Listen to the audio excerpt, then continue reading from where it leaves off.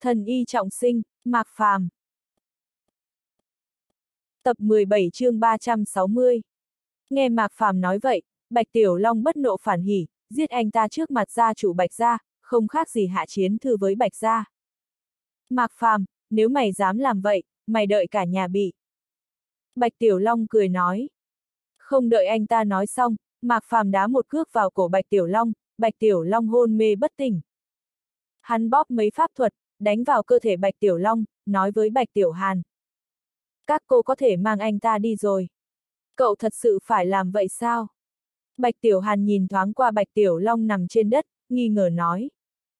Cô không biết vì sao Mạc Phàm muốn giết Bạch Tiểu Long trước mặt gia chủ, nhưng với thực lực của Mạc Phàm, trong mắt đều có thể phun lửa, làm ra chuyện gì bọn cô cũng không thấy kỳ lạ. Không làm như vậy thì làm thế nào, chẳng lẽ phải chữa khỏi mắt anh ta, khôi phục tu vi của anh ta, để anh ta mang mọi người về Bạch Gia. Mạc Phàm không đáp hỏi ngược lại. Nếu chọc tới hắn, phải trả cái giá thật lớn. Bạch Gia thì sao chứ? Cho hắn một chút thời gian, chuyện diệt một gia tộc ngàn năm trên địa cầu chỉ là nhất niệm. Bạch Tiểu Hàn cau mày, hàm răng cắn chặt, vừa tức vừa giận. Cô lo lắng thay Mạc Phàm, vậy mà Mạc Phàm vẫn tự đại như vậy. Cậu căn bản không biết Bạch Gia khủng bố như thế nào đâu. Mạc Phàm cười, Bạch Nhật Tông tiên môn đứng sau Bạch Gia hắn cũng đến rồi, Bạch Khởi mù hai mắt là do hắn chữa khỏi, hắn không biết khủng bố của Bạch Gia sao.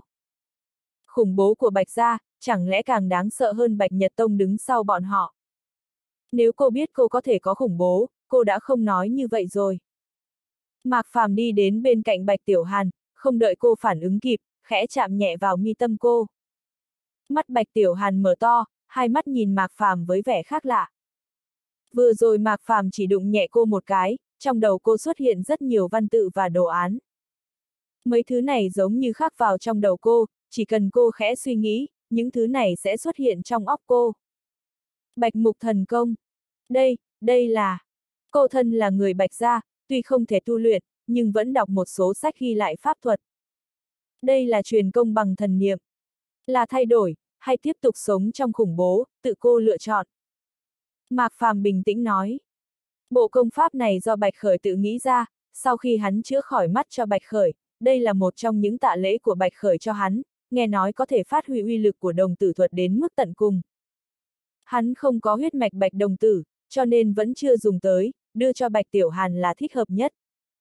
Kiếp trước Bạch Tiểu Manh dựa theo ý của Bạch gia, gả cho một phú nhị đại, kết quả rất mỹ mãn, không có gì bất ngờ xảy ra một đời này cũng vậy. Bạch Tiểu Hàn không may mắn như thế, tính cách lạnh nhạt trời sinh của cô khiến cô ăn không ít khổ cực, cha mẹ chồng không vừa mắt, người chồng cô gả cả ngày ăn chơi đàng điếm, không khác gì đẩy cô vào lãnh cung. Sau khi Bạch Tiểu Hàn kết hôn, hắn từng gặp một lần, cả người gầy như da bọc xương. Có bộ công pháp này, có thể giúp cô thay đổi toàn bộ. Luyện hay không luyện, quyền lựa chọn nằm trong tay Bạch Tiểu Hàn. Các cô có thể đi rồi. Mạc Phàm khoát tay nói. Bạch Tiểu Hàn nhíu mày, xoắn suýt nhìn Mạc Phàm một lát, nói. Tôi sẽ mang Bạch Tiểu Long về, hy vọng lần sau gặp mặt, cậu vẫn rất tốt. Mạc Phàm cười, không trả lời. Bạch Tiểu Hàn nói chuyện với mẹ con Tiểu Ngọc một lát, mang Bạch Tiểu Manh rời đi.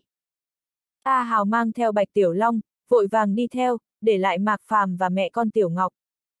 Mẹ Tiểu Ngọc dẫn Tiểu Ngọc tới, trong đôi mắt tràn đầy áy náy. Chuyện hôm nay cảm ơn cậu, nhưng vừa rồi Mạc Tiên Sinh không nên ra tay nắng như vậy. Một khi Tiểu Hàn mang Bạch Tiểu Long về Bạch Gia, Mạc Phàm sẽ gặp phiền phức, hơn nữa tuyệt đối không phải là phiền phức bình thường, Bạch Gia đối phó đám người mạo phạm mình thế nào, cô hiểu rất rõ. Nếu cháu không ra tay nặng, gì cảm thấy sẽ có kết cục gì? Mạc Phàm hỏi. Chuyện này, mẹ Tiểu Ngọc thở dài, trên mặt đều là bất đắc dĩ. Nếu Mạc Phàm không phế Bạch Tiểu Long, cô và Tiểu Ngọc đã bị mang về Bạch Gia, cho dù Mạc Phàm và A Hào không bị Bạch Tiểu Long giết chết, cũng không khá hơn là bao. Nhưng tốt hơn hiện giờ. Ha ha, Mạc Phàm cười nhạt. Là chuyện sớm hay muộn mà thôi, đơn giản là xảy ra trước. Mẹ Tiểu Ngọc nhớn mày, bỗng nhiên nhớ tới Mạc Phàm từng nhắc với cô về Tuyết Nhi, lúc này mới giãn mày. Quả thật là chuyện sớm hay muộn. Cô không biết Mạc Phàm quen Tiểu Tuyết thế nào, nhưng cô cảm nhận được, tình cảm của Mạc Phàm dành cho Tiểu Tuyết rất sâu. Cho dù hiện giờ Mạc Phàm danh chấn thành phố Đông Hải, còn đánh bại Bạch Tiểu Long, thực lực kinh người, nhưng muốn cưới Tiểu Tuyết cũng là chuyện không có khả năng. Nếu ngay cả Bạch Tiểu Long mà Mạc Phàm cũng không phải đối thủ, càng không thể lấy được Tiểu Tuyết. Mạc Phàm muốn cưới Tiểu Tuyết, tất phải thu phục Bạch gia mới được. Chúc cậu và Tiểu Tuyết có thể sớm ngày bên nhau. Mẹ Tiểu Ngọc cười khổ, trong mắt lóe lên mất mát. Cảm ơn. Mạc Phàm cười, trong mắt hiện lên xúc động, nhìn về phía Giang Nam. Một lát sau hắn cúi người, nói với Tiểu Ngọc. Tiểu Ngọc, đưa ngọc của em cho anh xem. a à, Tiểu Ngọc nhu thuận gỡ ngọc bội xuống, đưa cho Mạc Phàm. Mạc Phàm nhìn thoáng qua khối ngọc bội. Hóa ra trên ngọc bội này còn có một trận pháp định vị, lúc trước linh khí trong ngọc bội rất ít, Bạch Gia không tìm được tung tích của mẹ con Tiểu Ngọc. Nhưng ngọc bội này được hắn khắc tụ linh trận, trận pháp kia lập tức có hiệu lực, lúc này Bạch Gia mới tìm tới được. Hắn rót linh khí vào trong, ngọc bội sáng lên, trận pháp định vị bị xóa đi. Như vậy bọn họ sẽ không tìm thấy hai người nữa. Mạc Phàm đưa ngọc bội cho Tiểu Ngọc nói. Tiểu ca ca, anh có thể dạy em võ công không, cho dù sau này bọn họ tìm được em và mẹ, tự em cũng có thể đánh bọn họ chạy. Tiểu Ngọc nắm chặt tay, vội nói. Tiểu Ngọc. Mẹ Tiểu Ngọc vội quát Tiểu Ngọc. Pháp không thể truyền. Tiểu Ngọc còn nhỏ không hiểu, nhưng nhìn Bạch Gia bọn họ là biết. Bạch Gia không cho phép phụ nữ tu luyện công pháp Bạch Gia, chính là vì ngăn cản công pháp Bạch Gia truyền ra ngoài, đầy đủ để thấy trình độ chân quý của công pháp. Bạch Gia không chịu để bọn họ tu luyện công pháp, đi cầu Mạc Phàm truyền công sẽ làm Mạc Phàm khó xử. Cho dù Mạc Phàm đồng ý, sư môn của hắn cũng không đồng ý. Mạc tiên sinh, Tiểu Ngọc không hiểu chuyện, cậu đừng trách con bé. Không sao, sau này để em ấy theo cháu tu luyện đi. Mạc Phàm nói, Tiểu Ngọc là cực âm chi thể, một khi tu luyện, có thể nói tu vi tăng lên rất nhanh. Ở tu chân giới, một khi phát hiện người có thể chất như vậy, lập tức sẽ khiến các đại môn phái tranh giành.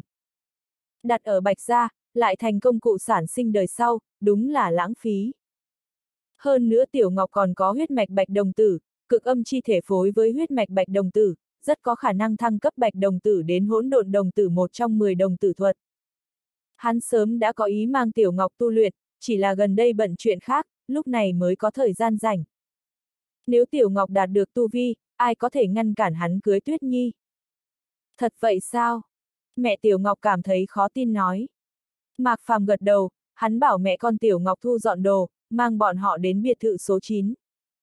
Ở đây đã không an toàn, trong biệt thự có phòng, chẳng bằng sống ở đó, cũng tiện cho việc hắn dạy Tiểu Ngọc tu luyện. Hai ngày sau, hắn lại luyện chế một ít tôi thể đan, chuyên tâm phụ đạo Tiểu Vũ và Tiểu Ngọc tu luyện. Hai người tuổi ngang nhau, tên tương tự, tính cách không khác mấy, rất nhanh thân thiết với nhau, nỗ lực tu luyện. Mạc Phàm đang chỉ đạo Tiểu Ngọc tu luyện, mày nhíu lại, bỗng nhiên nhìn về phía Giang Nam. Cuối cùng cũng đến Bạch Gia, không biết Bạch Gia sẽ lựa chọn thế nào. Lúc này, trong một trang viên cổ kính ở vùng ngoại ô tỉnh Giang Nam. Trang viên này nhìn không khác gì làng du lịch, xung quanh có rất nhiều hoa đào. Nhưng những người đi ngang qua nơi này nhìn thấy hai chữ bạch phủ to thiếp vàng, đều lộ ra biểu cảm kính sợ, nơi này đúng là chỗ ở của bạch gia ngàn năm. Sâu trong trang viên, trong đại sảnh mở một hội nghị. Trên mấy ghế thái sư khác bằng gỗ lim có 6-7 lão giả mặc áo bào trắng, người trẻ nhất cũng phải 50, có mấy người tóc đã bạc trắng như tuyết, trên mặt còn có nhiều nốt chấm đen. Nhưng tuổi càng lớn, hào quang trong mắt cũng càng sáng, cảm giác khiến người ta áp bách càng mạnh. Trên ghế chủ tọa trong phòng nghị sự, có một người đàn ông trung niên cao lớn uy vũ, người này khoảng gần 40 tuổi, có 5-6 phần tương tự mẹ Tiểu Ngọc, nhưng uy nghiêm hơn nhiều. Gia chủ, tiểu tử kia đánh Tiểu Long nhà chúng tôi thành ra như vậy, căn bản chính là coi thường bạch gia chúng ta, cậu nhất định phải báo thù giúp Tiểu Long nhà tôi. Giữa phòng nghị sự, một người đàn ông trung niên phẫn nộ nói. Người đàn ông này mới mở miệng, lập tức tạo nên gợn sóng trong phòng. Chỉ là một tiểu tử mới thành danh ở Đông Hải, không chỉ ngăn cản chuyện Bạch Gia chúng ta, còn làm đệ tử Bạch Gia bị thương, tôi đề nghị giết cửu tộc cậu ta. Trên ghế thái sư, một lão giả sắc mặt âm u nói. Diệt cửu tộc thì lợi cho cậu ta quá, tôi cảm thấy nên cắt toàn tộc cậu ta thành thụ nhân, bỏ vào trong địa lao, cho cậu ta biết đắc tội bạch gia chúng ta sẽ có kết cục gì.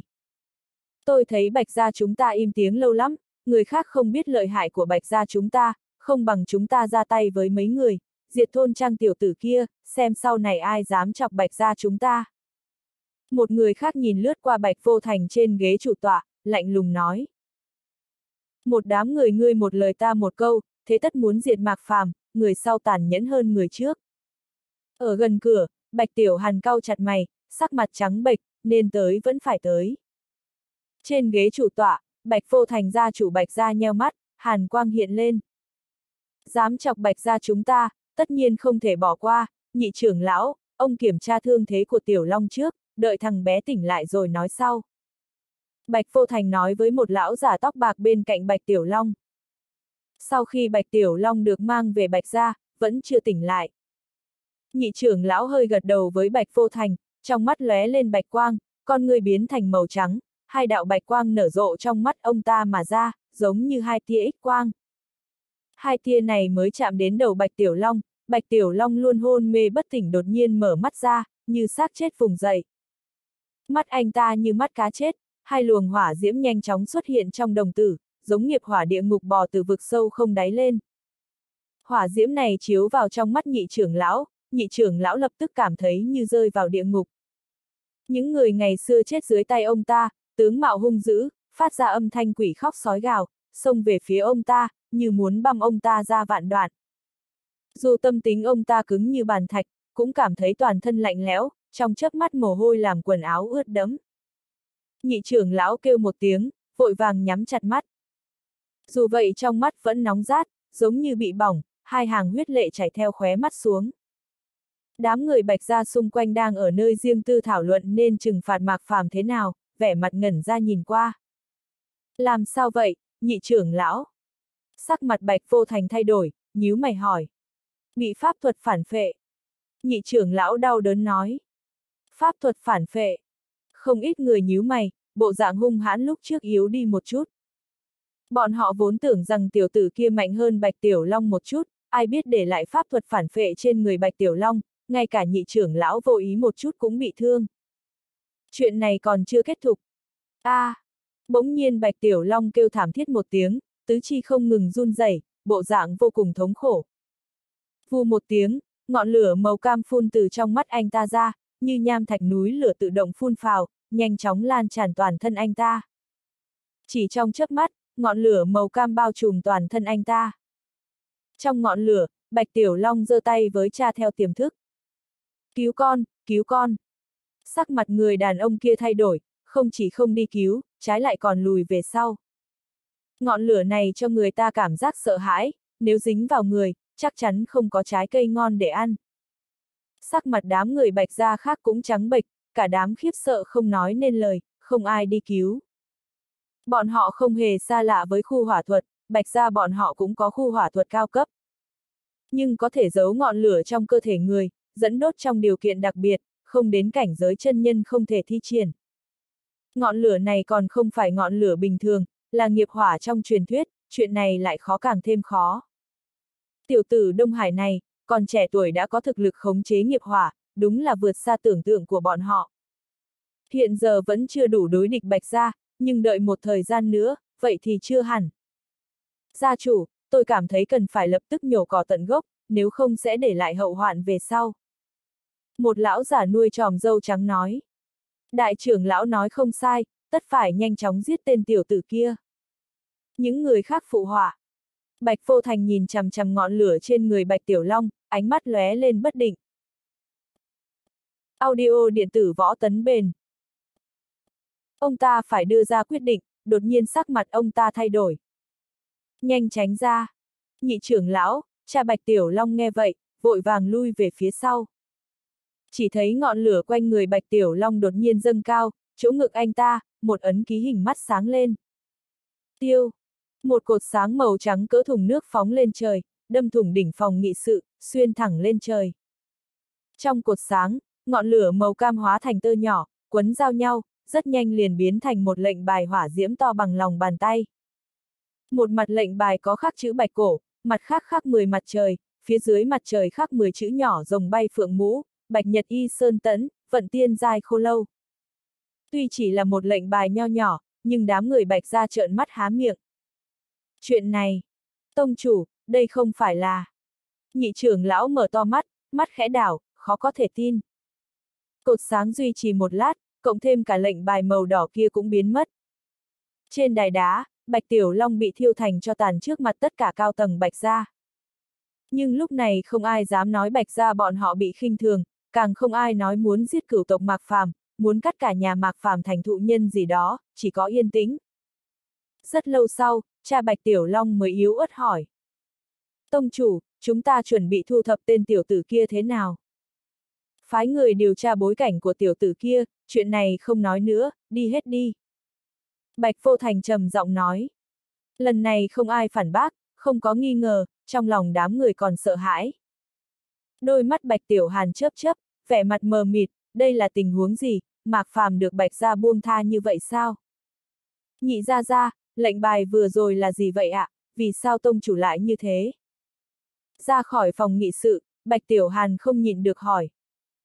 Bạch Nhật lệnh. Đợi đạo quang trên không Bạch ra biến mất, Mạc Phàm cũng thu hồi ánh mắt. Bạch Nhật lệnh, một trong những mật lệnh của Bạch Nhật Tông. Đây là sau khi hắn từ chối mỹ nữ của Bạch Nhật Tông mà Bạch Khởi đưa tới, Bạch Khởi tặng món quà thứ hai. Nói là ngày nào đó hắn gặp mỹ nữ Bạch Nhật Tông cứ việc theo đuổi, có mật lệnh này, làm lớn bụng không chịu trách nhiệm cũng không sao. Chỉ có thể sử dụng một lần, lần sau dùng chú pháp tương tự cũng không ngưng tụ được. Lúc ấy hắn dở khóc dở cười nhận lấy. Không biết có tác dụng trên địa cầu không? Anh, anh sao vậy, bên ngoài có máy bay sao? Tiểu vũ thấy Mạc Phàm đột nhiên thất thần, dừng tu luyện, tò mò hỏi. Không có gì. Mạc Phàm khẽ nhếch miệng, bảo hai người chăm chỉ luyện tập, mình thì đến bên cạnh cửa sổ, hào quang trong mắt lóe lên. Mặc kệ bạch nhật lệnh có tác dụng không, hắn phải chuẩn bị sẵn sàng, lấy biến hóa ứng phó vạn biến, nếu không tại họa sẽ đến nhanh hơn kiếp trước. Hoàng gia, bạch gia, lâm gia, thiếu lâm tự, còn có vạn thiên tuyệt, hắn không sợ một ai, nhưng không thể khinh thường.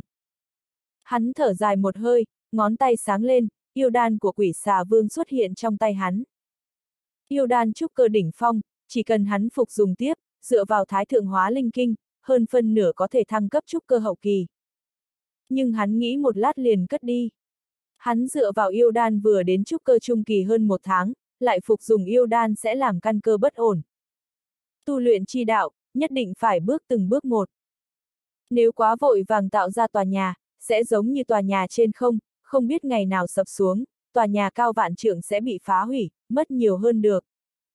Tu linh khí không thể liều lĩnh, chỉ có thể tiếp tục rèn luyện thân thể. Hắn đã dùng thứ thần châm và thứ huyết châm, kế tiếp là thứ cốt châm. Một khi sử dụng thứ cốt châm, xương cốt trong cơ thể hắn sẽ xảy ra biến hóa nghiêng trời lệch đất. Cho dù là ngọc cốt đệ nhất trọng, cũng có thể dễ dàng đỡ đạn. Thiết cốt đệ nhị trọng và kim cương cốt đệ tam trọng có thể đỡ pháp khí tấn công. Chỉ là thứ cốt châm cần có tiên thiên châm mài bởi tiên thiên chi ngọc, không biết có thể tìm được thứ này không? Tiên thiên chi ngọc là tiên thiên linh ngọc tạo thành, không phải trải qua thời gian dài mà biến thành linh ngọc, bất luận khối tiên thiên linh ngọc nào đều có thể thoải mái tạo thành một linh khí. Xem ra chỉ có thể ra ngoài thử thời vận. Hắn đang chuẩn bị ra ngoài, bỗng nhiên hắn nhớn mày. Một giọng nói thanh thúy êm tai truyền từ ngoài biệt thự đến. Gia Cát Nguyệt Gia Cát ra đến bái phỏng, cầu kiến Mạc Tiên Sinh. Mạc Phàm cười, khi hắn ở âm Sơn từng nói với Gia Cát Nguyệt, nếu Gia Cát Nguyệt muốn mua bồi nguyên đan, có thể đến thành phố Đông Hải tìm hắn, không ngờ Gia Cát Nguyệt thật sự tìm tới cửa, không biết có kinh ngạc vui mừng gì không. Tiểu Vũ, hai đứa lên lầu luyện công đi. Mạc Phàm nói với Tiểu Vũ. Tiểu Vũ nghe lời gật đầu, mang theo Tiểu Ngọc lên lầu 2. Tâm niệm Mạc Phàm khẽ động, tụ linh đại trận tránh ra một đường đi. Vào đi. Giọng nói không lớn, vừa vặn truyền vào tai hai người. Ở cửa, Gia Cát Nguyệt buộc tóc thành đuôi ngựa như trước, lộ ra gương mặt hỗn huyết hoàn mỹ, trên cái mũi cao thẳng có thêm một cái kính đen. Cô mặc trên người áo sơ mi ô vuông, phía dưới là quần bò. Khiêm tốn hơn mặc áo da gợi cảm và nóng bỏng lúc trước, có thêm vài phần cô gái đoan trang nhà bên, có một phen phong tư riêng. Đứng bên cạnh cô là người đàn ông trung niên, khoảng 50 tuổi, mặc trang phục nhà đường màu đen, nuôi dâu, vẻ mặt sắc lạnh. Chú Đan, chúng ta vào trong thôi. Gia Cát Nguyệt nghe thấy giọng Mạc Phàm, nói với người đàn ông trung niên bên cạnh. Gia Cát đan nhíu mày, lộ ra bất mãn. Nguyệt Nhi, Mạc tiên sinh này cũng quá kiêu ngạo rồi. Bọn họ đường đường là người của Gia Cát gia đến cửa bái phỏng, vậy mà không thèm ra cửa, càng không phải nói nghênh đón. Cho dù là thị trưởng thành phố Đông Hải, Gia Cát gia bọn họ đến thăm, cũng sẽ đón chào từ 10 dặm. Chú Đan, bồi nguyên đan quan trọng hơn, lúc nào nói được thì nói, toàn bộ đều phải nghe cháu. Gia Cát Nguyệt cười nghịch ngợm nói. Bản lĩnh của Mạc Phàm, cô tận mắt nhìn thấy, quả thật không cần nghênh đón bọn họ. Cũng được, chúng ta vào xem rồi nói sau, nếu Mạc Tiên Sinh này thật sự có thể luyện chế bồi nguyên đan hợp lệ, chú sẽ không so đo với cậu ta. Gia Cát Đan lắc đầu nói. Tuy không còn so đo, nhưng hiển nhiên vẫn còn chưa tan cơn giận. Thế gia ngàn năm cũng được, hậu sinh thế gia mới cũng được, cuối cùng đều luận về thực lực. Nếu Mạc Tiên Sinh này thật sự có bản lĩnh, quả thật không cần đi ra đón chào, nhưng nếu chỉ là hư danh, vậy không dễ nói như thế. Gia Cát Nguyệt không nói gì thêm, trên khuôn mặt tuyệt mỹ ẩn ẩn lo lắng. Trong phòng khách, Gia Cát Nguyệt thấy Mạc Phàm, khóe môi khẽ nhếch lên, lộ ra nụ cười quyến rũ. Mạc Tiên Sinh, chúng ta lại gặp mặt. Giọng điệu khách sáo hơn rất nhiều khi ở âm sơn.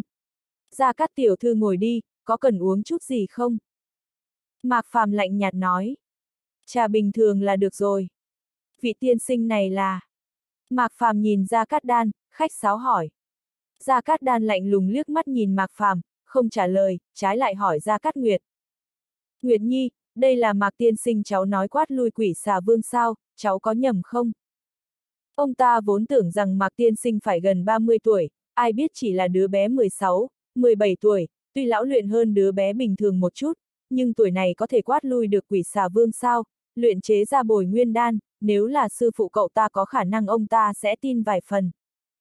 Trên mặt Gia Cát Nguyệt lộ ra vẻ khó xử, khi ở âm sơn ngay từ đầu cô cũng không tin Mạc Phàm có pháp lực gì. Nhưng từ khi Mạc Phàm đạp nước mà đi, quát lui quỷ xà vương, cô mới phát hiện mình nghĩ sai bao nhiêu. Chú Đan, cậu ấy là Mạc Tiên Sinh, cháu tận mắt nhìn thấy Mạc Tiên Sinh quát lui quỷ xà vương. Ái ra, Gia Cát Đan lắc đầu thở dài nói. Tiểu Nguyệt, cháu có nghĩ quỷ xà vương là yêu thú sư môn cậu ta dưỡng hay không? Người trẻ tuổi đúng là người trẻ tuổi, quá ít kinh nghiệm, khinh địch dễ tin tưởng như vậy, có khi chúng bấy cũng không biết, không biết thu đạo giới có không ít kẻ lừa đảo giả thần giả quỷ sao. Chuyện này, Gia Cát Nguyệt nhíu mày, lúc ấy quá nguy hiểm, quả thật cô không nghĩ đến khả năng này. Cẩn thận suy nghĩ, cũng không phải không có khả năng. Mạc Phàm vừa đến Minh Hồ, không chỉ biết phương pháp giải độc của quỷ xà, còn biết quỷ xà không bị bọn họ giết chết, đúng là hơi kỳ lạ. Chắc là không phải vậy đâu. Gia Cát Nguyệt hỏi. Mạc Phàm xem như cứu cô một mạng, từ tận đáy lòng cô không muốn nghĩ đến hướng xấu. Mạc Phàm lắc đầu, cười khẽ. Gia Cát tiểu thư, vị này là... Không đợi Gia Cát Nguyệt trả lời, Gia Cát Đan xen miệng vào. Lão phu Gia Cát Đan, luyện đan sư của Gia Cát gia, tiểu tử, không phải cậu vừa hỏi tôi muốn uống gì sao, có bích lạc linh trà không, nếu cậu có thể luyện chế bồi nguyên đan, thể nào cũng có linh trà. Bích lạc linh trà. Mạc Phàm cười khinh thường. Sao hắn có thể không biết thứ này, là một loại linh trà có thể ngâm trong linh khí, ở tu chân giới cơ bản tất cả tu sĩ đều có, dùng để chiêu đãi khách. Người bình thường uống trà này có thể cường thân kiện thể, nhưng vô dụng với tu sĩ. Kiếp trước hắn không có bích lạc linh trà, có cũng là linh trà ngộ đạo cao cấp nhất, uống một ly có thể khiến thể hồ quán đỉnh, phá bình cảnh. Loại trà này không có tác dụng gì, chỗ tôi không có. Mạc Phàm lạnh nhạt nói. Gia Cát Đan khẽ nhếch miệng, linh trà cũng không có, còn không biết xấu hổ nói linh trà không có tác dụng gì. Không có thì không có, tìm cớ làm gì. Nếu không có linh trà, vậy thì nước lọc được rồi. Ông ta không vội vạch trần Mạc Phàm, lập tức vạch trần không thú vị lắm, vẫn nên để Mạc Phàm lỗ nguyên hình từng chút một. Mạc Phàm cười khinh thường, gọi Vương Mụ chuẩn bị đồ uống. Một lát sau, hai chén trà long tỉnh và một ly nước lọc được bưng ra. Trên mặt Gia Cát Nguyệt lộ ra chút xấu hổ, cầm cốc trà uống một ngụm, liền đi thẳng vào vấn đề chính. Mạc Tiên Sinh, lần này chúng tôi tới chủ yếu là muốn mua bồi nguyên đan chỗ cậu, không biết chỗ Mạc Tiên Sinh còn bao nhiêu viên, Gia Cát gia chúng tôi nguyện ý mua toàn bộ. Gia Cát gia bọn họ có một lượng lớn hậu bối đang trong thời kỳ cố bản bồi nguyên tốt nhất, bọn họ là gia tộc ngàn năm, tất nhiên không thể để hậu bối thua ở vạch xuất phát. Nếu không phải cần bồi nguyên đan gấp, Gia Cát Nguyệt đã không dẫn người tới âm sơn, lại đi thật xa từ Bắc Xuyên đến Mạc Gia ở Đông Hải. Không nhiều, còn khoảng 500 viên. Mạc Phàm lạnh nhạt nói. Cái gì, tiểu tử cậu không lầm chứ? Gia Cát Đan mới uống một ngụm nước vào trong miệng, thiếu chút nữa phun ra. Tiểu tử này nghĩ bồi nguyên đan là sô-cô-la à, động một tí là 500 viên. Phải biết rằng luyện đan không như sản xuất kẹo dây chuyền, nguyên liệu luyện chế 10 viên đan dược, cuối cùng chỉ luyện chế được 2-3 viên, đã xem như tỷ lệ thành đan rất cao rồi. Ông ta thân là đan sư đứng đầu gia cát gia, luyện đan hơn 30 năm, thành đan chỉ có hai viên. Mạc Phàm còn nhỏ tuổi như vậy, thành đan một viên đã không tệ rồi, đây xem là cậu ta có thể giải trừ bệnh truyền nhiễm, nếu không một viên ông ta cũng không nghĩ được. Cho dù là thành hai viên đan dược, 500 viên bồi nguyên đan phải cần 2.500 phần nguyên liệu. Nếu nguyên liệu bồi nguyên đan tốt dễ tìm như vậy, bọn họ đã không cần chạy đến chỗ mạc phàm. Khụ khụ, Gia Cát Nguyệt để tay trên bờ môi, khẽ ho hai tiếng, rõ ràng là bị sặc rồi. Mạc tiên sinh, cậu thật sự có nhiều như vậy sao? Mạc phàm đạt được không ít huyết linh chi, nhưng có thể luyện chế 500 viên bồi nguyên đan, vẫn hơi ít một chút. Mạc phàm bưng ly trà lên, thổi khí nóng bên trên. Nếu ra các tiểu thư trả giá cao, cô sẽ nhìn thấy nhiều bồi nguyên đan như vậy. Đan sư bình thường chỉ luyện chế ra được 2-3 viên, sao hắn có thể thấp như vậy? Tiếp trước, chỉ riêng bồi nguyên đan hắn luyện chế đâu chỉ triệu viên. Luyện chế 10 lần thành công cả 10, nếu có một lần không thành công, vậy lô đan đó chỉ là trung phẩm. Tuy hắn dùng nhiều huyết linh chi, nhưng nếu hắn muốn luyện chế, số huyết linh chi còn lại cũng đủ cho hắn luyện chế 500 viên. Giá chắc chắn ra cắt ra chúng tôi lấy ra được, không biết cậu thật sự có nhiều bồi nguyên đan như vậy không? Gia Cát đan âm dương quái khí nói. Luyện chế đan dược thất bại là hư đan, trải qua xử lý bên ngoài không khác gì thực đan mấy, nhưng hiệu quả kém xa thực đan vạn giảm, còn dễ bị bệnh. Hư đan thường lẫn vào trong đan dược, thật giả lẫn lộn. Mạc tiên sinh, nói giá đi, Gia Cát gia chúng tôi muốn toàn bộ. Gia Cát Nguyệt vội nói. Cô còn sợ Mạc Phàm thành đan quá thấp, luyện chế không được nhiều bồi nguyên đan, ai biết Mạc Phàm còn khoảng 500 viên. Nhiều bồi nguyên đan như vậy, đủ cho Gia Cát gia bọn họ sử dụng, còn vấn đề tiền bạc cô không lo lắng. Nếu Gia Cát gia bọn họ không mua nổi, không có mấy gia tộc mua được. Mỗi viên một nghìn vạn, nếu là thiên tài địa bảo thì tính khác. Mạc Phàm giơ một ngón tay nói. Một nghìn vạn. Gia Cát Đan mở to mắt, bồi nguyên đan bình thường trong hội đấu giá căn bản không thấy được, nhưng ở hội giao dịch do võ đạo thế gia, pháp đạo thế gia tổ chức và chợ đêm vẫn có thể mua được. Cho dù chợ đêm ra giá cao thế nào, cũng chỉ 500 vạn một viên, đã là giá cao lên trời rồi. Mạc Phàm mở miệng là đòi 1.000 vạn, cao gấp đôi so với chợ đêm, đây thật sự hơi quá. Gia Cát Nguyệt cũng nhíu mày, một viên 1.000 vạn, 50 viên 50 triệu. Nhiều tiền như vậy, cho dù bảo Gia cát ra bọn họ lập tức lấy ra cũng không được, quả thật quá quý. Tiểu tử, sao cậu không đi cướp luôn đi? Gia Cát Đan không kiên nhẫn nói. Nếu ông chê đắt, vậy 2.000 vạn một viên được rồi. Mạc Phàm uống trà, bình tĩnh nói. Tiểu tử, cậu đừng quá kiêu ngạo, cậu có tin nếu chúng tôi không mua được bồi nguyên đan, chân trước mới rời khỏi nơi này, sau lưng tin tức chỗ cậu có 500 viên bồi nguyên đan sẽ truyền khắp hoa hạ hay không, đến lúc đó cậu cảm thấy sẽ có bao nhiêu người tìm đến cậu. Gia Cát Đan vỗ bàn quát. Hoài Bích hữu tội, 500 viên bồi nguyên đan đã là một số của cải lớn, đủ để nhiều người động lòng. Mặc kệ Mạc Phàm có hay không, chắc là người tin sẽ nhiều hơn người không tin. 100 vạn một viên, cậu thích bán thì bán, không thích bán chúng tôi lập tức rời đi. Trong mắt Gia Cát Đan lóe lên vẻ đắc ý, trầm giọng nói. Ông ta không tin mèo không ăn cá, tiểu tử này không sợ có người tới cửa. Cái đập bàn của Gia Cát Đan không chỉ khiến đá cẩm thạch dưới tay ông ta nứt ra, sắc mặt Gia Cát Nguyệt trắng bệch. Mạc Phàm nheo mắt, hàn quang lóe lên. Ông đây là đang uy hiếp tôi. Có phải hay không tự cậu cân nhắc đi? Hai tay ra Cát Đan ôm ngực đắc y nói. Một tên nhóc cũng dám cò kè mặc cả với ông ta, còn quá non, đổi lại là sư phụ cậu ta còn tạm. Mạc Phàm nhíu mày, lạnh lùng nhìn ra cát đan chăm chú. Ngón tay hắn khẽ nhúc nhích, đang chuẩn bị dùng pháp thuật giết ra cát đan. Dám uy hiếp hắn ở đây, người này chán sống rồi à? Không đợi hắn ra tay, trên tầng có hai ông già đi xuống. Một người là tần lão gia tử, người còn lại là lạc phi lão Thái Sơn ở Bắc Xuyên. Hai người này phát hiện linh khí trong biệt thự hắn nồng đậm hơn nhiều, luôn tới biệt thự đánh cờ với cha hắn. Còn mang theo Vân Thiên không tiên thiên tông sư tới, có một cao thủ như vậy làm vệ sĩ miễn phí trong biệt thự, hắn cũng mặc kệ hai người. Lúc này hai người nghe thấy âm thanh phía dưới, quyết định đi xuống. Tôi còn tưởng là ai cơ, hóa ra là sư phụ Gia Cát của Gia Cát Gia, Mạc Tiên Sinh đâu đắc tội các cậu, các cậu tới cửa đã đập nát bàn nhà Mạc Tiên Sinh, không biết cái bàn đó để chúng tôi ăn cơm à, cậu muốn để lão tử ăn cơm trên thảm trải sàn sao? Lạc Phi gõ cái gậy trong tay xuống đất, đá cẩm thạch bị đập nát. Gia Cát Đan vốn đang đắc ý, chỉ đợi Mạc Phàm bất đắc dĩ đành phải bán đan dược giá thấp cho bọn họ. Ông già này vừa xuất hiện, sắc mặt ông ta lập tức trầm xuống, hoảng sợ nhìn Lạc Phi, miệng há to, mãi mới phát ra âm thanh. Lạc, Lạc lão, sao ông lại ở đây? Ông ta không sợ Mạc Phàm, nhưng ở Bắc Xuyên có rất nhiều thế gia, có bao nhiêu người không e ngại Lạc Phi ở Bắc Xuyên. Từng có tông phái có ý đồ mạo phạm uy nghiêm của Lạc Phi ở Bắc Xuyên, cả phủ đệ gia tộc bị san thành bình địa, tất cả đệ tử phàm là có vết nhơ sẽ bắn chết, không có thì lưu đầy ngàn giảm Gia Cát gia bọn họ có vài phần giao tình với Lạc gia, nhưng không có nghĩa bọn họ có thể dương oai trước mặt Lạc Phi. Hừ, nếu tôi không ở đây, cậu sẽ hại sư phụ tiểu kiệt nhà tôi đúng không? Lạc Phi hừ lạnh một tiếng, nói. Sư phụ tiểu kiệt. Sắc mặt ra cát đàn khó coi như gan lợn. Đương nhiên ông ta biết tiểu kiệt Lạc Phi nói, tần kiệt cháu nội của tần lão gia tử, cháu ngoại của Lạc Phi.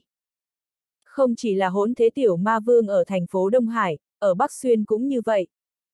Rất nhiều môn phái, thế ra ở Bắc Xuyên có ý đồ bám víu Tần Kiệt, đều bị Tần Kiệt từ chối không chút do dự, vậy mà cậu ta bái tiểu tử này làm sư phụ. Chuyện này, ánh mắt Gia Cát Đan nhìn Mạc Phàm thay đổi rất nhiều.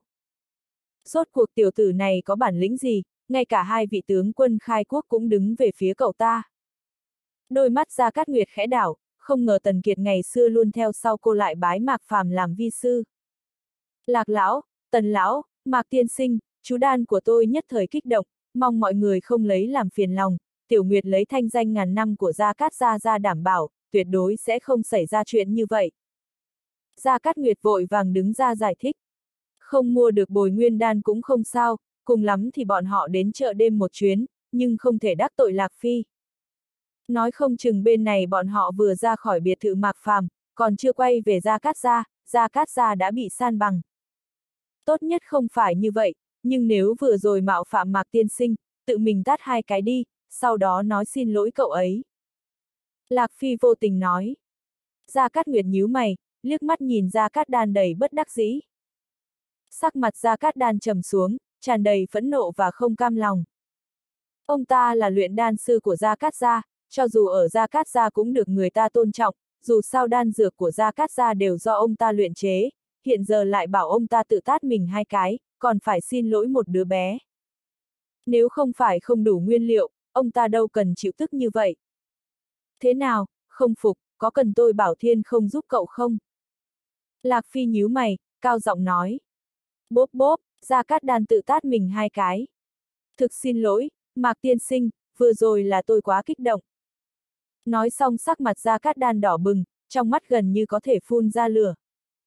Gia Cát Nguyệt vội vàng rời đề tài, tìm một bậc thang.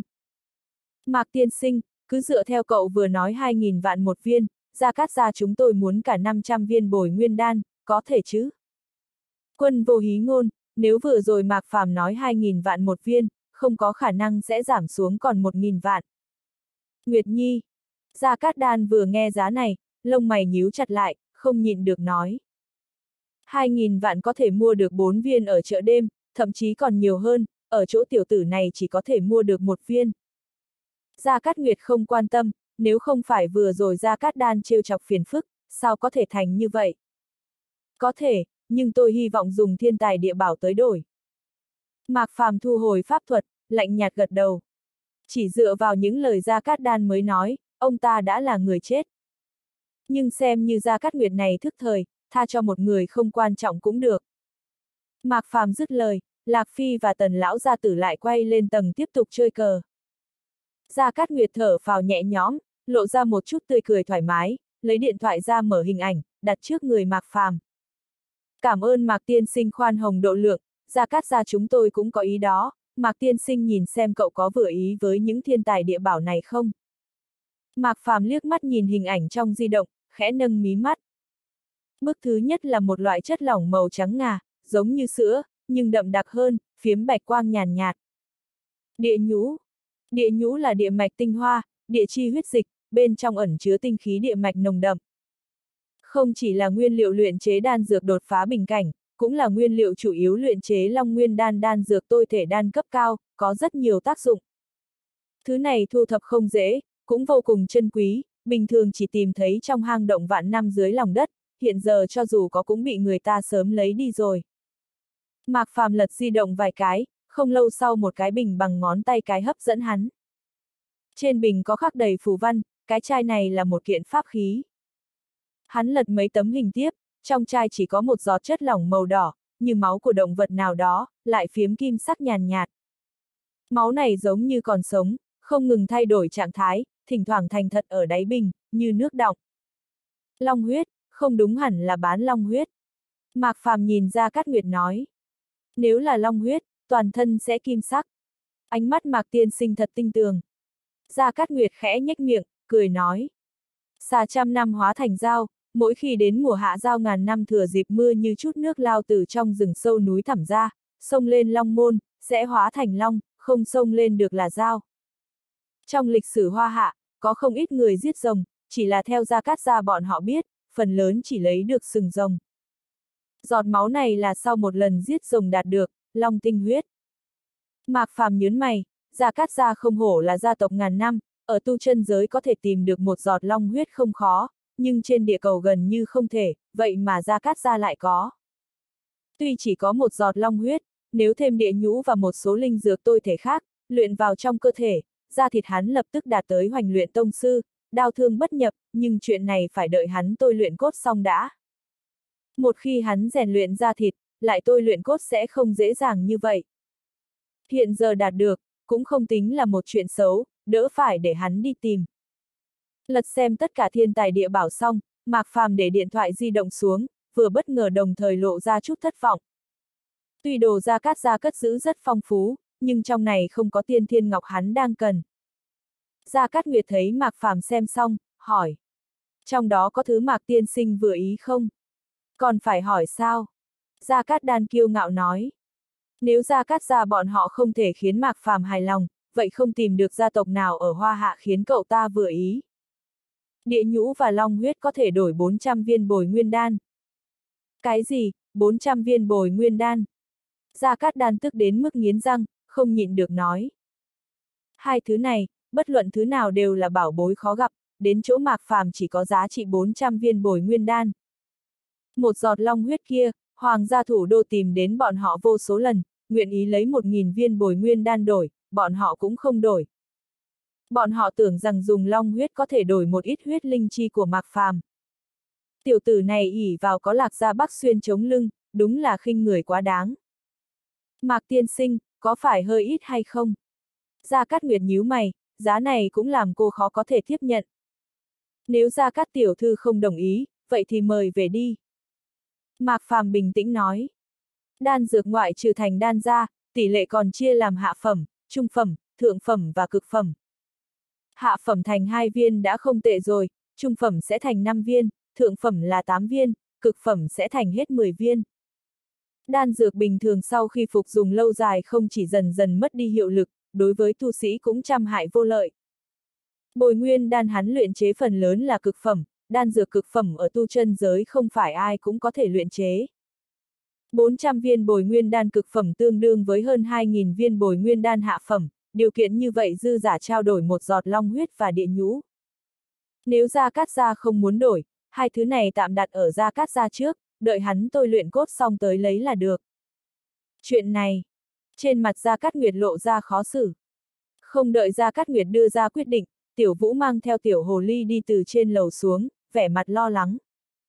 Anh, Chu tỷ vừa gọi điện thoại cho anh, không nói gì liền tắt máy, bây giờ gọi mãi cũng không được. Mạc Phàm nhíu mày, mới giơ tay lại dừng lại, trên mặt lộ vẻ nghiêm trọng. Di động của hắn luôn bị tiểu hồ ly cầm chơi, cho nên không ở bên cạnh hắn. Nhưng không cần điện thoại, ngay lúc tiểu vũ mở miệng, hắn cảm nhận được kim cương chú trên pháp khí chu hiệt tự động kích hoạt, hẳn là gặp nguy hiểm. Hắn vừa định kích hoạt tiêu lôi trận bên trên, phát hiện pháp khí cắt đứt liên hệ với hắn.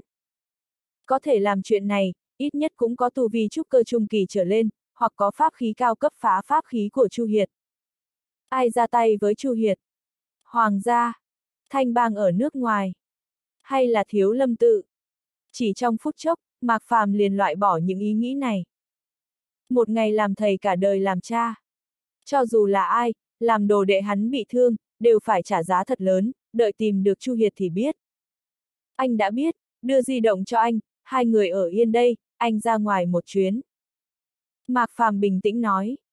a, à, anh, anh cẩn thận chút, nhất định phải mang Chu Hiệt tỷ về. Tiểu Vũ gật đầu, đưa di động cho Mạc Phàm, lo lắng nói. Tuy Mạc Phàm không nói cô cũng đoán được, chắc chắn đã xảy ra chuyện. Yên tâm đi, không sao. Mạc Phàm xoa đầu Tiểu Vũ nói. Ở bên cạnh, Gia Cát Đan thấy sắc mặt Mạc Phàm thay đổi, khóe miệng ông ta hơi nhếch lên. Người cuồng ngạo tự đại giống như Mạc Phàm, rất dễ đắc tội người khác. Cho dù Gia Cát gia bọn họ không chấp cậu ta, nhưng sẽ có người khác thu thập, không phải ai cũng sợ Tần gia và Lạc gia, lần này báo ứng đến rồi. Mạc tiên sinh, có phải xảy ra chuyện gì không, xe chúng tôi ở bên ngoài, chúng tôi đưa cậu qua đó nhé. Gia Cát Nguyệt vội nói. Có mua hay không không sao, ân tình còn đây. Mạc Phàm còn trẻ đã có thực lực này, lại có tần gia và lạc gia làm chỗ dựa, gia cát gia bọn họ phải bày tỏ thiện ý, nhất định chỉ có lợi với bọn họ. Lần này gia cát đan không ngăn cản, biểu cảm vui sướng khi người ta gặp họa. Xe Nguyệt Nhi đã được gia cát gia sửa đổi, tốc độ xe bình thường không thể so sánh được, hẳn là giúp được việc. Vừa rồi Mạc Phàm ngông cuồng như vậy, bảo ông ta tự mình tát hai cái, còn dùng 400 viên bồi nguyên đan đổi lấy long huyết và địa nhũ nhà bọn họ. Hiện giờ Mạc Phàm gặp phiền phức, ông ta muốn xem Mạc Phàm kiêu ngạo được đến khi nào. Mạc Phàm nhíu mày, không để ý đến Gia Cát Đan, cũng không từ chối. Ba người mang theo A Hào, ngồi trên xe Gia Cát Nguyệt nhanh chóng rời khỏi biệt thự số 9. Lúc này, bên trong nhà kho bỏ hoang ở ngoại ô thành phố Đông Hải. Một đại hán tai to mặt lớn, trên mặt có vết sẹo dài, tóc lộn xộn, giống như vài ngày chưa tắm. Một tay đại hán mặt sẹo cầm tiểu kiếm mài từ xương cốt, một tay khác cầm vòng tay bích huyết thạch của Chu Hiệt, dẫm di động Chu Hiệt hay dùng dưới chân, cười gằn. Cô bé, cô đúng là có tài, vậy mà còn có pháp khí trong tay, sư phụ cô là ai, nói cho tôi biết, nói không chừng lão tử sẽ tha cho cô một mạng. Trên sàn xi măng nát bấy, quần áo Chu Hiệt tả tơi, lộ ra mảng lớn da thịt tuyết trắng và áo ngực màu trắng bên trong, cánh tay và trên người như bị dã thú cào, da thịt bầy nhầy. Trên bụng cô có một lỗ máu to cỡ ngón cái, huyết dịch liên tục chảy ra từ miệng vết thương và miệng cô, bộ dạng vô cùng thê thảm. Tên sư phụ tôi, anh không xứng biết, trả lại em trai cho tôi, nếu không mặc kệ anh đi đến đâu, tôi đều phải giết chết anh. Chu Hiệt nghiến răng nhịn đau, muốn đứng dậy. Đại hán mặt sẹo nhíu mày, xương cốt cô nàng này đúng là cứng. Còn chưa luyện đến nội kinh, chúng nhiều kiếm của anh ta như vậy, còn bị pháp khí của anh ta đục một lỗ, vậy mà còn đứng dậy được, đúng là quái thai. Đại hán mặt sẹo này chỉ nhíu mày một cái, cho dù là quái thai cũng chỉ là võ giả hậu thiên. Cô bé, cô đừng nghĩ đến em trai nữa, nếu gia nhập cái bang chúng tôi, cái bang chúng tôi sẽ chiếu cố cậu ta thật tốt, cô nên suy xét chính cô đi. Đại hán mặt sẹo nói xong đạp vào bụng Chu Hiệt một cái, máu phun từ trong miệng ra. A, à, Chu Hiệt kêu thảm một tiếng, khuôn mặt tuyệt mỹ vì đau đớn mà giật giật. Hai tay cô ôm chân đại hán mặt sẹo, ý đồ kéo chân anh ta, nhưng chân anh ta như cột đá, căn bản không nhúc nhích. Có phải rất đau hay không? Đại hán mặt sẹo nhếch miệng, cười hung dữ, thu chân lại. Anh ta ngồi xổm bên cạnh Chu Hiệt, một tay nắm cầm cô, ánh mắt bị ổi dạo chơi trên người Chu Hiệt. Suy nghĩ kỹ chưa, muốn gia nhập cái bang chúng tôi không, chỉ cần cô gia nhập cái bang chúng tôi, cô không chỉ được ở bên cạnh em trai mình, rảnh rỗi chúng ta còn song tu trên giường, chỉ cần cô khiến lão tử vui vẻ, nói không chừng lão tử sẽ truyền cho cô tuyệt kỹ cái bang, từng nghe về hàng long thập bát trưởng chưa, đều có thể giao cho cô. Anh ta thích thành thục chút, cô nàng này trẻ thì trẻ, dáng người và khuôn mặt đều rất tuyệt, còn tuyệt hơn model xe hắn chơi mấy ngày trước. Ngoài ra cô nàng này còn có tu vi hậu thiên đỉnh cao, chắc chắn khi làm còn kêu to hơn model xe kia. Chơi đủ rồi, sau này còn có tác dụng khác, dù sao cũng là võ giả hậu thiên, mạnh hơn đám tiểu tử mới bắt nhiều. Anh, anh đừng mơ tưởng, tôi sẽ không phản bội sư phụ tôi. Chu Hiệt trừng đại hán mặt sẹo nói, khi cô tuyệt vọng nhất Mạc Phàm đã cứu cô, còn nhận cô làm đồ đệ, tương đương cho cô cái mạng thứ hai, ân tình này cho dù cô chết cũng không quên. Còn dám cãi lại, đồ đệ tiện, có phải bị sư phụ cô ngủ sảng khoái rồi không? Đại hán mặt sẹo nở nụ cười dâm đáng, vỗ mặt Chu Hiệt nói. Anh câm miệng, không được phép nói sư phụ tôi như vậy. Chu Hiệt tức giận nói, ước gì có thể để lại thêm mấy vết sẹo trên mặt đại hán mặt sẹo. Cô bé, cho dù cô không chịu phản bội sư phụ cô, cô không ngẫm lại mà xem, không có cô, em trai cô sẽ bị cái bang bắt nạt, với thân thể nhỏ bé đó của cậu ta, ha ha. Đại hán mặt sẹo không tức giận, cười gần nói. Đám xúc sinh các người, tốt nhất nhanh chóng thả em trai tôi ra, nếu để sư phụ tôi biết, chắc chắn sẽ không bỏ qua cho các người. Chu Hiệt phẫn nộ kêu lên, trong mắt chứa lệ quang. Không bỏ qua cho chúng tôi. Ha ha. Đại hán mặt sẹo cười khinh thường, giống như đang nghe chuyện viễn tưởng. Cô không đi theo tôi cũng được, tôi mang em trai cô đi, ngủ với cô, xem sư phụ cao lớn uy võ của cô có thể làm gì tôi, khà khà. Nói xong trong mắt anh ta hiện lên cực nóng, vội vã cắn mặt Chu Hiệt. Vẻ mặt Chu Hiệt kích động, hai tay nắm lấy đầu đại hán mặt sẹo theo bản năng, dùng lực kéo. A, à, tóc trên đầu đại hán mặt sẹo, thêm cả da đầu bị kéo xuống, máu tươi đầm đìa. Đại hán mặt sẹo kêu thảm một tiếng, sờ lên đầu, trên tay đều lá máu, trong mắt anh ta hiện lên sắc bén, không còn hứng thú với Chu Hiệt. Vẻ mặt anh ta vốn dữ tợn, trên mặt lại có vết sẹo, tóc bị kéo rách một mảng, khuôn mặt dữ tợn hơn. Kỹ nữ thối, cô đã không muốn sống, vậy đi chết đi. Bạch quang lóe lên trên tiểu kiếm của anh ta, một đạo kiếm khí như ngưng động thành thực chất nuốt nhả mà ra. Phập, trong chớp mắt kiếm khí xuyên qua Chu Hiệt, một lỗ máu to bằng ngón cái xuất hiện trước ngực cô.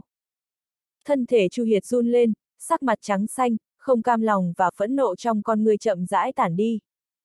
Thấy chưa, đồ đê tiện, xem ai có thể cứu chị em các cô. Anh ta đá Chu Hiệt sang một bên, lại nhổ nước bọt, một chiếc xe Việt dã nhanh chóng biến mất khỏi vùng ngoại thành thành phố Đông Hải. Nửa tiếng sau, một chiếc xe Cayenne được cải tiến đỗ trước nhà kho bỏ hoang. Mạc Phàm mở cửa xe, bước vài bước đến chỗ Chu Hiệt, A Hào theo sát phía sau. Trong bụi cỏ, Chu Hiệt nằm trong vũng máu, trái tim và bụng có lỗ máu nhìn thấy mà ghê người, mặt trắng bệch như tờ giấy, không còn hơi thở, rõ ràng là đã chết. Mắt hắn nheo lại, bên trong giống như mang theo lôi đình diệt thế, lửa giận hiếm có thấm nhuận trong lòng hắn. kiếp trước hắn từng thấy nhiều người chết, một đời này hắn không hy vọng bất luận người nào bên cạnh hắn xảy ra chuyện, nhưng đồ đệ hắn bị giết, ở ngay thành phố Đông Hải. Sắc mặt A Hào trầm xuống, quả đấm không tự chủ được nắm chặt lại. Gia Cát Nguyệt và Gia Cát Đan cũng đi tới. Gia Cát Nguyệt nhíu mày, trong mắt hiện lên thương tiếc. Chu Hiệt nhìn sấp xỉ tuổi cô, còn trẻ tuổi như vậy vốn là lúc nên học đại học, yêu đương, làm những gì mình thích, nhưng lại bị người ta giết một cách tàn nhẫn ở độ tuổi tươi đẹp nhất, đúng là đáng tiếc. Gia Cát Đan thấy sắc mặt Mạc Phàm âm trầm như nước, ngoại miệng không nói gì, nhưng trong mắt hiện lên vẻ đắc ý. Đến độ tuổi ông ta, đã quen nhìn sinh tử, có rất nhiều người chết ở độ tuổi Chu Hiệt, thế giới tàn tốc như vậy đó. Mạc Tiên Sinh, cô ấy là người của cậu sao? Gia Cát Nguyệt nhỏ giọng hỏi. Hắn không trả lời, lam quang trong mắt lóe lên, ý nghĩ nhanh chóng chuyển động, một đám y thuật xuất hiện trong đầu. Gia Cát Nguyệt không giận, nhớn mày, vội vàng hỏi Gia Cát Đan. Chú Đan, chú có mang hồi hồn đan không, không biết hồi hồn đan có cứu được cô ấy hay không? Nghe nói hồi hồn đan nhà bọn họ có tác dụng hồi hồn tục mệnh, nói không chừng có thể cứu cô gái này một mạng. Nếu thật sự có tác dụng, đều có lợi với Gia Cát Gia và Mạc Phàm. Gia Cát Đan nâng cầm, liếc mắt nhìn Chu Hiệt một cái, giả mù sa mưa nói. Chú có mang theo hồi hồn đan, nhưng nhà đầu này đã chết rồi, cho dù là hồi hồn đan của Gia Cát Gia chúng ta cũng không cứu được.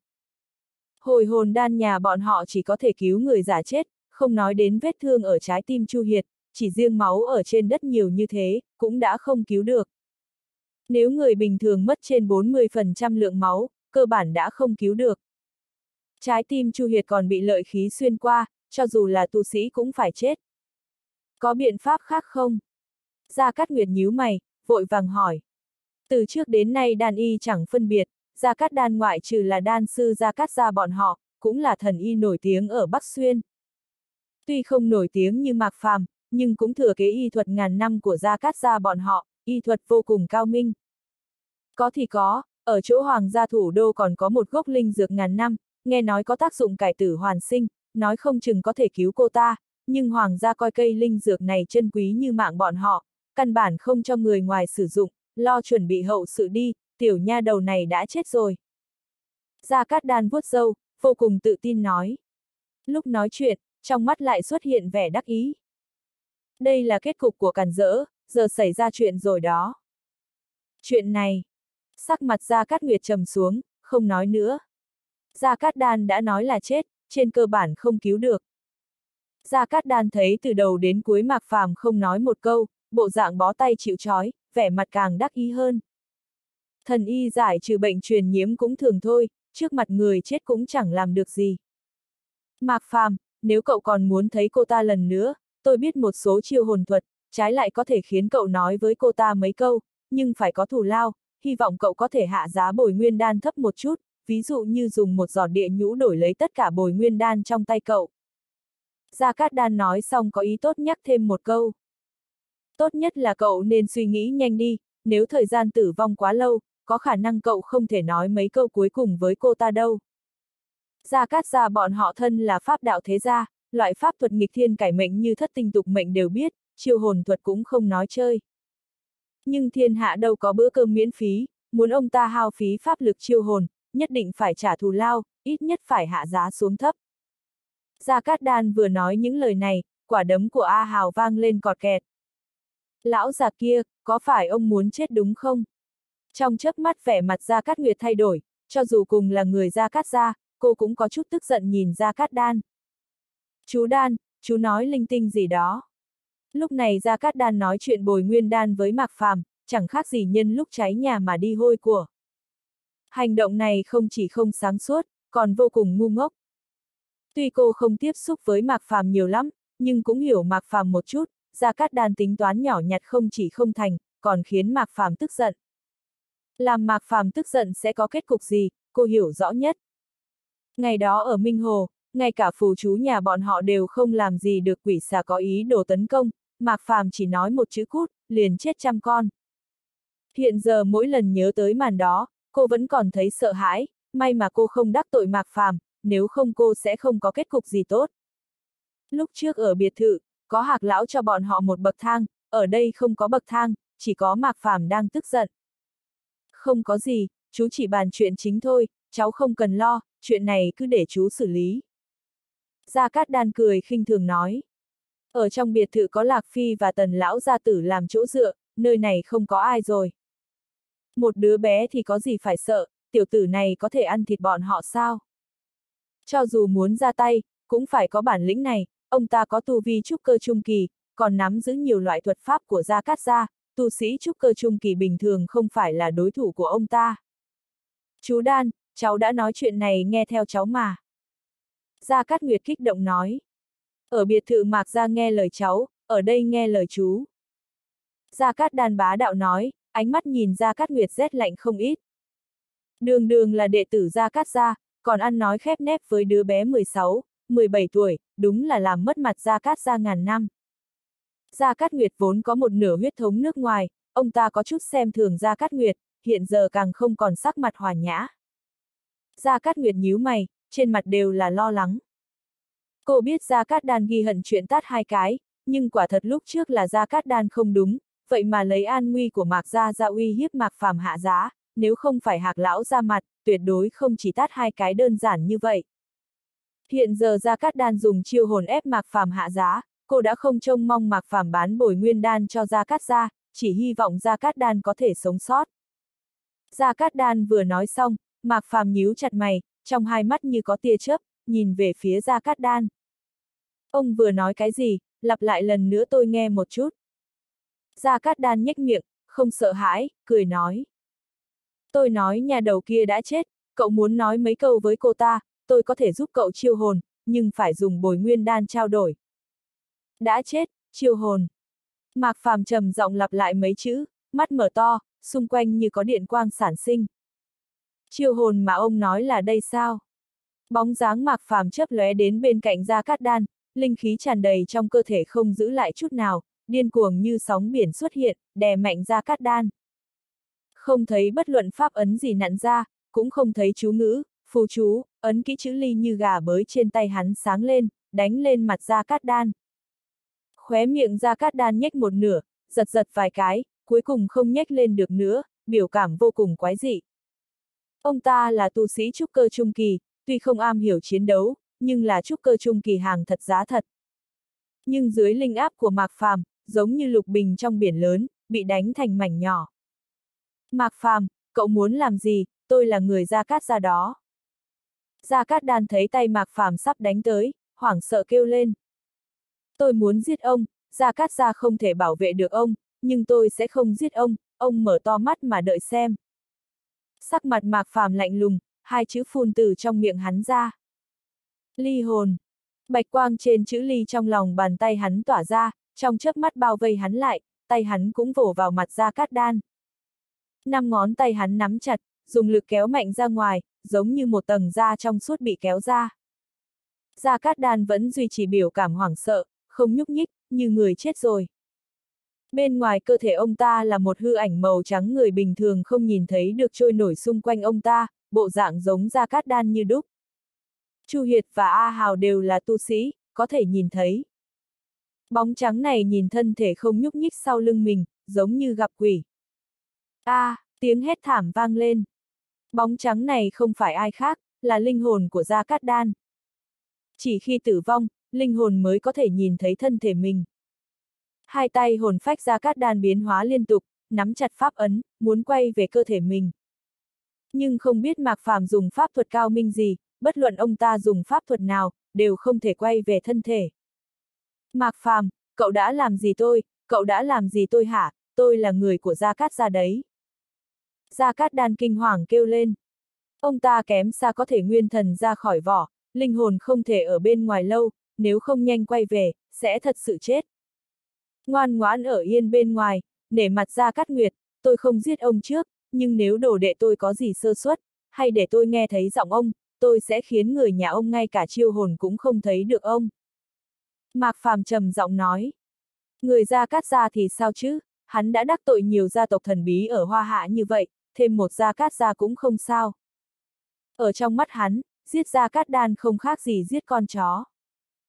Không phải gia cát đan này muốn thấy hắn xấu mặt sao, vậy thì giữ lại mạng chó của gia cát đan xem hắn cứu người thế nào, giết địch thế nào.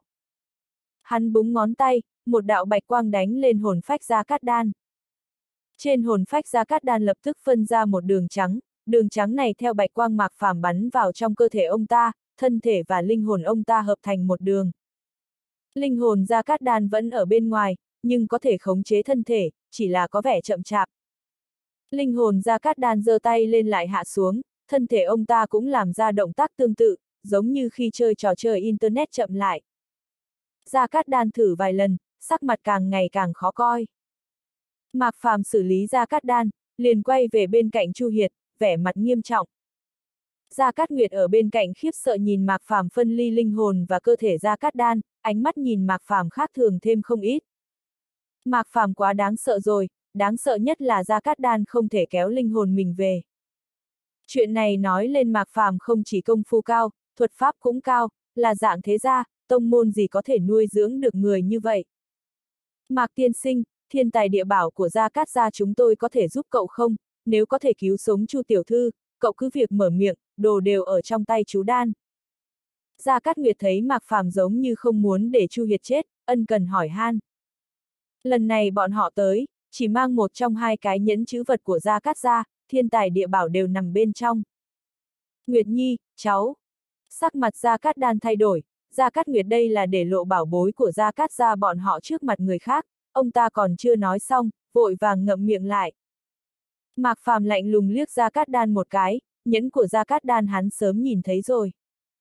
Chính là nhẫn chữ vật, hắn có không biết bao nhiêu cái ở tu chân giới, căn bản không để vào mắt, nếu không sao vẫn đeo trên tay Gia Cát Đan. Không cần, tôi tự có biện pháp khiến đồ đệ tôi cải tử hoàn sinh. Vẻ mặt Gia Cát Đan ngây ngốc, trong mắt tràn đầy oán độc, đều là không thể tin. Trái tim nhà đầu này đã bị đâm thủng, chết chắc rồi. Ông ta muốn nhìn xem y thuật của Mạc Phàm cao tới đâu, không cần linh dược ngàn năm có thể cứu sống nhà đầu kia. Gia Cát Nguyệt cũng hơi kinh hãi, y thuật của Gia Cát Đan, cô vẫn biết. Nếu Gia Cát Đan nói Chu Hiệt đã chết, có khả năng trên cơ bản không cứu được. Nhưng cô vẫn mong cứu sống được Chu Hiệt, nếu có thể cứu sống được cô bé này thì quá tốt. Mạc Phàm nói xong câu vừa rồi, liền không để ý bất luận kẻ nào, ánh mắt nghiêm túc hiếm có, nhìn chằm chằm Chu Hiệt. Hắn niệm thần chú, mười ngón tay nhanh chóng nhảy múa, một đám phù văn bay liên tục trong không trung, rất nhanh liền tạo thành một đồ án hình tròn xanh biếc. Mạc Phàm nhẹ nhàng ôm lấy Chu Hiệt, bàn tay to vung lên, một đám chất khí xuất hiện, nâng thân thể Chu Hiệt, trôi nổi dưới đồ án hình tròn. Đồ án màu lục sáng lên, một đám sinh cơ bừng bừng màu lục lập tức hạ xuống, chui vào trong cơ thể Chu Hiệt. Trên người Chu Hiệt ngoại trừ vết thương bên ngoài bụng và miệng lập tức dừng chảy máu, còn kết vảy, đổi thành làn da trắng như ngọc. Một lát sau, vết thương nhanh chóng biến mất, giống như chưa từng xuất hiện. Nhưng Chu Hiệt vẫn không có dấu hiệu sống lại, khuôn mặt trắng bệch dọa người. Hồn phách gia cát đan khẽ nhếch miệng, vài giây sau, khóe miệng gia cát đan cũng nhếch lên theo. Pháp thuật chữa trị ngoại thương ông ta cũng biết, nhưng thì làm sao, chữa trái tim thế nào, dùng bùn nặn một cái sao. Gia Cát Nguyệt và A Hào nhíu mày, trái tim treo cao, nếu Mạc Phàm không có biện pháp, có khả năng thật sự không cứu được Chu Hiệt. Vẻ mặt Mạc Phàm thay đổi, hai ngón tay hắn khẽ rạch lên một tay khác, trên tay đao kiếm bình thường đều không gây thương tổn lại xuất hiện vết thương, huyết dịch chảy ra. Chú ngữ bay từ trong miệng Mạc Phàm ra, mỗi lần phun ra một âm phù, trong vết thương trên tay hắn sẽ bay ra một giọt máu lóe sáng ánh sáng ngũ sắc, chui vào trong lỗ máu ở ngực và bụng Chu Hiệt. Mỗi một viên máu bay vào trong cơ thể Chu Hiệt, sắc mặt Mạc Phàm trắng xanh vài phần, hai lỗ máu trên người Chu Hiệt cũng dần nhỏ lại. Sau thời gian uống một ly trà, hai lỗ máu kia biến mất, ánh mắt Mạc Phàm cũng sáng ngời trước nay chưa từng có. Vết thương của Chu Hiệt quá nặng, có thể cứu được Chu Hiệt hay không, chỉ có thể nhìn lần này. Theo âm phù cuối cùng bay ra, tay hắn vẫn chảy máu bỗng nhiên tách ra ngũ sắc, tay như khối ngũ thải thạch. Tỉnh lại cho tôi. Ngũ sắc trong mắt hắn tỏa ra, nhìn chằm chằm mắt Chu Hiệt quát. Cũng đúng lúc này, ngũ sắc trên tay hắn biến mất trong ngực trái cao ngất của Chu Hiệt. ầm, um, ngũ sắc sáng mạnh hơn, bao phủ cả Chu Hiệt và Mạc Phàm. Khí tức phong cách cổ xưa, tang thương như thiên địa trọng khai lấy Chu Hiệt làm trung tâm, truyền ra xung quanh, cỏ cây tăng trưởng mạnh. Trong ánh sáng ngũ sắc, vẻ mặt Mạc Phàm trang nghiêm, như ngâm như sướng, văn tự trầm thấp phun từ trong miệng hắn ra. Lấy huyết mạch của ta bổ thể xác của ngươi, lấy khí thức của ta thông qua thể lạc, lấy thần niệm của ta gọi hồn phách ngươi, nghe lời ta, mệnh lệnh của ta, tỉnh lại cho ta. Giọng nói vang lên, ánh sáng ngũ sắc như thủy chiều xuống nước biển, toàn bộ biến mất vào trong cơ thể Chu Hiệt, tay Mạc Phàm cũng lấy ra khỏi ngực Chu Hiệt, giống như chưa có chuyện gì xảy ra, toàn bộ quay về bình thường. Xung quanh yên tĩnh dọa người, ngay cả tiếng con dế trong đất hoang cũng không còn. A Hào là người thấy Mạc Phàm thi pháp nhiều nhất, lúc này vẫn trợn mắt há miệng. Gia Cát Nguyệt là người Gia Cát gia, đường đường là pháp đạo thế gia, trong nhà có chân nhân thông thiên đạo pháp, lúc này cũng khiếp sợ nói không nên lời. Bọn họ không chỉ thấy chân nhân trong nhà thi pháp một lần, nhưng không có lần nào thi pháp thanh thế lớn như Mạc Phàm, ngũ sắc nở rộ. Gia Cát Đan lúc trước vẫn còn mang oán hận với Mạc Phàm, lúc này sắc mặt trắng bệch, thần hồn bất ổn. Thần hồn của ông ở ngoài, càng có thể cảm nhận được pháp thuật cường đại của Mạc Phàm, không đến cảnh giới chân nhân chắc chắn không làm được. Quá đáng sợ, ông ta đắc tội với ai thế này? Mạc tiên sinh, chu cô nương thế nào rồi? Gia Cát Nguyệt nhỏ giọng hỏi. Ánh sáng ngũ sắc tan đi, vết thương trên người Chu Hiệt đã biến mất, thay vào đó là làn da mới, làn da còn trắng nõn hơn trước, nhưng Chu Hiệt vẫn chưa tỉnh lại. Mạc Phàm không trả lời, hắn dùng máu mình làm dẫn, lấy bổ thiên chi thuật bổ sung vào vết thương trên người Chu Hiệt. Y thuật bổ sung này vốn sinh ra đã kém, hắn từng dùng y thuật này cứu không ít người, nhưng tiêu hao không lớn như vậy. Cho dù hắn từng dùng thứ huyết châm, cũng có chút không chịu nổi.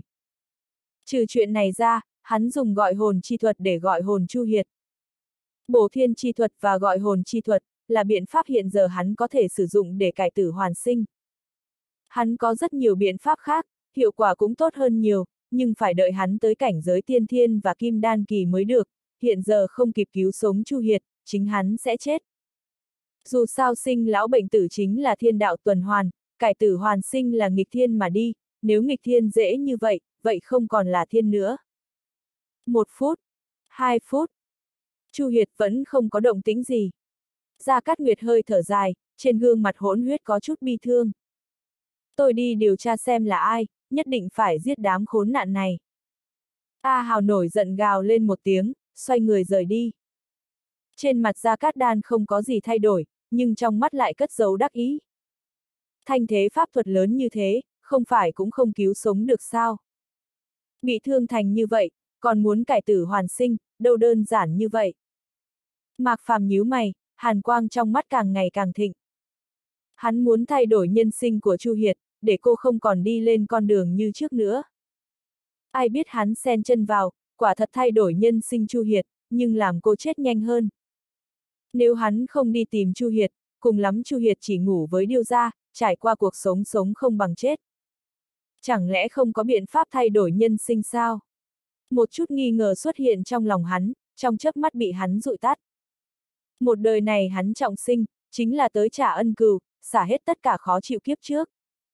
Nếu như không thay đổi được, hắn trọng sinh có tác dụng gì? Nếu để hắn trọng sinh đến đây, hắn sẽ phá vỡ toàn bộ, ai cũng không thể ngăn cản hắn. Người không được, thần không được, đất không được, trời cũng không được. Nghĩ đến điều này, khí thế toàn thân hắn lại thay đổi, áo không gió mà bay. Hào quang trong mắt vô cùng thịnh vượng, như hai ngọn lửa muốn thiêu đốt hết thiên địa. Miệng hắn khẽ mở, chú ngữ viễn cổ lại phun từ trong miệng hắn ra. Âm tiết thứ nhất mới ra, bầu trời vốn trong xanh, trong chớp mắt mây đen dày đặc, thê lương, tang thương, thái cổ chi khí tỏa ra từ người mạc phàm. Cho dù là A Hào đang đi về phía xe, hay Gia Cát Nguyệt và Gia Cát Đan bên cạnh mạc phàm, thân thể không tự chủ được run lên, giống như đặt mình vào trong thời viễn cổ. Mãnh thú hoành hành, xà trùng ở khắp mặt đất, cự mộc chọc trời, núi cao như kiếm, sông như rồng. Trong hoang mang vô tận, cảm giác vô cùng nhỏ bé tràn ngập tim bọn họ, nhanh chóng biến thành sợ hãi. Không đợi Mạc Phàm nói âm tiết thứ hai, một giọng nói yếu ớt truyền vào tai Mạc Phàm. Sư, phụ. Mắt Mạc Phàm mở to, nhìn về phía Chu Hiệt. Mặt Chu Hiệt vẫn trắng xanh, dưới lông mi dài dài, không biết mắt mở thành khe nhỏ khi nào, như sắp đóng lại bất cứ lúc nào. Môi son khẽ mở, vô cùng gian nan nói ra mấy câu, nói được mấy chữ sẽ dừng lại một lát. Người kia bắt lấy em trai con, đệ tử bất tài. Nhưng, anh ta, anh ta bảo con bái anh ta làm vi sư, gia nhập cái bang, con từ chối. Từ chối rồi. Mạc Phàm Chu Hiệt nói, trên gương mặt lạnh lùng lộ ra kích động hiếm có, hắn thở phào một hơi, cười thoải mái. Sư phụ sẽ mang em trai con về, vết thương của con, sư phụ sẽ giết sư phụ và tông môn anh ta. Mạc Phàm lạnh lùng nói, sát khí trong mắt tỏa ra, nhiệt độ xung quanh đều giảm xuống. Người nọ có thể hủy pháp khí của Chu Hiệt, tuyệt đối không phải tôi thể đỉnh phong Chu Hiệt có thể đối phó, ngay cả A Hào cũng không là đối thủ của người nọ, Chu Hiệt không phải là đối thủ của kẻ đó quá bình thường. Nếu dám cướp đồ đệ với y tiên bất tử hắn, cái bang này có thể biến mất. Đồ đệ cho rằng, đồ đệ sắp chết, có thể nhìn thấy người thực tốt, sư phụ. Chu Hiệt cố gắng nói. Cô cho rằng sẽ không gặp được Mạc Phàm lần cuối, không thể gặp được em trai mình lần cuối nữa rồi. Lúc bị đại hán mặt sẹo đâm một kiếm, cô cảm thấy thân thể càng ngày càng trầm, trước mắt càng ngày càng đen, không nhìn thấy cái gì, ai biết lại được người ta kéo trở về. Còn sống thật tốt. Nói xong lời cuối, cô khẽ nhếch lên nụ cười yếu ớt, như cây tường vi trong gió, kèm theo hai dòng nước mắt lay động. Chết sao, nói cho đồ đệ biết, sư phụ của con có danh hiệu y tiên bất tử, sư phụ không cho con chết, ai cũng đừng nghĩ đến chuyện đó. Ngón tay Mạc Phàm khẽ điểm chán Chu Hiệt, vẻ mặt nghiêm túc nói. Chu Hiệt còn định mở miệng, lại bị Mạc Phàm ngăn cản. Chu Hiệt mới ổn định mạch máu, vẫn nên ít nói chút tốt hơn, còn lại giao cho hắn là được. A Hào, mang mấy chai nước đến đây cho tôi, để Chu Hiệt uống.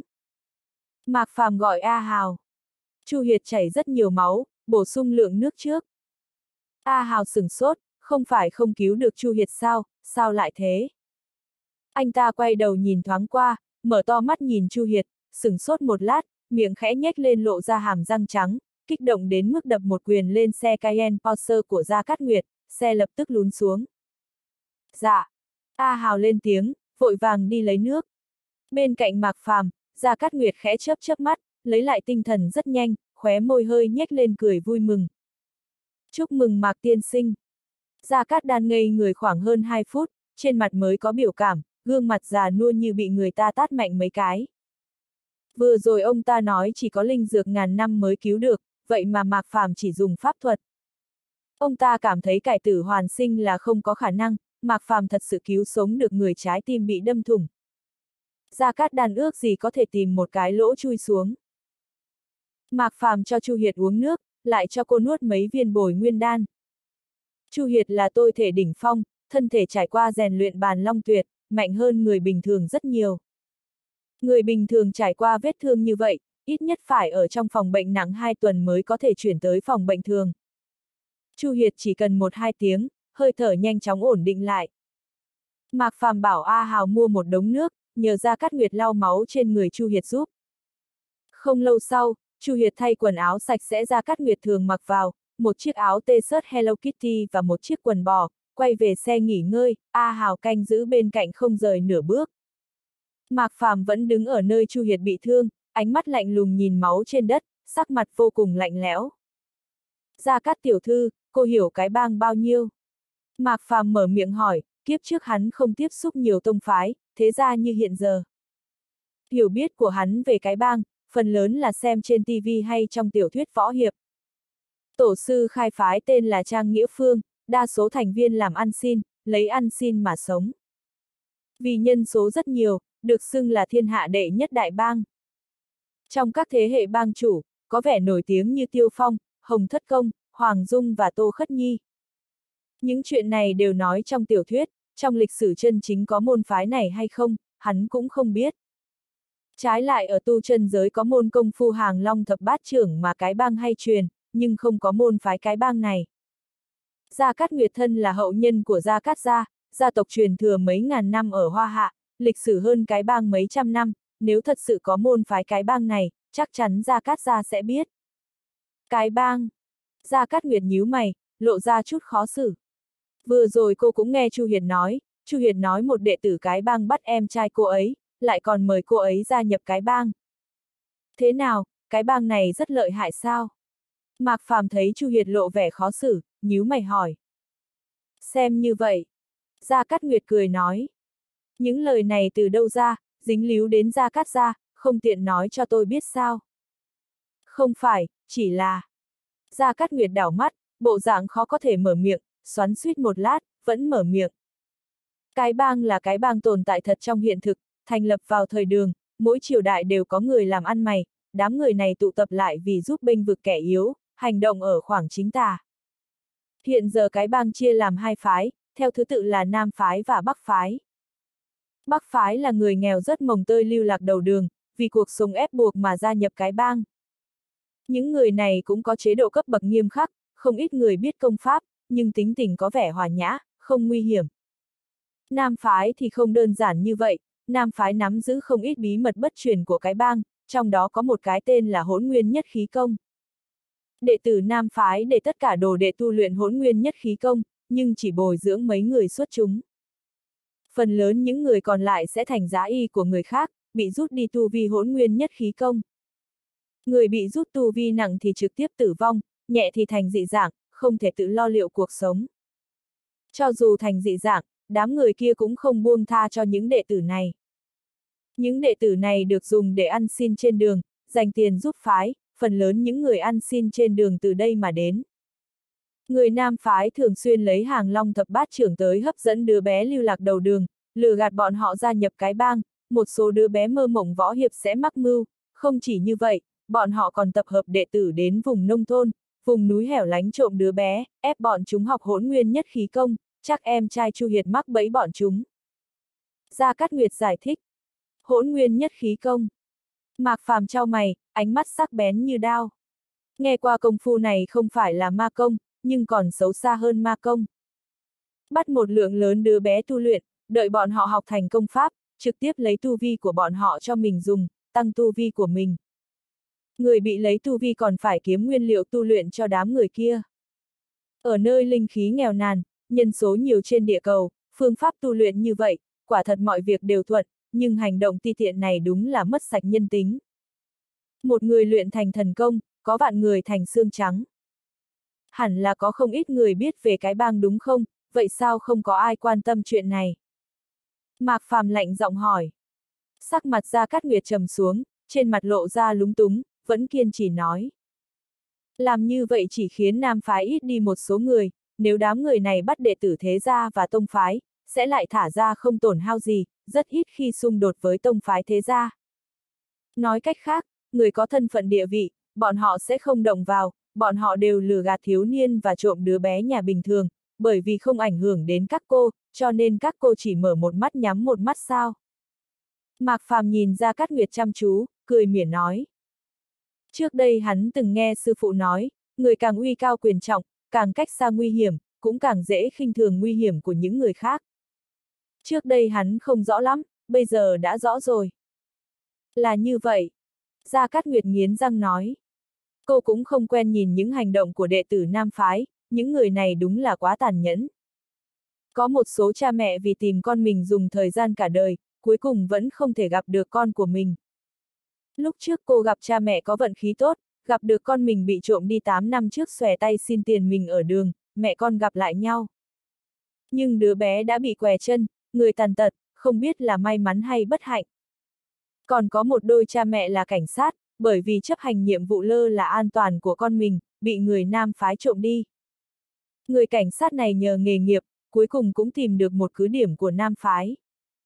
Tìm được con anh ta trong cứ điểm, nhưng anh ta không mang con mình ra ngoài được, đã bị người ta đánh tàn phế, ném ở trên đường ăn xin, thành một thành viên của nam phái, đây là sau khi anh ta chạy thoát, đưa tin trên báo chí.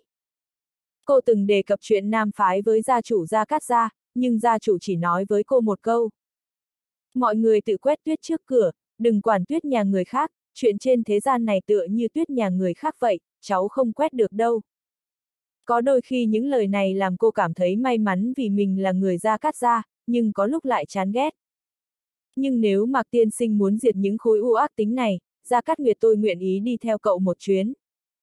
Gia Cát Nguyệt nghiêm túc nói. Gia Cát Đan nghe thấy Gia Cát Nguyệt nói vậy, sắc mặt thay đổi. Nguyệt Nhi, cháu nói linh tinh gì đó, có phải cháu điên rồi không? Nam phái không cừu không oán với Gia Cát gia bọn họ, hà tất phải trêu chọc phiền phức. Ông ta từng nghe gia chủ nói, hỗn nguyên nhất khí công không có tác hại như ma công, nếu trên địa cầu còn có người tu luyện đến cảnh giới tiên thiên trở lên, hơn phân nửa là một trong đám người nam phái. Đây đủ để thấy đám nam phái bắt nạt kẻ yếu kia đáng sợ như thế nào. Hiện giờ Gia Cát Nguyệt muốn đi tìm nam phái gây phiền phức với Mạc Phàm, đúng là không biết sống chết. Ông vừa nói cái gì? Mạc Phàm nhìn Gia Cát Đan chăm chú, hỏi, âm thanh như lợi kiếm ra khỏi vỏ. Vẻ mặt Gia Cát Đan thay đổi, vội vàng câm miệng, Mạc Phàm hiện giờ muốn giết ông ta chỉ là vấn đề khẽ động ngón tay. Tôi nói, hai người tìm đến nam phái thế nào? Chuyện này làm khó được tôi sao? Mạc Phàm khẽ nhếch miệng, thản nhiên nói. Nếu y tiên bất tử hắn bị chuyện này làm khó, vậy sau này hắn không cần danh xưng kia nữa rồi. Gia Cát Đan nhíu mày, nơi ẩn thân của Nam Phái rất khó tìm.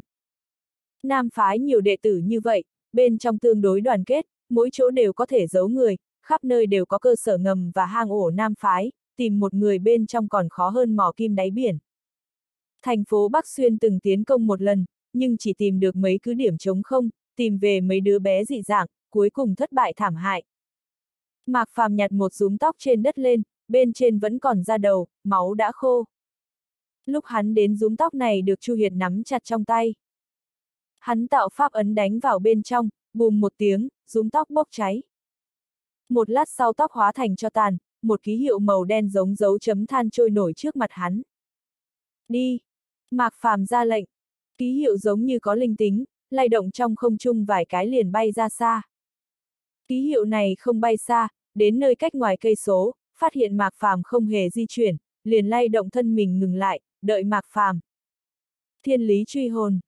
Gia Cát Đan nhìn ký hiệu kia, vẻ mặt ngẩn ra, lẩm bẩm nói. Pháp thuật này dùng tóc, da hay huyết dịch của người kia để lần theo dấu vết, cho dù xa ngàn dặm cũng khó trốn truy hồn, rất khó chơi.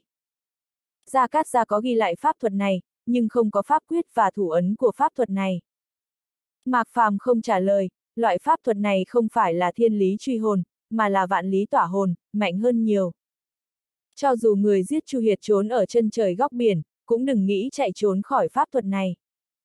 Nếu dám giết đồ đệ hắn, vậy đợi tử thần hàng lâm đi. Ông đi cùng, hay ở đây một mình? Tôi đi cùng mọi người. Gia Cát Đan chỉ do dự một lát, đáp. Nếu Gia Cát Nguyệt muốn lội vũng nước đục này, dù thế nào ông ta cũng phải đi theo. Nhớ đâu Mạc Phàm không đánh lại được đám nam phái này, ông ta sẽ đứng ra giúp Gia Cát Nguyệt, thuận tiện phủi sạch quan hệ. Đến lúc đó ông ta sẽ nói Gia Cát Nguyệt và ông ta đều bị Mạc Phàm cưỡng ép, với thanh danh của Gia Cát gia bọn họ, nam phái tuyệt đối sẽ không gây khó xử. Nhưng Mạc Phàm thì không đơn giản như vậy, một người vừa mới quật khởi, nam phái sẽ tha cho cậu ta mới lạ. Nếu Mạc Phàm bị người nam phái bắt lấy, không khó đạt được hồi hồn chi thuật từ miệng Mạc Phàm, ông ta sẽ không còn bộ dạng như hiện giờ. Chuyện nhất cử lưỡng tiện như vậy, sao ông ta có thể bỏ qua? Sắc mặt Mạc Phàm như thường, không nói gì thêm liền quay về xe. Cayenne Pauser lái về phía bắc, đuổi theo ký hiệu kia. Thời gian thấm thoát trôi qua, sắc trời dần dần mở tối. Bọn họ đến một sơn trấn ở thành phố Bắc Xuyên tên là Tê Phượng Trấn. Thôn trấn không rộng lắm, khắp nơi đều là cây ngô đồng. Bởi vì đã là cuối thu, ánh nắng chiều chiếu xuống, liếc mắt một cái liền thấy một vùng đỏ rực, giống như ngọn lửa màu đỏ thiêu đốt trời đất. Dừng lại đi. Mạc Phàm nói với A Hào. Két, Cayenne dừng ở lối vào Tê Phượng Trấn, bên cạnh là một cái siêu thị. Lái xe liên tục như vậy, cho dù A Hào là trúc cơ sơ kỳ cũng có chút mệt nhọc, càng không nói đến hai người Gia Cát Nguyệt và Gia Cát Đan. Bọn họ xuống xe, thuận tiện mua một ít đồ ăn nước uống rồi quay về xe. Mạc Phàm lấy một cái bình ngọc trong nhẫn ra, đổ ra viên thuốc màu đỏ đưa cho Gia Cát Nguyệt và A Hào. Đây là... Gia Cát Nguyệt cầm lấy đan dược, để ngay trước mặt nhìn hỏi. Viên thuốc to cỡ ngón út, toàn thân màu đỏ gần như trong suốt, rất đẹp, cầm lên mềm mềm, bên trên còn có đường vân màu vàng. Rất giống kẹo đứa bé thích ăn, nhưng tinh xảo hơn kẹo rất nhiều, gần như có thể nói là tác phẩm nghệ thuật. Mùi thuốc đan dược đậm đặc truyền ra, người làm người ta tỉnh táo càng muốn ăn nhiều hơn. Không đợi Mạc Phàm trả lời, hồn phách ra cát đan mở to mắt, mắt hồn phách mở to như muốn vỡ ra. Khí huyết đan cực phẩm. Gia Cát Nguyệt không biết đan dược, ông ta là đan sư sao có thể không biết. Đan thành thượng phẩm, mới có màu gần như trong suốt, nhưng bên trong vẫn có điểm đục. Đan thành cực phẩm, trên đan dược có hoa văn màu vàng, toàn bộ đan dược không có độc, dược hiệu 10 phần. Những thứ này chỉ ghi lại, ông ta luyện đan vài chục năm, cũng chưa nhìn thấy đan dược cực phẩm. Một viên đan dược cực phẩm như vậy có giá trị gấp 6 lần trở lên đan dược hạ phẩm cùng loại. Dù sao đan dược cực phẩm không chỉ có dược hiệu mạnh, chân quý nhất chính là còn không có độc tố. Sao cậu luyện chế đan dược thành như vậy? Gia Cát Đan hỏi. Mạc Phàm khẽ nhếch miệng, không để ý đến Gia Cát Đan, bắt mạch cho Chu Hiệt, cũng cho cô một viên khí huyết đan. Chẳng lẽ đan dược không phải như vậy sao? A Hào ném khí huyết đan vào trong miệng, hỏi. Đan dược Mạc Phàm cho anh ta, 89 phần 10 đều như vậy. Sắc mặt Gia Cát Đan đỏ bừng, giống như bị người ta tát hai cái cùng lúc. Không chỉ bị đánh, còn đánh cho ông ta không thể không phục. Quả thật mỗi viên đan dược luyện chế đến cực phẩm mới được gọi là đan dược, không luyện tới đó thì là độc dược. Làm sao vậy, chú đan? Gia Cát Đan nghi ngờ hỏi. Đây là đan dược cực phẩm, mỗi viên bằng hơn 6 viên bán ngoài chợ đêm, 400 viên bồi nguyên đan cực phẩm đổi lấy địa nhũ và long huyết nhà chúng ta còn rẻ. Gia Cát Đan vô cùng hối hận nói. Nếu không phải ông ta chọc giận Mạc Phàm, dựa theo một nghìn vạn một viên, Gia Cát ra bọn họ đúng là kiếm lời. Chuyện này, vẻ mặt Gia Cát đan sửng sốt, nhìn đan dược cực phẩm trong tay, lông mày nhíu lại, trong lòng cũng hơi hối hận. Cô không nhìn bồi nguyên đan cực phẩm trong tay Mạc Phàm, liền từ chối Mạc Phàm, quả thật không sáng suốt. Ánh mắt cô nhìn Mạc Phàm đầy phức tạp, nhưng không nói gì thêm. Cốc cốc, tiếng gõ cửa kính xe vang lên. A Hào hạ cửa kính xuống, một người đàn ông trung niên mặt dỗ ăn mặc lôi thôi, vẻ mặt vô lại dán sát vào cửa kính xe, liếc nhìn trong xe vài lần. Nhìn thấy Gia Cát Nguyệt và Chu Hiệt, hai mắt tên vô lại này sáng lên. Ôi, cô bé không tệ, mọi người là gia đình đi du lịch, hay đến tìm người. Có liên quan gì sao? Mạc Phàm liếc mắt nhìn tên vô lại này, lạnh giọng hỏi. Đương nhiên là có, nếu đến du lịch thì cứ vui chơi thoải mái, đừng động vào chuyện gì, phong cảnh tê phượng trấn chúng tôi rất nổi tiếng, nếu là tìm người, khuyên mọi người chết tâm đi, không tìm thấy người, chính mình cũng phải ở lại đây, tôi cũng là tốt bụng nhắc nhở mọi người, nếu mọi người không nghe, coi như là tôi chưa nói gì cả. Tên vô lại cười mỉa nói, trong giọng nói đều có ý uy hiếp. Mạc Phàm khẽ nâng mí mắt, mắt chậm rãi phát sáng. Thấy mọi người quen mặt, nói cho mọi người một tin nhỏ, hôm nay vừa có một lượng lớn người mới tới núi này, khoảng hơn một tiếng trước, không phải mọi người đang tìm những người mới này đấy chứ. Tên vô lại này cười âm hiểm nói. Bình thường ông ta sẽ không nói tin tức này, nhưng ai bảo trên xe có hai đại mỹ nữ.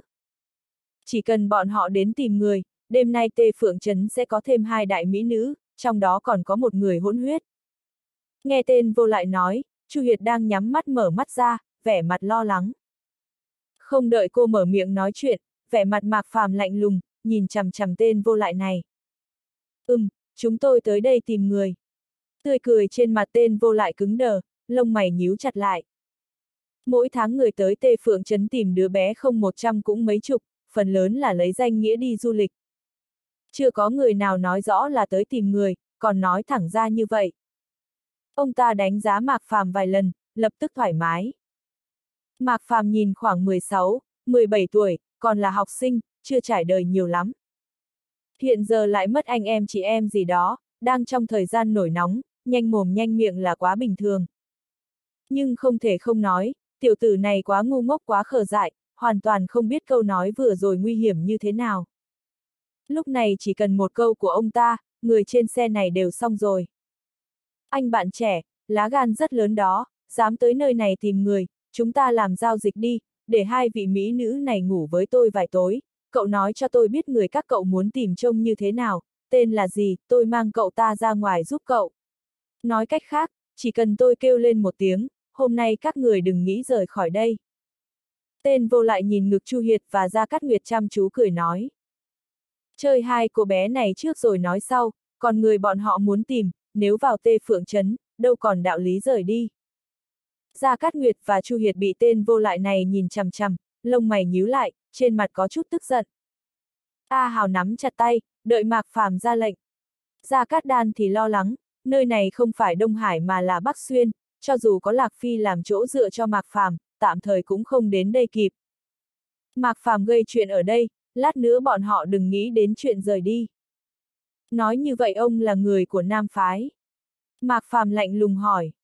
Ô, thì ra là người cùng đường, tôi đúng là Nam Phái nhất mạch ở Bắc Xuyên, không biết các cậu thuộc môn phái nào. Tên vô lại hơi bất ngờ cười nói. Biết Nam Phái bọn họ, nếu không phải Tông Phái thì là đệ tử thế gia. Nếu ông là người Nam Phái, ông không cần biết những chuyện khác. Hồng mang trong mắt Mạc Phàm chớp lóe, con người màu đen biến thành trăng lưỡi liềm màu máu. Những đệ tử nam phái ông quen, phàm là trộm cắp lừa bán trẻ em thì đánh gãy tay chân, đi đi. Mạc phàm ra lệnh. Khóe miệng tên vô lại nhếch lên, giống như nghe được chuyện cười. Ông ta biết rất nhiều người trộm cắp lừa gạt trẻ con, nhiều hơn tất cả người ở tê phượng trấn này, nhưng một tên nhóc cũng quá xen vào việc của người khác, chuyện của đại tông phái mà cũng dám quản, đúng là không biết sống chết. Tiểu tử, có phải mày chán sống rồi không, nếu đến đây rồi, hai cô bé bên cạnh mày ở lại đi, chúng mày cũng đừng nghĩ. Ông ta còn chưa nói hết câu, nhìn thấy hồng quang trong mắt mạc phàm, biểu cảm hung dữ trên mặt lập tức biến mất, thay vào đó là mặt không chút thay đổi. Dạ. Tên vô lại rời khỏi cửa kính xe đến cửa hàng kim khí bên cạnh, cầm lấy một đoạn ống tuyết dài một thước, trực tiếp đập vào tay trái mình. Răng rắc, cánh tay trái của ông ta nhũn xuống, nhìn liền làm ra đầu người ta run lên. Tên vô lại này làm xong chuyện ấy, giống như không biết đau, dùng ống tuyết đập mạnh vào chân một người. a à, nhị mặt dỗ, con mẹ nó ông bị điên à. Đại hán kia kêu thảm một tiếng, giận dữ hét. Tên vô lại không đáp lại, ống tuyết đánh vào tay người nọ tiếp. Tê Phượng Trấn vừa rồi còn yên bình, trong chớp mắt loạn lên. Trong xe, Gia Cát Nguyệt, Gia Cát Đan ngây ra như phóng, ánh mắt nhìn Mạc Phàm như nhìn thần linh. Một lời thành lệnh, cho dù là chân nhân Gia Cát gia bọn họ cũng không nhất định làm được. Nhất là Gia Cát Đan, biểu cảm hồn phách vô cùng khoa trương. Nếu Mạc Phàm muốn giết bọn họ, đúng là chuyện quá đơn giản, chỉ một câu nói. Cho dù bọn họ chết, cũng không điều tra được tới Mạc Phàm, điều tra ra được cũng không có chứng cứ. Nói chuyện đều có thể giết người, ai sẽ tin tưởng. Trong chớp mắt, cuối cùng Gia Cát Đan cũng hiểu lúc trước ông ta ngu ngốc biết bao nhiêu. Với thực lực của Mạc Phàm, còn cần ra cửa nghênh đón bọn họ sao? Với thực lực của Mạc Phàm, cần sợ bọn họ uy hiếp sao? Một lời không hợp, giết bọn họ là được, Gia Cát Gia muốn báo thù cũng cần phải suy nghĩ.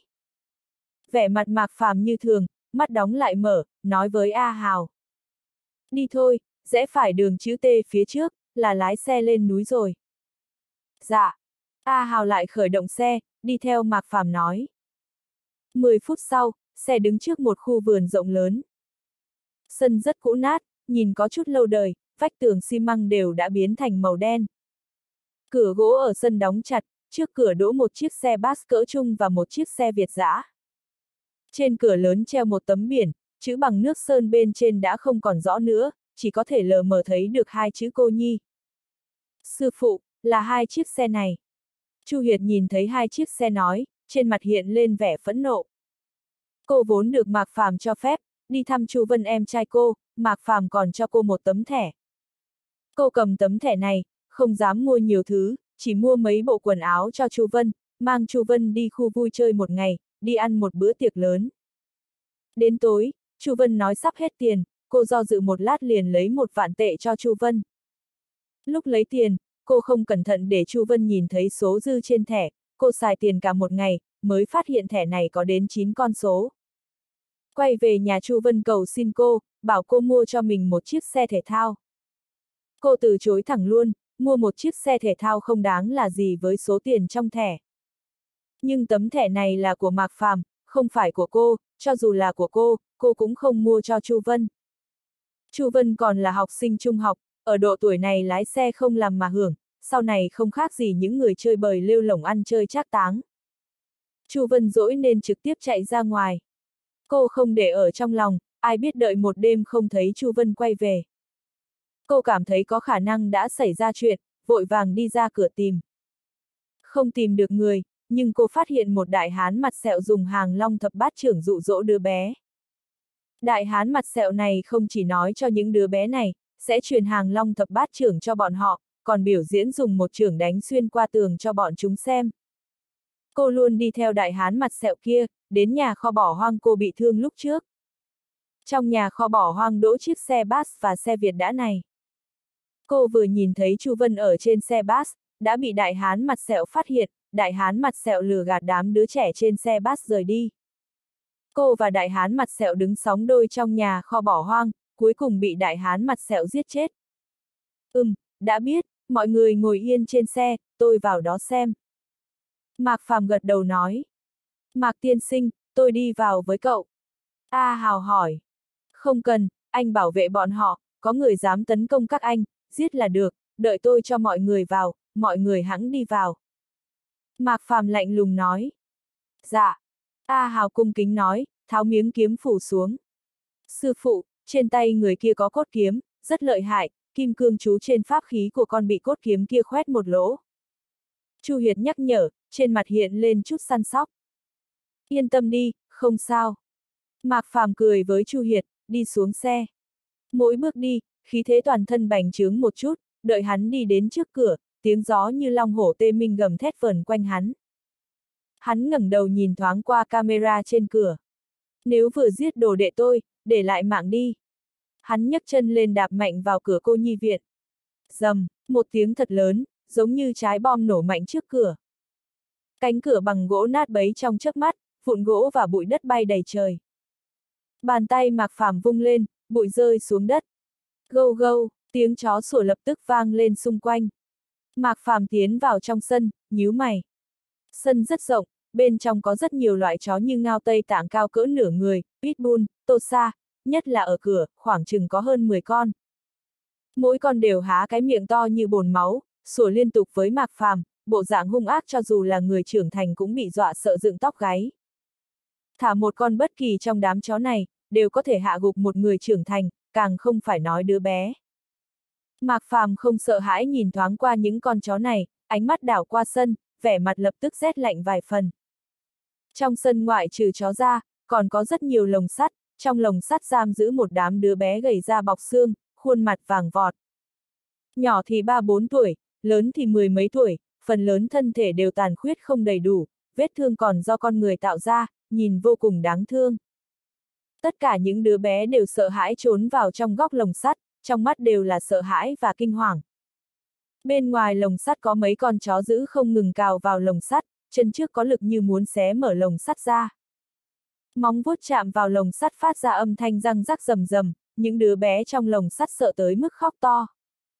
Chú, thả cháu ra ngoài đi, cháu không dám nữa, ngày mai cháu nhất định sẽ xin thật nhiều tiền. Tiếng khóc vô cùng thê lương, nhưng không ai để ý tới. Trừ chuyện đó ra, gần tòa nhà có mấy con chó pitbull, bụng mỗi con phình to nằm trên đất, phía trước đặt một khay cơm dơ giấy bẩn thỉu, bên trong là một ít bánh mì chó cũng không ăn. Môi khô quắt của đám trẻ giật giật, nuốt nước bọt liên tục, nhìn chằm chằm khay bánh mì đầy chờ mong, giống như đói bụng không chỉ một hai ngày. Trong đó có một đứa bé chỉ còn lại một cánh tay thấy chó pitbull ngủ, bụng đói không chịu nổi, dùng tất cả sức lực nắm lấy hai cái bánh bao quay đầu bỏ chạy. Còn chưa chạy được vài bước, tiếng phù phù phát ra từ miệng con chó ngủ say, mấy con chó pitbull ngẩng đầu liền xông về phía đứa bé kia, tốc độ không kém liệp báo bao nhiêu. Đứa bé kia thấy chó pitbull tỉnh dậy, sắc mặt trắng bệch. Đứa bé chỉ có một cánh tay, tính cân bằng rất kém, không cẩn thận liền ngã phịch một cái xuống đất. Một con chó pitbull như hổ nhào tới, đẩy đứa bé lên đất, mồm to như bồn máu muốn cắn vào cổ đứa bé cụt tay. Mắt mạc phàm nheo lại, cảm ứng như thủy triều mang theo lửa giận khôn cùng của hắn đánh về phía con chó pitbull kia, trong chớp mắt liền đến bên cạnh con chó đó. Nhiệt xúc, cút, tiếng quát như sấm rền, thân hình con chó pitbull đang há miệng chấn động, quay đầu liếc mắt nhìn mạc phàm một cái, phát ra tiếng kêu không cam lòng, mấy con chó pitbull cụp đuôi quay về trong ổ của mình, không dám ra ngoài nữa. Đứa bé bị ngã nhắm chặt mắt, thân thể run rẩy liên tục, hiển nhiên là rất sợ hãi, rất lâu sau mới đứng dậy, nhặt bánh bao đen xì trên đất vừa chạy vừa ăn. Những đứa bé khác liếc mắt nhìn Mạc Phàm đầy hoảng sợ, sau đó xoay người chạy vào trong tòa nhà. Mạc Phàm nhìn cảnh này, lửa giận trong lòng như núi lửa sắp phun trào. Những đứa trẻ này vốn nên ở bên cha mẹ, ở trường học, ở khu vui chơi, cuộc sống vô ưu vô lo.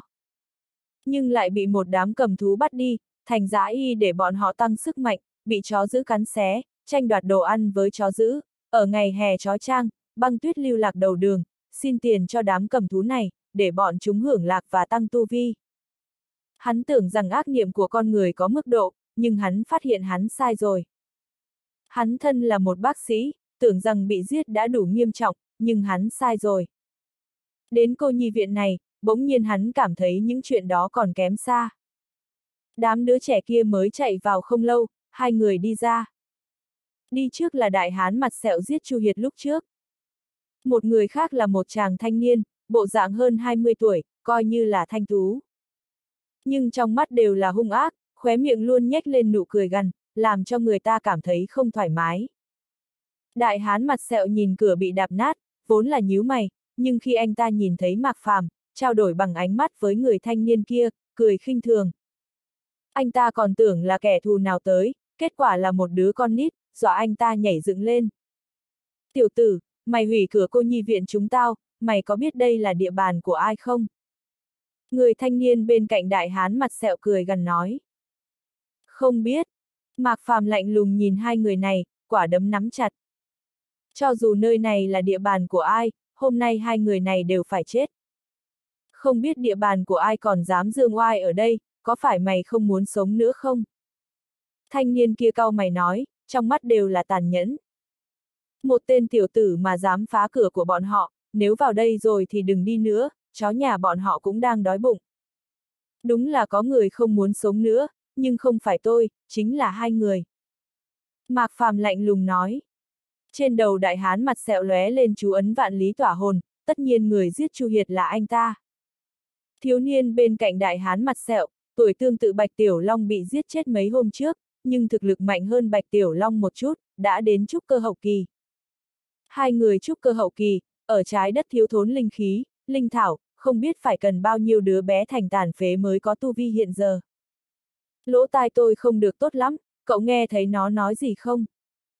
Đại hán mặt sẹo ngoáy ngoáy tai, cười mỉa hỏi thanh niên kia. Nó nói hai chúng ta không muốn sống nữa.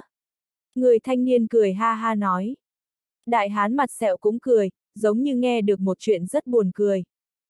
Tiểu tử, quả thật tao không muốn sống nữa rồi, muốn giết người thì giết, muốn chơi đùa phụ nữ thì chơi, cũng chán ngấy kiếm tiền rồi, nhưng mày muốn giết tao cũng không dễ vậy đâu, tao thấy khung xương mày rất được đó, là kỳ tài luyện võ, mày khấu đầu với tao mấy cái, tao dạy cho mày một bộ hàng long thập bát trưởng, đến lúc đó mày muốn giết ai thì giết, thế nào?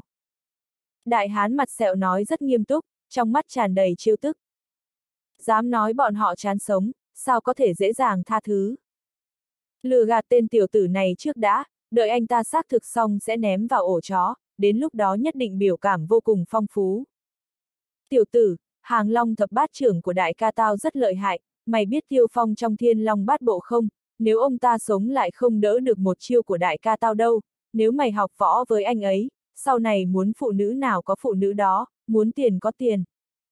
Người thanh niên nói theo. Tiểu tử, tao chưa bao giờ lừa gạt người khác, không tin, mày xem đây. Đại hán mặt sẹo nói xong, một quyền đánh vào vách tường. Dầm một tiếng, vách tường chấn động, trên tường có một lỗ thủng. Thấy không, đại ca tao không dễ nhận đồ đệ, anh ấy thấy mày có tiền đồ mới nhận mày, còn sửng sốt làm gì, nhanh dập đầu đi. Hai người kẻ sướng người họa, nói giống như thật. Mạc Phàm nhếch miệng, lắc đầu cười. Biểu diễn loại mánh khóe này trước mặt hắn, ha ha.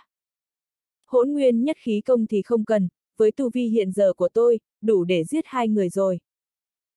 Tươi cười trên mặt đại hán mặt sẹo và người thanh niên cứng đờ, lông mày nhíu lại. Mạc Phàm không nhiều tuổi lắm, vậy mà biết không ít, ngay cả bí mật hỗn nguyên nhất khí công của bọn họ cũng biết. Tiểu tử, sư phụ mày là ai?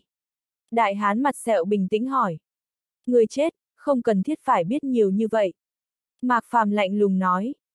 Hắn nói xong liền nhắm mắt lại, cảm ứng lan tràn ra phía sau tòa nhà, toàn bộ trong tòa nhà lập tức xuất hiện trong mắt hắn. Đại hán mặt sẹo và người thanh niên cười khinh thường, sao bọn họ chưa từng xung đột với tông phái, thế ra được. Nhưng không có nghĩa tông phái, thế ra có thể ngồi lên đầu bọn họ. Đừng nói là đứa bé như Mạc Phàm, cho dù người đứng đầu tông phái, thế ra đến chỗ bọn họ, cũng phải vô cùng khách sáo. Tiểu tử này hung hãn như vậy, thả mấy con chó chơi đùa với cậu ta trước đã. Người thanh niên đề nghị. Lá gan Mạc Phàm lớn như vậy, một mình xông vào trong đây, trực tiếp giết chết thì quá đáng tiếc, thả mấy con chó ra chơi đùa với cậu ta trước, xem lát nữa cậu ta còn ngông cuồng như vậy không. Anh ta đi đến chỗ ổ chó Pitbull, mở khóa ra. Đi đi. Người thanh niên chỉ vào Mạc Phàm, ra lệnh. Sáu con Pitbull to như con trâu phát ra tiếng gâu gâu, không do dự xông ra ngoài, như mãnh hổ xuống núi. Đại hán mặt sẹo và người thanh niên cười đắc ý, những con chó pitbull này không phải là chó pitbull sủng vật, là chó bọn họ bồi dưỡng lai giống, dáng người khổng lồ, mạnh 10 phần, lực cắn vô cùng khủng bố. Nói là chó, thực ra mạnh hơn lão hổ trong vườn bách thú. Lúc trước bọn họ dẫn một con đến vườn bách thú gần đây, thiếu chút nữa hổ đông bắc bị chó bọn họ cắn chết, từ đó về sau vườn thú không cho mang chó loại lớn vào trong. Ngay cả hổ đông bắc đều sợ, còn không xé được đứa bé sao. Chó Pitbull hùng hổ xông tới trước người Mạc Phàm, kêu vài tiếng gâu gâu. Mạc Phàm không mở mắt ra, đám chó Pitbull cúp đuôi chật vật chạy về ổ chó, giống như nhìn thấy khắc tinh. Vẻ mặt hai người kia ngây ngốc, bình thường con chó này gặp người là xé xác. Những ăn xin anh ta nuôi đều bị chó pitbull cắn chết vài người, một đôi cha mẹ đến tìm đứa bé cũng bị xé một tay, sao đụng tới Mạc Phàm lại cụp đuôi đi. Đạp cửa nhà bọn họ, còn dọa chó pitbull chạy mất, chẳng lẽ tiểu tử này thật sự có bản lĩnh. Hai người liếc mắt đánh giá Mạc Phàm lần nữa, trong mắt vẫn không có một chút e ngại. Một tên nhóc mà thôi, cho dù tu luyện hỗn nguyên nhất khí công, cũng chỉ làm giá y của bọn họ, tu vi sẽ không cao được đến đâu, căn bản không là gì. Tiểu tử, mày có chút bản lĩnh đó, dọa được chó nhà tao nuôi nữa. Người thanh niên cười trêu chọc. Mạc Phàm thu hồi cảm ứng, mở to mắt, ngọn lửa hiện lên trong mắt, cửu chuyển hỗn nguyên công trong cơ thể cũng không tự chủ được vận chuyển, trẻ em tàn tật hắn nhìn ở ngoài này, chỉ là một phần rất ít. Ở trong tòa nhà này, không chỉ có em trai Chu Hiệt và mấy chục trẻ em mới bị bắt. Còn hơn một ngàn trẻ em tàn tật, chắc là kiệt tác của hai người kia. Trừ chuyện đó ra, còn có trên trăm đứa bé tu luyện công pháp. Sau tòa nhà này có mấy chục chiếc xe tải cũ nát, quấn rất kín, nhìn từ ngoài không thấy bên trong. Nếu không phải dùng đưa những đứa bé này đi ăn xin, thì dùng để trộm đứa bé. Tôi đâu chỉ có chút bản lĩnh, tôi còn biết nhiều lắm. Mạc Phàm trầm giọng nói. Hai người kia mất sạch nhân tính như thế, không nên để bọn họ sống sót, bọn họ không có tư cách này. Sát tâm vừa nổi lên, hàn quang trong mắt hắn cũng tỏa ra, bắn thẳng về phía hai người. Lúc này, tiếng chó sủa gâu gâu, truyền tới. Ferrari ở ngoài cửa cô nhi viện lái vào. Gia Cát Đan, đám chu hiệt trong xe cao mày, sắc mặt Gia Cát Đan xanh mét. Xe mới lái vào đây, A Hào cũng lùi vào trong cô nhi viện, một đám người cầm ống tuyếp hay lợi khí theo vào trong. Đám người này đều có nam nữ già trẻ, khoảng chừng hơn trăm người, biểu cảm mỗi người đều như nhau, hung ác xông vào. Mạc tiên sinh, những phụ nữ và đứa bé này, tôi không ra tay được. Vẻ mặt A Hào ái náy nói. Mạc Phàm mới tiến vào cô nhi viện, một đám người xông tới. Anh ta dựa theo lời Mạc Phàm nói, giết mấy người đàn ông trưởng thành vung đao về phía anh ta. Không chỉ không dọa lùi được những người này, trái lại có mấy đứa bé, lão nhân và phụ nữ liều mạng cầm đao đâm anh ta. Giết một nghìn tên du côn, anh ta sẽ không nhăn mày lại, bảo anh ta ra tay với người già, phụ nữ và trẻ em, anh ta thực sự không làm được. Nếu không phải thân thể anh ta trải qua rèn luyện, không sợ lưỡi dao bình thường, chắc chắn lúc này trên người bị đâm nát. Mạc Phàm lạnh lùng liếc nhìn đám người này một cái, lông mày nhíu lại càng chặt hơn. Ngay cả đứa bé trong thôn trấn đều có vẻ mặt tàn nhẫn, nhìn dáng dấp không giống với những người cùng trang lứa. Ha ha, Mạc Phàm cười, ánh mắt càng sắc bén. Đại hán mặt sẹo và người thanh niên nhìn thấy thuộc hạ của bọn họ, nhớn mày cười đắc ý. Tiểu tử, không phải mày mới nói mày rất có bản lĩnh sao, chúng tao có nhiều người ở đây như vậy, để chúng tao nhìn xem, nếu không các người đừng nghĩ đến chuyện ra ngoài. Đại hán mặt sẹo cười nói. Lúc trước có cảnh sát đến chỗ bọn họ, muốn mang hai bọn họ đi, cũng có nhiều thuộc hạ đến ngăn cản như vậy. Hai cảnh sát kia muốn dẫn bọn họ đi, căn bản không cần bọn họ ra tay, hai cảnh sát đã bị mấy đứa bé phía sau đâm chết. Lúc ấy hai cảnh sát mở to mắt kinh ngạc, đến bây giờ anh ta vẫn còn nhớ rõ. Muốn đối phó với hai người bọn họ, phải hỏi xem đệ tử nam phái bọn họ có nguyện ý hay không. Những người này đều là người nam phái các anh sao? Mạc Phàm lạnh giọng hỏi. Có phải hay không khác nhau sao? Nếu mày dám ra tay thì ra tay, không dám thì đợi chết đi. Người thanh niên cười gằn. Anh ta nói xong chỉ Mạc Phàm, cười nói với những thôn dân này. Đây là người tới tìm nam phái chúng ta gây phiền phức, các người nhìn mà làm đi, bắt lấy cậu ta một tuần không cần làm việc. Người thanh niên vừa nói xong, mắt vài người phụ nữ và đứa bé sáng lên, không do dự đi tới chỗ Mạc Phàm, trong tay không phải dao thì là kéo mài sắc bén. Mấy người đi tới chỗ Mạc Phàm, A Hào nắm chặt tay, muốn ra tay nhưng nhìn thấy là trẻ em và phụ nữ, thật sự không ra tay được. Người nam phái đúng là quá đê tiện, chuyên sai bảo đứa bé và phụ nữ. Trong xe, Gia Cát Nguyệt nhíu chặt mày, người đáng giận tất có chỗ đáng thương, ra tay cũng không phải, không ra tay thì không được. Chu Hiệt nhìn xuyên qua cửa kính xe, vẻ mặt phẫn nộ và lo lắng.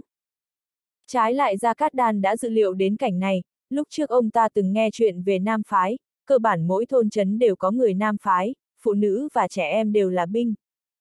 Nhưng hiện giờ tận mắt nhìn thấy, sắc mặt cũng rất khó coi. Tiểu tử, nếu mày không thể hiện bản lĩnh, vậy thật sự sẽ xảy ra chuyện đó. Đại hán mặt sẹo nhếch miệng, cười âm hiểm nói. Mạc phàm nheo mắt, mặt như phủ băng. Thấy phụ nữ và đứa bé giơ tay muốn đâm hắn, hắn thở dài một hơi. Muốn dùng phụ nữ và đứa bé trói buộc hắn, nghĩ quá đơn giản rồi, đạo tâm của hắn không yếu ớt như thế. Ở tu chân giới có không ít tông phái bồi dưỡng đứa bé, phụ nữ, lão nhân, nhân từ nương tay là tàn nhẫn với mình. Cho dù là lão nhân, đứa bé, phụ nữ, nếu cầm lấy dao, vì sao không thể giết? Đám người này giết người không do dự, không giống như làm lần đầu tiên. Nói vậy, chết. Dầm, lợi khí trong tay mấy người phụ nữ, trẻ em thuần thục đâm vào chỗ hiểm trên người Mạc Phàm, hiển nhiên là trải qua nhiều lần huấn luyện. Lưỡi dao sắc bén đâm rách quần áo Mạc Phàm, nhưng bị làn da cứng rắn của hắn cản lại, phát ra âm thanh kim loại va chạm. Hào quang trong mắt Mạc Phàm chớp lóe, cây quạt xuất hiện trong tay hắn. Kiếm tới.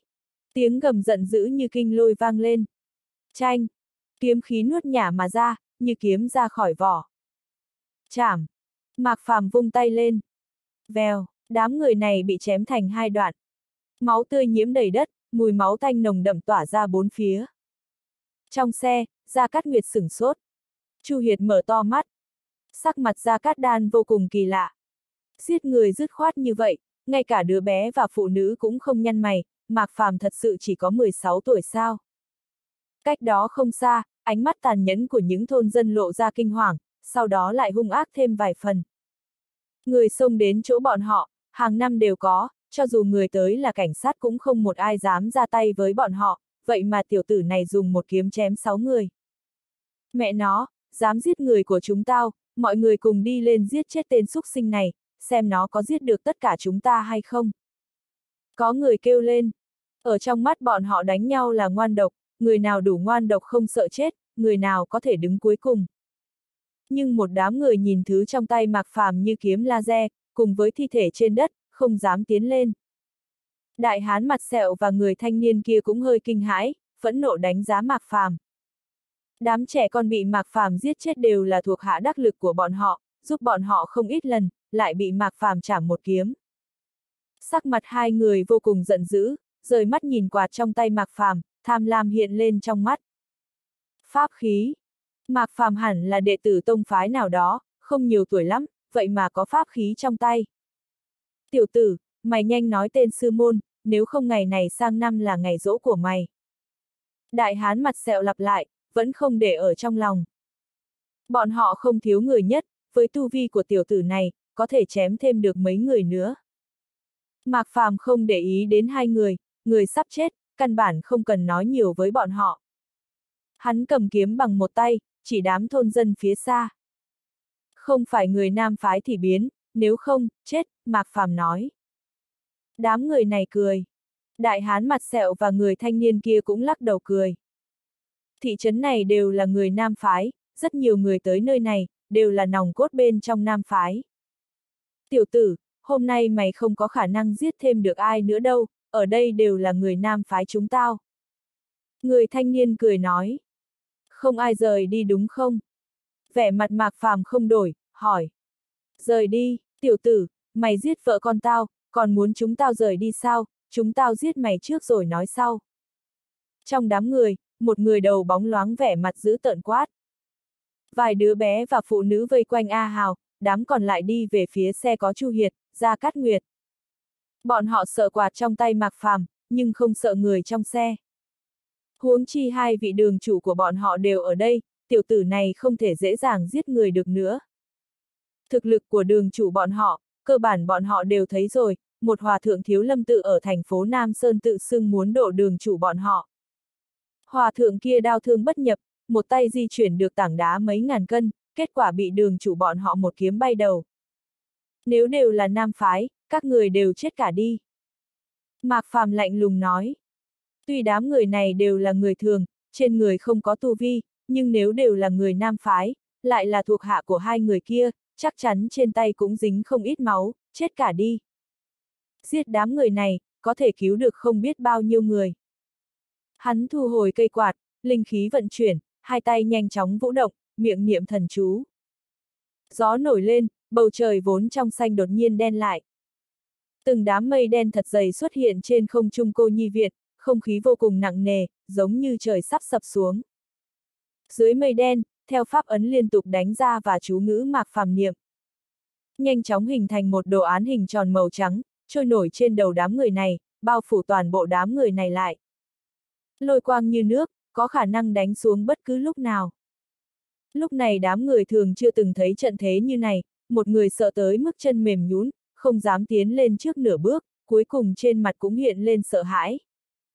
Chỉ cần là người bọn họ sẽ không sợ, nhưng tiểu tử này là người sao? Có khác gì thần đâu chứ? Trong xe, sắc mặt Gia Cát Nguyệt và Gia Cát Đan thay đổi liên tục.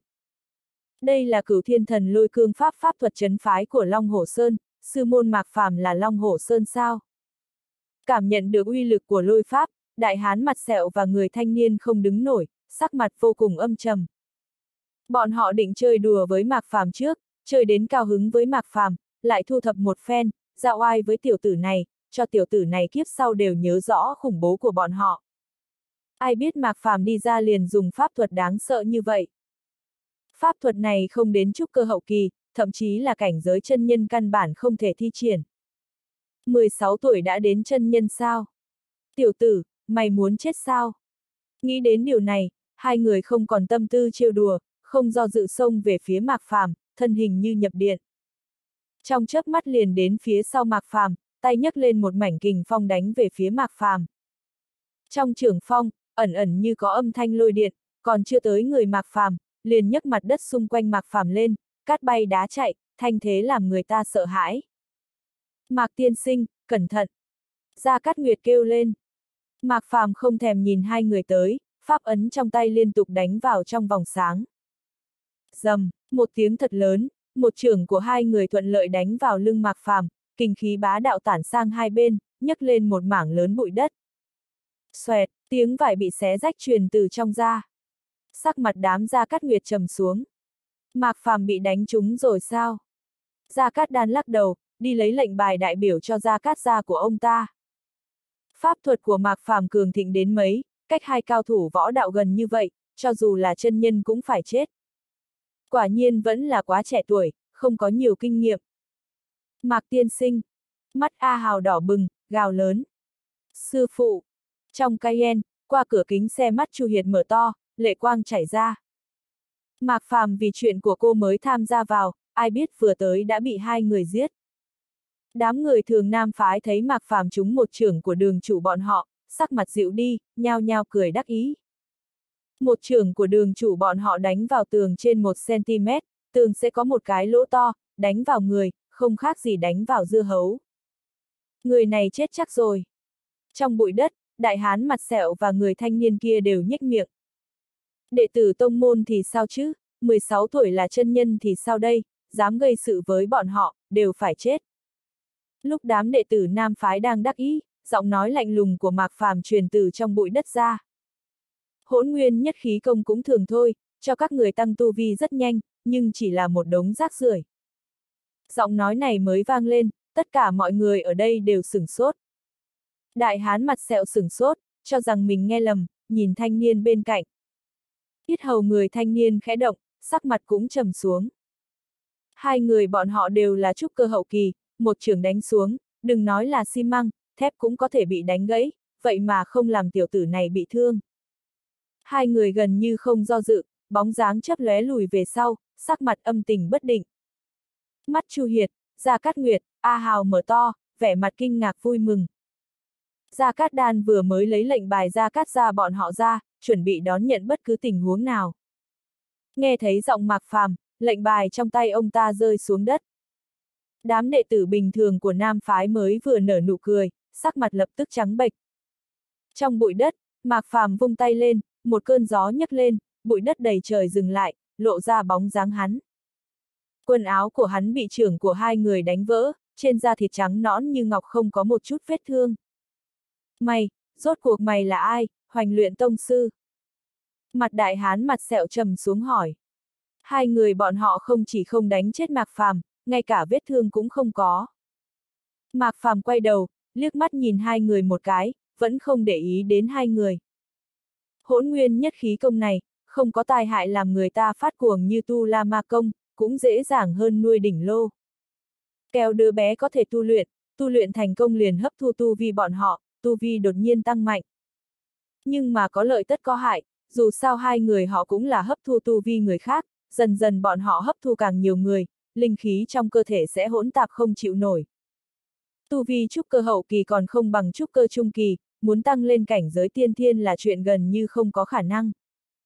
Tuy thân thể hắn chưa rèn luyện gân cốt bì nhục, nhưng huyết khí như rồng, há có thể để hai tên xúc sinh linh khí lẫn lộn làm bị thương. Tuy tổn thất một cái áo, nhưng pháp thuật không bị cắt ngang. Ngón tay hắn lại cử động, một ấn phù cuối cùng đánh ra, bạch quang lóe sáng bay vào trong đồ án màu trắng trên bầu trời. Đồ án màu trắng sáng lên, lôi quang bên trên nhấp nháy, hơi thở trôn vùi kinh khủng lập tức hạ xuống. Rõ ràng là chưa làm gì, nhưng lại làm người ta cảm thấy lạnh lẽo trong lòng, cảm thấy sợ hãi. Những con chó hung dữ trong sân vội vàng trốn vào trong lồng sắt, vô cùng thành thật. Mấy đại hán chớp chớp mắt, chậm rãi di chuyển ra ngoài. Đứa con nít này quá khủng bố, ngay cả đường chủ bọn họ cũng không giết chết được, không đi ở lại đợi chết sao, hàn quang lóe lên trong mắt mạc phàm, hắn lạnh lùng nhìn đám người này chăm chú. Còn muốn chạy, chết. Mạc phàm vừa nói xong, ngón tay chỉ xuống dưới. Sắc một tiếng, một đạo lôi điện có kích thước một cánh tay đánh xuống. Thân thể mấy người có ý định chạy trốn run lên, trên người có khói đen bốc lên, mùi khét truyền ra, không phát ra một tiếng đã chết rồi. Sắc mặt những người còn lại trắng bệch, trên mặt không còn hung ác như trước. Mắt mạc phàm sáng như đuốc, nhìn chằm chằm những người này. Ai không hãm hại cướp đoạt lừa gạt đứa trẻ nhà người khác tiến lên một bước. Không ít người đi lên trước một bước theo bản năng. Ngón tay mạc phàm giơ lên, rắc một tiếng, sấm sét trên trời đánh xuống, đạo thứ hai đánh xuống, nhưng người không tiến về trước một bước, hay phản ứng chậm bị đánh trúng. Phịch, có người bị lôi điện đánh trúng tử vong, có người sợ tới mức chân mềm nhũn ngồi xổm trên mặt đất. Mạc Phàm giống như không nhìn thấy, lạnh lùng nói tiếp. Không đánh đứa bé tàn phế tiến lên trước một bước. Gần như tất cả mọi người đều tiến lên trước một bước, nhưng vẫn có một số người lộ vẻ trần trừ, quả thật bọn họ đánh mấy đứa bé tàn phế. Lôi điện đánh xuống, tất cả đám người này ngã xuống đất. Những người còn lại nhìn môi mạc phàm với vẻ hoảng sợ, như nhìn tử thần. Không có tội đứng yên tại chỗ. Hắn vừa nói xong, mọi người tiến lên trước một bước theo phản xạ có điều kiện. Trong mắt mạc phàm hơi híp lại, liếc mắt nhìn đám người còn lại, vẻ mặt lãnh khốc, lại nhìn thoáng qua những đứa trẻ tàn tật bị nhốt trong lồng. Các người đều đi chuộc tội đi ầm ầm, tiếng sấm rung trời, lôi điện như nước, bạch quang mãnh liệt, xung quanh sáng rực lên, như lôi long vô cùng phẫn nộ, từ trên trời giáng xuống, nuốt hết tất cả những người còn lại. Khi lôi quang biến mất, mây đen tản đi, những đệ tử nam phái đều ngã trên đất, khói đen bốc lên. Hầu như tất cả mọi người ở đây đều thay đổi sắc mặt. Nhất là đại hán mặt sẹo và người thanh niên kia, sắc mặt vô cùng khó coi. Bọn họ tưởng rằng Mạc Phàm là đệ tử tông phái nào đó, ai biết thực lực của Mạc Phàm mạnh như thế. Mạnh còn chưa tính, còn giết nhiều người không chớp mắt như vậy, ra tay liền đưa tới lôi đình, giết mấy chục thuộc hạ của anh ta. Tiểu tử, rốt cuộc mày là ai, nam phái chúng tao không thù không oán với mày, vì sao lại ra tay độc ác như vậy? Đại hán mặt sẹo tức giận nói, trong mắt lóe lên kiêng kỵ, không còn bình tĩnh như trước. Những đứa bé này có cửu có oán gì với các người, các người lại bắt chúng tới, dạy bọn chúng công pháp còn hút tu vi của chúng, bị các người làm cho tứ chi không đầy đủ, giúp các người ăn xin, xin được ít tiền thì bị nhốt trong lồng, dành ăn với chó giữ. Mạc Phàm lạnh giọng hỏi. So với đám người chết dưới lôi đình, hai người này càng đáng chết hơn, không có bọn họ sẽ không có nhiều nhi đồng tàn tật đến thế. Nếu không vì tham luyến công pháp, sao có thể bị chúng tao lừa tới đây? Đại hán mặt sẹo phản bác. Nếu các người không tham lam sẽ tu luyện hỗn nguyên nhất khí công sao? Mạc Phàm hỏi ngược lại. Một đám trẻ con bình thường, sao có thể so với chúng tao, thế gian này là cá lớn nuốt cá bé, người bình thường được chúng tao bắt tới sử dụng từ nhỏ, muốn trách thì phải trách bọn chúng là người bình thường, chúng tao là tu sĩ cường đại. Đại hán mặt sẹo lạnh lùng nói. Lấy người bình thường ra so sánh với cao thủ võ đạo bọn họ, có thể so sánh được sao? Giống như lấy nông dân so với phú nhị đại, giá trị thân phận căn bản không thể so sánh. Đại hán mặt sẹo vừa nói như vậy, A Hào nhíu mày, trên mặt hiện lên giận dữ. Mạc Phàm hơi nhếch miệng, lắc đầu cười. Tu sĩ cường đại, người bình thường.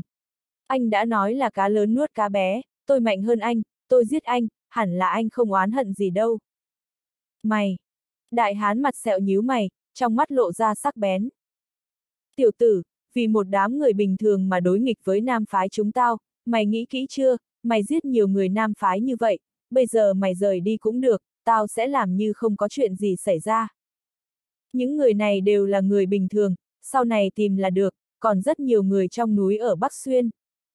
Chỉ cần anh ta cho tiền, cho chơi phụ nữ, cho ăn, muốn bọn họ làm gì bọn họ cũng nguyện ý.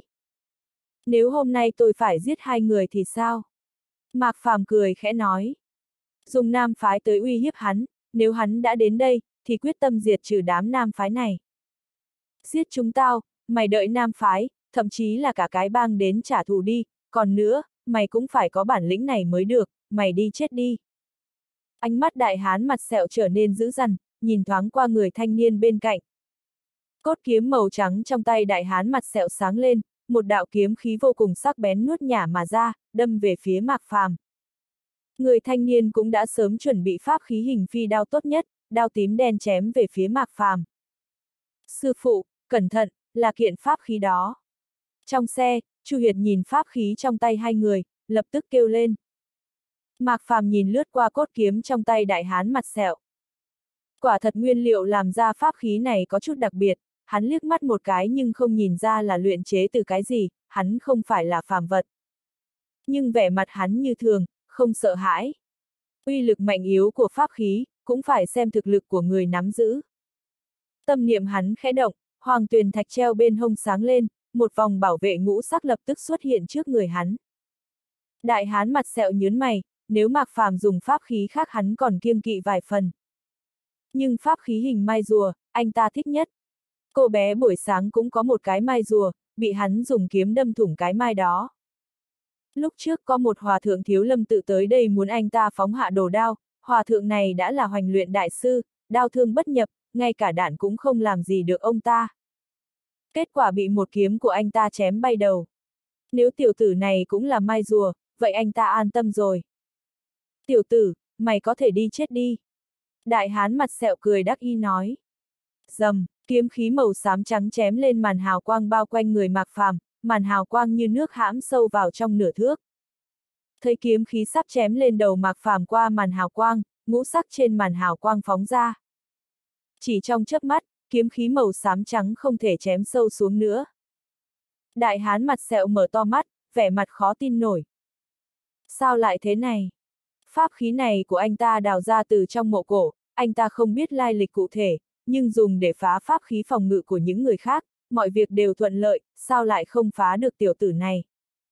Mạc Phàm hơi nhếch miệng, nếu hắn chỉ khắc kim cương chú trên hoàng tuyền thạch, sẽ bị pháp khí trong tay đại hán mặt sẹo phá hỏng, nhưng hắn đổi thành ngũ hành huyền linh trận pháp thuật phòng ngự cấp cao.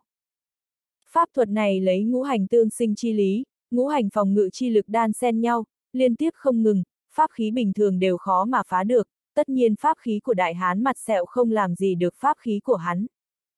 Một kiếm của đại hán mặt sẹo không có tác dụng, người thanh niên kia sửng sốt, quyết định thu đao, xoay người lao ra bên ngoài, nhảy lên trên ba trượng. Đại ca, anh cố gắng chống đỡ một lúc, em đi tìm các anh em cứu anh. Anh ta từng thấy uy lực của cốt kiếm rồi, nếu như ngay cả cốt kiếm cũng không đối phó được Mạc Phàm, pháp khí bình thường này của anh ta cũng không có tác dụng gì, vẫn nên chạy trốn thì hơn. Đại hán mặt sẹo nhíu mày, trên mặt lộ ra vẻ giận dữ. Tiểu tử này cướp đoạt tài nguyên tu luyện với anh ta không ít lần, nếu không sao có thể tiến bộ nhanh như vậy. Nhưng vừa gặp phải kẻ địch mạnh, vậy mà chạy mất. Chạy, anh cũng ở lại đi. Mạc Phàm hừ lạnh một tiếng, vận khởi cửu chuyển hỗn nguyên công, một trường cách không đánh ra. Trấn hải. Bùm, không khí run rẩy kịch liệt. Phốc, còn chưa nhảy bước thứ hai, người thanh niên kia phun ra một ngụm máu tươi, cả người ngã xuống đất. Tay Mạc Phàm hạ xuống. Liệt địa. Mặt đất lập tức vỡ ra thành bốn năm cánh hoa, khe hở không lớn, nhưng không thể nhìn thấy đáy. A, à, Một tiếng kêu thảm thiết như giết heo vang lên. Xoẹt, tiếng như vải bị xé rách vang lên, thân thể người thanh niên tứ phân ngũ liệt, như bị ngũ mã phân thây, máu tươi nhiễm đầy đất. Một tu sĩ trúc cơ hậu kỳ, từ lúc bắt đầu ra tay đến khi chết, còn chưa tới 3 giây đồng hồ. Trong xe đám Gia Cát Đan, Gia Cát Nguyệt sợ ngây người. Đại hán mặt sẹo nuốt nước bọt, hoàn toàn sửng sốt, toàn thân không ngừng run rẩy. Vừa rồi anh ta còn dám chém Mạc Phàm, lúc này không có một chút ý nghĩ phản kháng. Thực lực của anh ta không khác người thanh niên mấy, cho dù anh ta có pháp khí cốt kiếm, Mạc Phàm giết anh ta không đỡ được ba chiêu. Vị công tử này, tôi không oán không cừu với cậu, cậu hà tất phải chém tận giết tuyệt chúng tôi. Cô gái buổi sáng anh giết ở Đông Hải, là đồ đệ tôi, anh nói chúng ta không oán không cừu sao.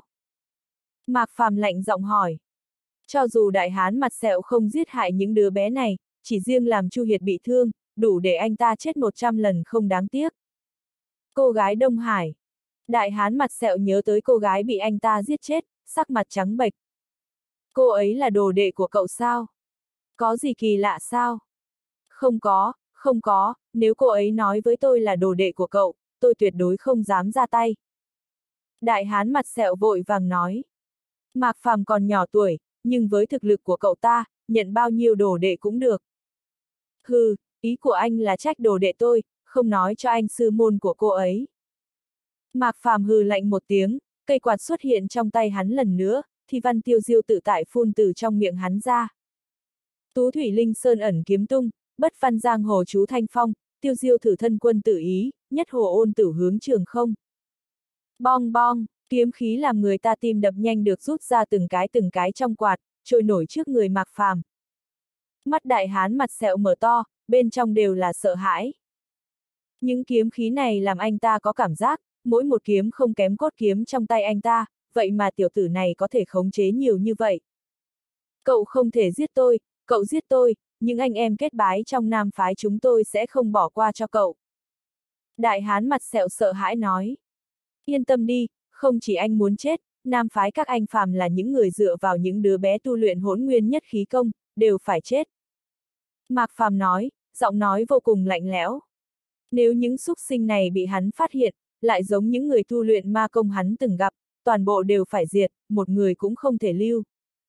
Cậu đừng giết tôi, tôi mang cậu đi tìm bọn họ, bọn họ ở đâu tôi đều biết hết, những người này đều tu luyện hỗn nguyên nhất khí công, làm hại nhiều đứa bé hơn tôi nhiều, bọn họ chết còn chưa hết tội.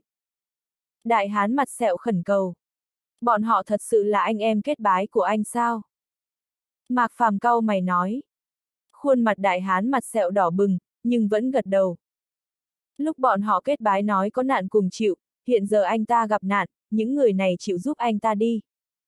Vì có thể sống sót, anh ta đành phải ấm ước đám anh em kết bái rồi. Các anh đã kết bái rồi, vậy càng không cần thiết phải để anh sống. Mạc Phàm cười lạnh lùng. Tâm niệm hắn khẽ động, năm đạo kiếm khí lập tức bay về phía đại hán mặt sẹo. A, à, đại hán mặt sẹo kêu lên đau đớn. Phập phập, năm đạo kiếm khí đâm vào tay chân và giữa ngực đại hán, cắm đại hán mặt sẹo lên trên vách tường, máu tươi không ngừng chảy ra từ vết thương. Mùi máu tanh nồng đậm khiến đám chó giữ xung quanh kích động, nhưng không một ai dám nhào qua. Tiểu tử, rốt cuộc mày muốn làm gì? Đại hán mặt sẹo nhịn đau nghiến răng nói. Ha ha, đợi lúc nữa anh sẽ biết. Mạc Phàm cười thần bí. Nếu đại hán mặt sẹo này là anh em kết nghĩa với những người đó, trái lại giảm bớt thời gian hắn đi tìm đám người kia. Rất nhanh hắn phải đến Hoàng gia một chuyến, giải quyết ân oán với Hoàng gia, không có nhiều thời gian như vậy. Đợi hắn giải quyết xong Hoàng gia, rồi quay về tìm những người này, chắc chắn không tìm được một mống. Hiện giờ rất tốt, tối nay, ở chỗ này, hắn sẽ một lưới bắt hết đám lửa gạt hãm hại những đứa bé, không để lại một ai. Nghĩ đến điều này, hắn tháo hoàng tuyền thạch ra dán ở mi tâm, hai tay để trước ngực, niệm thần chú. Không lâu sau, một ấn phù màu xám bạc như lôi đình nhanh chóng thành hình trước người hắn. Hai mắt mạc phàm sáng lên, thầm quát một tiếng. Đi! Hào quang trên ký hiệu lôi đình chớp lóe, bay về phía mi tâm đại hán mặt sẹo. Ký hiệu lôi đình mới tiến vào, một đám ký hiệu hình thù kỳ lạ lập tức bay từ giữa mi tâm đại hán mặt sẹo ra.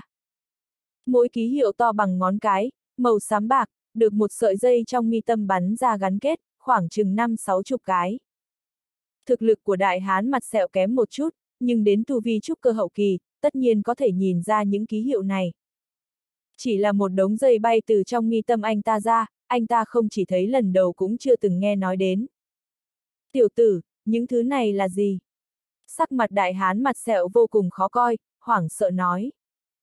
Anh ta có dự cảm, mấy thứ mạc phàm làm ra chắc chắn không có chuyện gì tốt. Đợi một lát, anh sẽ biết. Mạc phàm lạnh nhạt nói. Những thứ này đều là lời thề đại hán mặt sẹo nói. Người bình thường thề, vì thần thức quá yếu, không đủ ngưng tụ thành thể ấn. Nhưng đại hán mặt sẹo này thì khác, tu vi trúc cơ hậu kỳ, từng lời thề đều kết thành thể ấn, ở trong thức hải. Bình thường sẽ không có chuyện gì, một khi vi phạm một số lời thề, thể ấn sẽ phát tác thường xuyên, có tác dụng hạn chế tu sĩ. Những thể ấn này, cho dù là tu sĩ cũng không làm được như hắn, cả đời này đừng nghĩ nhìn thấy. Mạc Phàm nheo mắt, nhìn lướt qua những thể ấn này, ánh mắt nhanh chóng nhìn một thể ấn hình giọt máu. Hào quang màu xám lóe sáng trên tay hắn, nhất là thể ấn này. Mở. Phù văn trên thể ấn này lưu chuyển, ánh sáng màu xám chớp lóe, thể ấn lại phân ra thành 35 sợi màu xám nhỏ. Trên mỗi gốc nhỏ đều hợp với một thể ấn giống hệt của đại hán mặt sẹo, trong đó có một cái đã ảm đạm không ánh sáng, giống như ngôi sao mất đi sáng bóng. Là cái này. Mạc Phàm lẩm bẩm. Thể ấn màu xám trong đó đại hiểu đối phương thể ấn này đã chết, là người thanh niên bị hắn giết lúc trước. Các người cùng kết bái, tổng cộng có 36 người. Mạc Phàm bình tĩnh hỏi. Đại hán mặt sẹo trao mày, thân thể không tự chủ được run rẩy, trong mắt đều là sợ hãi. Lúc trước là anh ta sơ suất, xem thường thực lực của Mạc Phàm, hiện giờ anh ta cảm thấy Mạc Phàm là ma quỷ, có quá nhiều đáng sợ anh ta không tưởng tượng nổi.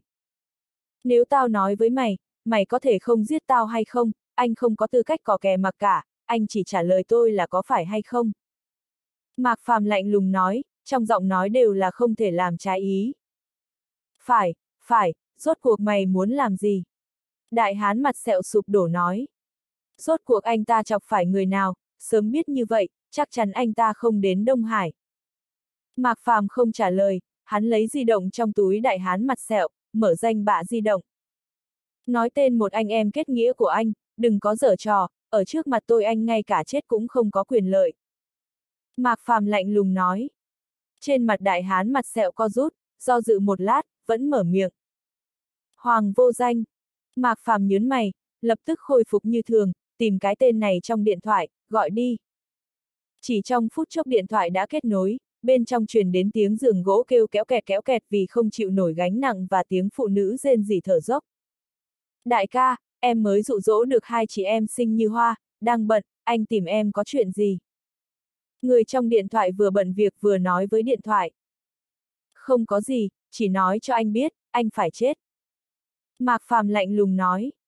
Tao phải chết, con mẹ nó mày là ai, sao di động của đại ca tao lại ở trong tay mày? Người đàn ông trong điện thoại nhớn mày, lạnh giọng hỏi. Sau đó truyền đến tiếng hai người phụ nữ bất mãn. soái ca, đừng ngừng mà, người ta. Người chết không cần biết nhiều như vậy. Mạc Phàm lạnh nhạt nói. Con mẹ nó thúi lắm, giết lão tử, gậy của mày dài như vậy sao, nhanh thả đại ca tao ra, nếu mày dám động vào một ngón tay của đại ca tao, 36 thiên cương nam phái chúng tao, nhất định sẽ bắt cả nhà mày tu luyện hỗn nguyên nhất khí công. Mạc Phàm nheo mắt, ánh mắt phát lạnh. Hoàng vô danh, tôi gọi anh một tiếng, anh dám đáp lại không? Mạc Phàm nhìn chằm chằm 34 thể ấn hình giọt máu, kêu lên. Ông nội mày lúc này Hoàng vô danh đang chơi hai thiếu phụ, mày có thể làm gì tao? Hoàng vô danh hung hãn quát, tiếng thở gấp của thiếu phụ lại vang lên. Theo Hoàng vô danh lên tiếng, trong 35 thể ấn, một cái trong đó sáng lên. Vậy anh có thể đi chết, nhớ kỹ, cử đầu tam xích hữu thần minh. Một ấn ký hình lôi trên tay mạc phàm sáng lên, đánh vào thể ấn kia. Răng rắc. a à, tiếng lôi đình và tiếng thét chói tai truyền từ trong điện thoại ra, không còn tiếng hoàng vô danh nữa.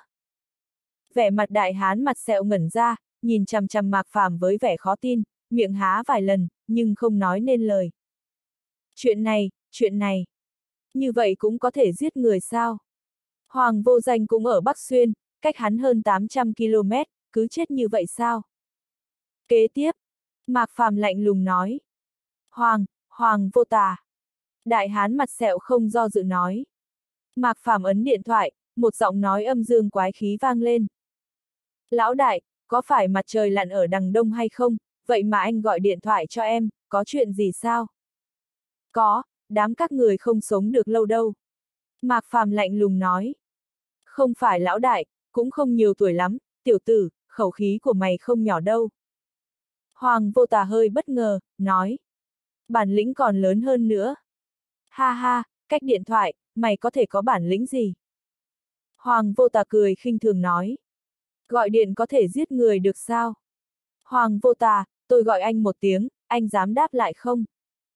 Mạc Phàm lại hỏi.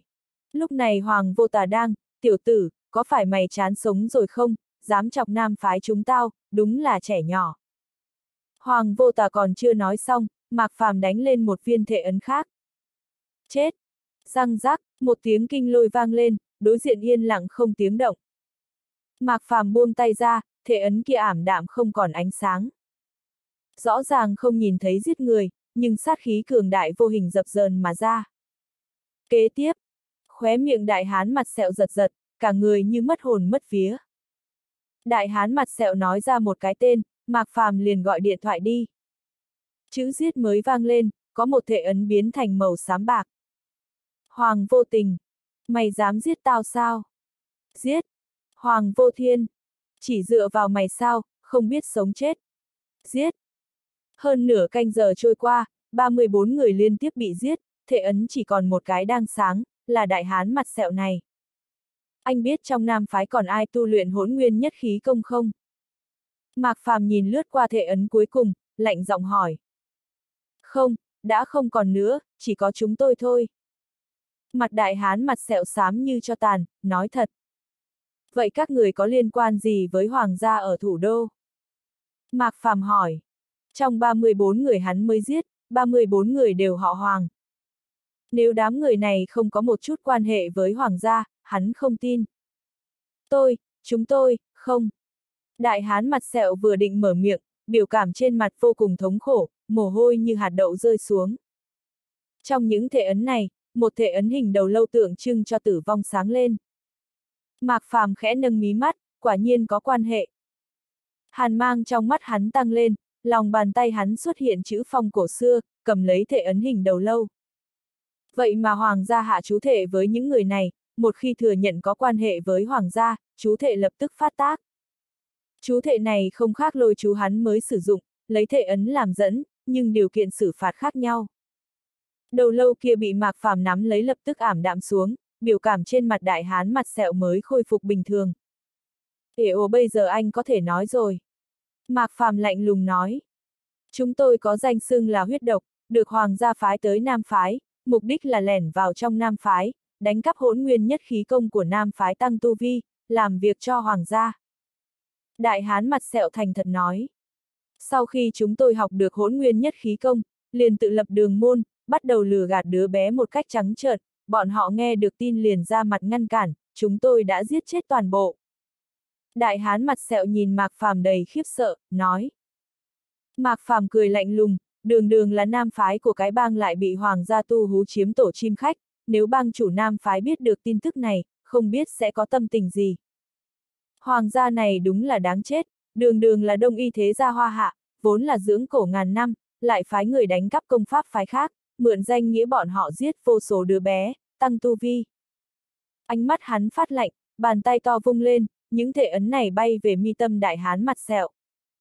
Đại sư, những chuyện tôi biết tôi đều nói cho cậu rồi, chúng tôi cũng là bị hoàng gia ép buộc, nếu chúng tôi không làm như vậy, bọn họ sẽ mang chúng tôi đi cho cổ ăn, nếu cậu cần hỗn nguyên nhất khí công, tôi cũng có thể nói cho cậu, tôi còn tinh thông rất nhiều độc thuật bí mật bất truyền của hoàng gia, đều có thể nói cho cậu biết, cậu đừng giết tôi. Đại hán mặt sẹo thấy trong mắt mạc phàm lộ ra sát ý, hoảng sợ nói. Đúng rồi, tôi còn đạt được một bộ sách thuốc trong mộ cổ, cậu muốn tôi có thể cho cậu. Mạc phàm cười, trên mặt không có một chút gợn sóng.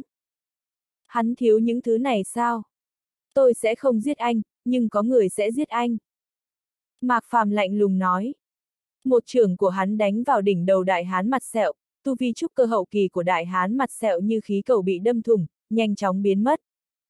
Một lát sau, cả người anh ta già nua gấp bội, mồ hôi đầm đìa chảy xuống. Cậu, cậu phế tu vi của tôi. Đại hán mặt sẹo khiếp sợ kêu lên. Sẽ không chỉ phế tu vi của anh. Mạc Phàm lạnh lùng nói. Đại hán này vì tu vi hại nhiều đứa bé như vậy, còn giết chết đồ đệ của y tiên bất tử hắn, đâu dễ giải quyết như vậy. A Hào, mang Chu Hiệt đến đây. Mạc Phàm nói với A Hào. A Hào mở cửa xe ra, Chu Hiệt sắc mặt tái nhợt bước từ trên xe ra. Cô, không phải cô. Đại hán mặt sẹo nhìn thấy Chu Hiệt, mắt mở to giống như nhìn thấy quỷ. Rõ ràng trái tim Tô Hiểu bị anh ta đâm thủng, cho dù là tu sĩ trúc cơ hậu kỳ, cũng chỉ sống lâu hơn người bình thường một lát, sao có thể còn sống. Tiểu Hiệt, con muốn xử lý tên này thế nào? Mạc Phàm không để ý đến biểu cảm của đại hán mặt sẹo, hỏi. Chu Hiệt nhìn chằm chằm đại hán mặt sẹo, trong mắt hiện lên lửa giận, cô lại nhìn thoáng qua xung quanh, nhìn những đứa bé đáng thương bên trong lồng, hàn quang trong mắt tăng lên. Nếu không phải sư phụ cô đủ cường đại, cô đã chết, em trai cô cũng sống không bằng chết như những đứa trẻ này. Sư phụ, loại xúc sinh này, nhốt anh ta vào trong lồng sắt với mấy con chó giữ là được. Không, không. Sắc mặt đại hán mặt sẹo xám như cho tàn, lắc đầu liên tục. Anh ta vừa động, nơi bị kiếm khí đâm thủng đau đớn, máu tươi chảy ròng ròng, nhưng anh ta vẫn lắc đầu liên tục. Anh ta từng thấy những đứa bé bị những con chó giữ xé thành mảnh nhỏ, còn thống khổ hơn ngũ mã phân thây, cho dù bị một kiếm bay đầu cũng sảng khoái hơn. Mạc Phàm thờ ơ, ý niệm hắn khẽ động, kiếm khí bay lượn, chém nứt gân tay đại hán mặt sẹo. Đại hán mặt sẹo kêu thảm một tiếng, ngã xuống đất, trong mắt đều là hoảng sợ và tuyệt vọng. A Hào, thả những đứa bé này ra, ném anh ta vào. Dạ. A Hào cung kính nói, sách đại hán mặt sẹo lên như sách con gà, đi về phía lồng sắt cách đó không xa. Không lâu sau, tiếng chó sủa và tiếng kêu thảm thiết vang lên. Lúc này Gia Cát Nguyệt và Gia Cát Đan bước xuống xe. Gia Cát Nguyệt nhìn những đứa bé vô cùng đáng thương, lông mày nhíu chặt lại, trong đôi mắt đều là thương hại và đau lòng. Mạc tiên sinh, nên làm gì những đứa bé này đây, nếu cậu không có ý kiến, tôi sẽ bàn bạc với gia chủ chúng tôi, lấy một khoản tiền chăm sóc những đứa bé này. Gia Cát Nguyệt nói, những đứa bé này đều tàn tật, nhất định phải chăm sóc đặc biệt mới được. Chuyện này sao, tôi sẽ nghĩ biện pháp. Mạc Phàm lấy điện thoại ra ấn số. Lúc này trên ban công biệt thự số 9 ở thành phố Đông Hải, hai lão giả một chai rượu, mấy món đồ nhắm với rượu, hai người đang đánh cờ đúng là tần lão gia tử và Lạc Phi, đứng bên cạnh là Vân Thiên Không và tần cừu. Sau khi Mạc Phàm rời đi, bọn họ không rời đi. Tôi nghe nói tiểu tử kia đến Bắc Xuyên. Tần lão gia tử nói với Lạc Phi. Còn cần ông nói cho tôi biết à, cậu ta không đi Bắc Xuyên, lão tử cần trông cửa cho cậu ta sao? Lạc Phi bất mãn nói, cầm lên một quân cờ, vô cùng đau lòng nói. Một quân cờ của ông bị quân cờ của tần lão gia tử bao vây. Ông không bảo đám người lạc gia ông cẩn thận một chút, nhớ đâu gặp phải tiểu tử kia, có xung đột với cậu ta, lạc gia các ông vô hậu rồi. Chuyện này còn cần ông nói sao, lão tử sớm đã bố trí xong rồi. Không biết tiểu tử kia vội vã đến Bắc Xuyên làm gì. Tần lão gia tử cười hỏi. Tiểu tử kia là hỗn thế ma vương, chắc chắn đến đó không làm chuyện gì tốt. Ông ta mới nói xong, Tần Kiệt chạy lên, đưa điện thoại cho Lạc Phi. Ông ngoại, sư phụ cháu gọi đến, nói là tìm ông có việc. Lạc Phi nhíu mày, liếc nhìn Tần lão ra. Nghe đi, ở Bắc Xuyên có chuyện gì mà Lạc Phi ông không làm được. Tần lão gia tử cười nói. Thúi lắm, đừng động vào cờ của tôi đó, thiên không nhìn chằm chằm lão già này cho tôi. Lạc Phi hừ lạnh một tiếng, nghe điện thoại, bên trong truyền đến giọng mạc phàm. Mới đầu thì không tệ, sắc mặt Lạc Phi vẫn như thường, không quá nửa phút, sắc mặt Lạc Phi trầm xuống. Cuối cùng cả khuôn mặt Lạc Phi không còn chút máu, tắt điện thoại, mãi mà không nói một câu. Tần lão ra tử nhíu mày, tò mò hỏi. Lão Lạc, sao thế, không phải tiểu tử kia diệt lạc ra ông đấy chứ, theo tôi được biết cậu ta không đến thành phố Bắc Xuyên mà. Cậu ta diệt lạc ra chúng tôi thì đỡ, đằng này cậu ta diệt 35 cứ điểm thuộc Nam Phái ở Bắc Xuyên, bây giờ muốn lão tử đi thu dọn. Lạc Phi để di động lên trên bàn, hổn hển nói. 35 cứ điểm nam phái sao? Mọi người đều hít vào một hơi khí lạnh. Bọn họ biết 35 cứ điểm này, chỉ là vẫn mở một mắt nhắm một mắt. Một khi động những nơi này, sẽ đắc tội cái bang được xưng là bang chúng ngàn vạn. Cho dù Lạc Phi có tâm muốn diệt bọn họ, cũng phải suy xét đến hậu quả. Mạc Phàm đến Bắc Xuyên một chuyến, còn chưa đến một ngày liền diệt sạch 35 cứ điểm. Bọn họ tưởng Mạc Phàm đến Bắc Xuyên chỉ ẩm ý nhỏ một phen, ai biết chọc phải chuyện lớn như thế. Ở đây chỉ có Tần Kiệt mờ mịt. Ông ngoại, 35 cứ điểm nam phái là gì? Anh ta ở Bắc Xuyên nhiều ngày, ra cát ra, lưu ra thì anh ta biết, cứ điểm của nam phái, đây là lần đầu tiên anh ta nghe nói đến. Tiểu Kiệt, sau này sư phụ cháu ra ngoài, cháu đi theo cậu ta nhiều thì sẽ biết. Tần lão gia tử cười nói. 35 cứ điểm kia không ở cùng một chỗ, cách xa nhau 7, 800 cây em, một người đi tới đi lui không đến 10 ngày thì không làm được, sao lại bị diệt trong một ngày? Tần cừu hỏi. Ai biết tên tiểu tử kia làm thế nào? Lạc Phi liếc mắt nhìn tần cừu một cái nói. Pháp thuật của tiểu tử kia càng ngày càng làm người ta không đoán ra được. Tần lão gia tử lắc đầu nói. Vân Thiên không cười chua xót, ông ta là tiên thiên tông sư, tự mình diệt hai cứ điểm đã không tệ rồi. Mạc Đại Sư đúng là Mạc Đại Sư. Mạc Đại Sư cái rắm, có bản lĩnh tự cậu ta chùi mông đi. Lạc Phi bất mãn nói. Lão Lạc, ông định làm gì đây? Tần lão gia tử bưng ly rượu, mỉm cười hỏi. Mẹ kiếp, lão tử đã đồng ý với cậu ta rồi, còn làm sao chứ, không chơi nữa, tới Đông Hải không có chuyện tốt gì. Lạc Phi bực bội nói. Nếu ông ta ra mặt chẳng khác nào ủng hộ Mạc Phàm làm kẻ địch với Nam Phái, chắc chắn Nam Phái sẽ không từ bỏ ý đồ. Cũng không có gì mà, chỉ là chút phiền phức, lão lạc ông cũng cứu trên vạn đứa bé, coi như là công đức, nếu có người tới tìm ông gây phiền phức, tần gia tôi cùng chống đỡ với ông. Tần lão gia tử cười nói. Ông chống có tác dụng dám gì, ngay cả tiên thiên tông sư cũng không có. Ông khinh thường tần gia chúng tôi, vậy ông tự chống đi. Tần lão gia tử cũng không tức giận. Cút cút cút, hôm nào đánh cờ tiếp, có mấy cứ điểm tương đối gần Đông Hải, nhanh đi điều binh đi, người đứng đầu bị tiểu tử kia diệt, không để đám cá tạp nham còn lại trốn thoát, không thể để những đứa bé kia chịu khổ nữa, nên quay về với cha mẹ, nam phái này làm việc ác nhiều năm như thế, lão tử đã sớm muốn diệt bọn họ, cũng đến lúc ra tay rồi, ai dám tới tìm Lạc Phi tôi gây phiền phức, thì cứ đến đi. Lạc Phi tháo mấy cúc áo, trong mắt lóe lên tinh quang, nghiêm mặt nói, khí tức thiết huyết của đại tướng biểu lộ ra. Được rồi, chỉ là một đám tôm tép nhãi nhép có gì phải sợ. Tần lão gia tử nói. Hai tướng quân khai quốc đứng dậy, mạnh mẽ vang dội đi sắp xếp nhân thủ, đêm nay nhất định không yên bình. Trong cô nhi viện, Mạc Phàm nói chuyện điện thoại xong, liền bảo mọi người đi tìm tất cả đồ ăn, lại mua thêm rất nhiều chia cho những đứa bé này. Mới đầu những đứa bé này còn sợ không dám ăn, một số đứa bé sắp chết đói cẩn thận cầm lấy ăn một ít, quả thật không có chuyện gì. Những đứa bé khác xông tới, giống như mấy ngày chưa được ăn cơm, ăn như hổ đói. Có một số đứa bé khi ăn còn khóc, không biết bao nhiêu lâu rồi mới được ăn những thứ ngon như vậy, một màn đáng thương làm ra Cát Nguyệt và Chu Hiệt đỏ mắt. Hai tiếng, từng chiếc xe tải quân dụng lớn chở một số đám quân nhân mặc quân trang tiến vào. Một đội trưởng đi tới hòa nhã nói chuyện với Mạc Phàm, trịnh trọng cúi chào, tự động mang đứa bé rời đi.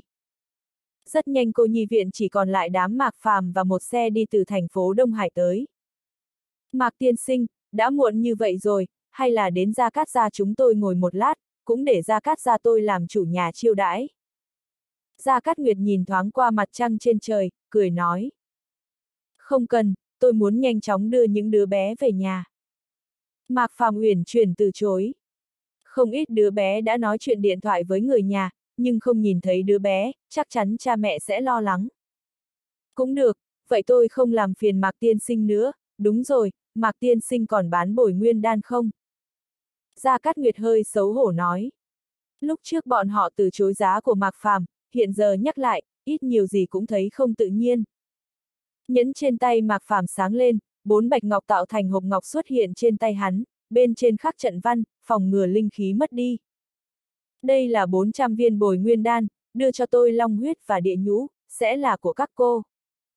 Gia Cát Nguyệt và Gia Cát Đan sửng sốt.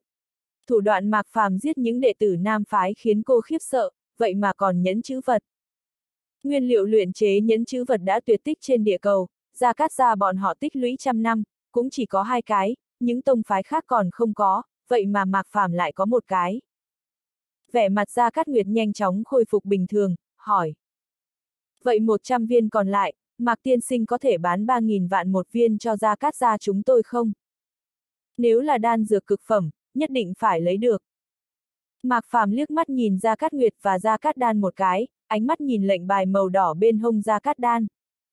Có thể, nhưng tiền thì thôi, mang cho tôi 10 miếng lệnh bài kia hay nguyên liệu làm ra nó, 100 viên bồi nguyên đan còn lại sẽ thuộc về Gia Cát Gia các cô. Lệnh bài to bằng lòng bàn tay, toàn thân màu đỏ thấm, bên trong giống như có ngọn lửa thiêu đốt. Phía trước khắc hai chữ Gia Cát, phía sau là hình một cái quạt, tượng trưng cho thân phận Gia Cát Gia. Gia Cát Đan thấy Mạc Phàm để mắt đến lệnh bài của ông ta, trên mặt lộ ra chút áy náy.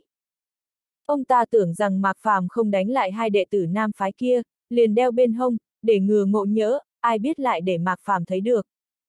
Mạc Tiên Sinh muốn thứ này sao, loại đá này không quý như vậy chứ? Gia Cát Nguyệt tò mò hỏi.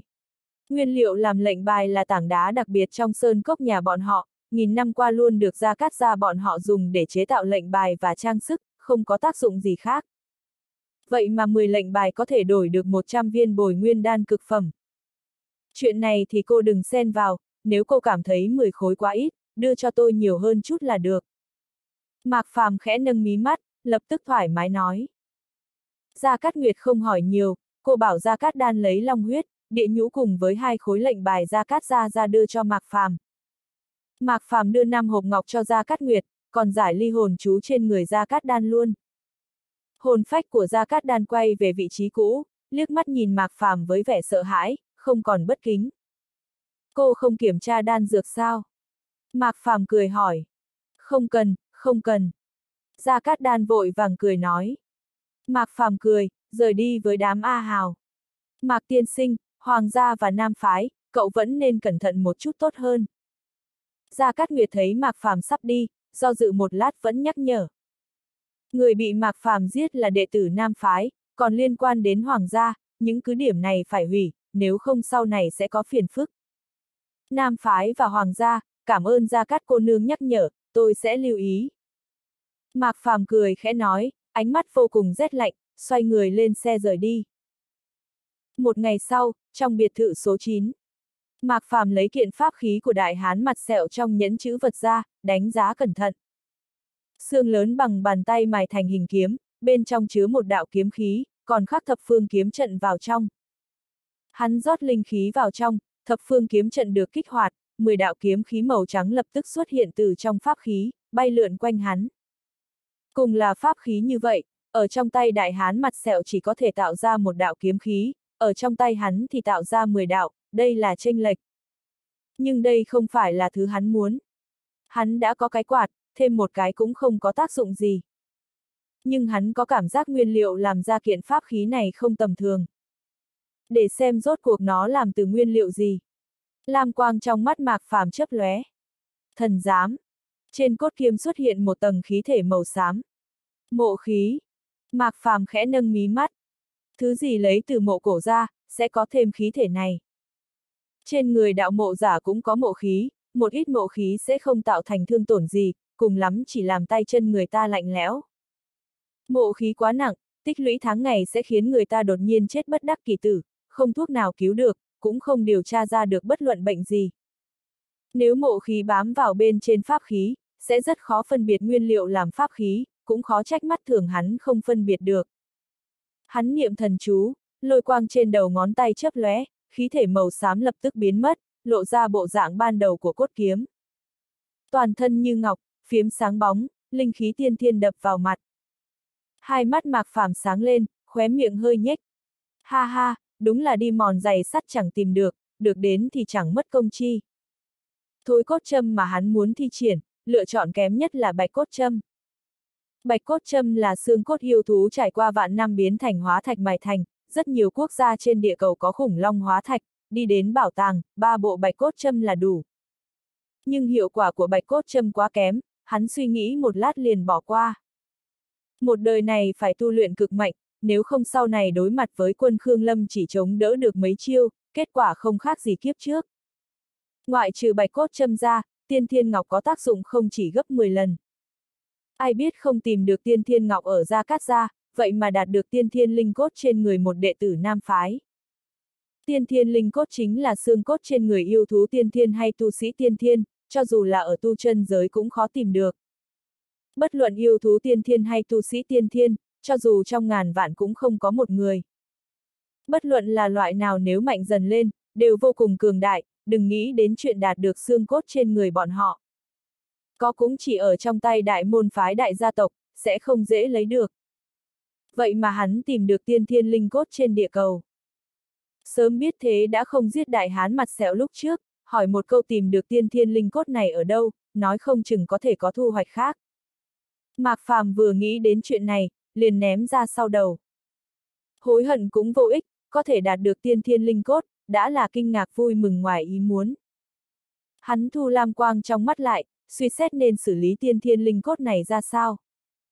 Trong linh cốt này ẩn chứa một đạo kiếm khí, trải qua tiên thiên ngọc ôn dưỡng, đã thành tiên thiên kiếm khí, uy lực mạnh hơn kiếm khí bình thường rất nhiều, tất nhiên không thể lãng phí. Hắn lấy cây quạt ra, đánh giá một lát.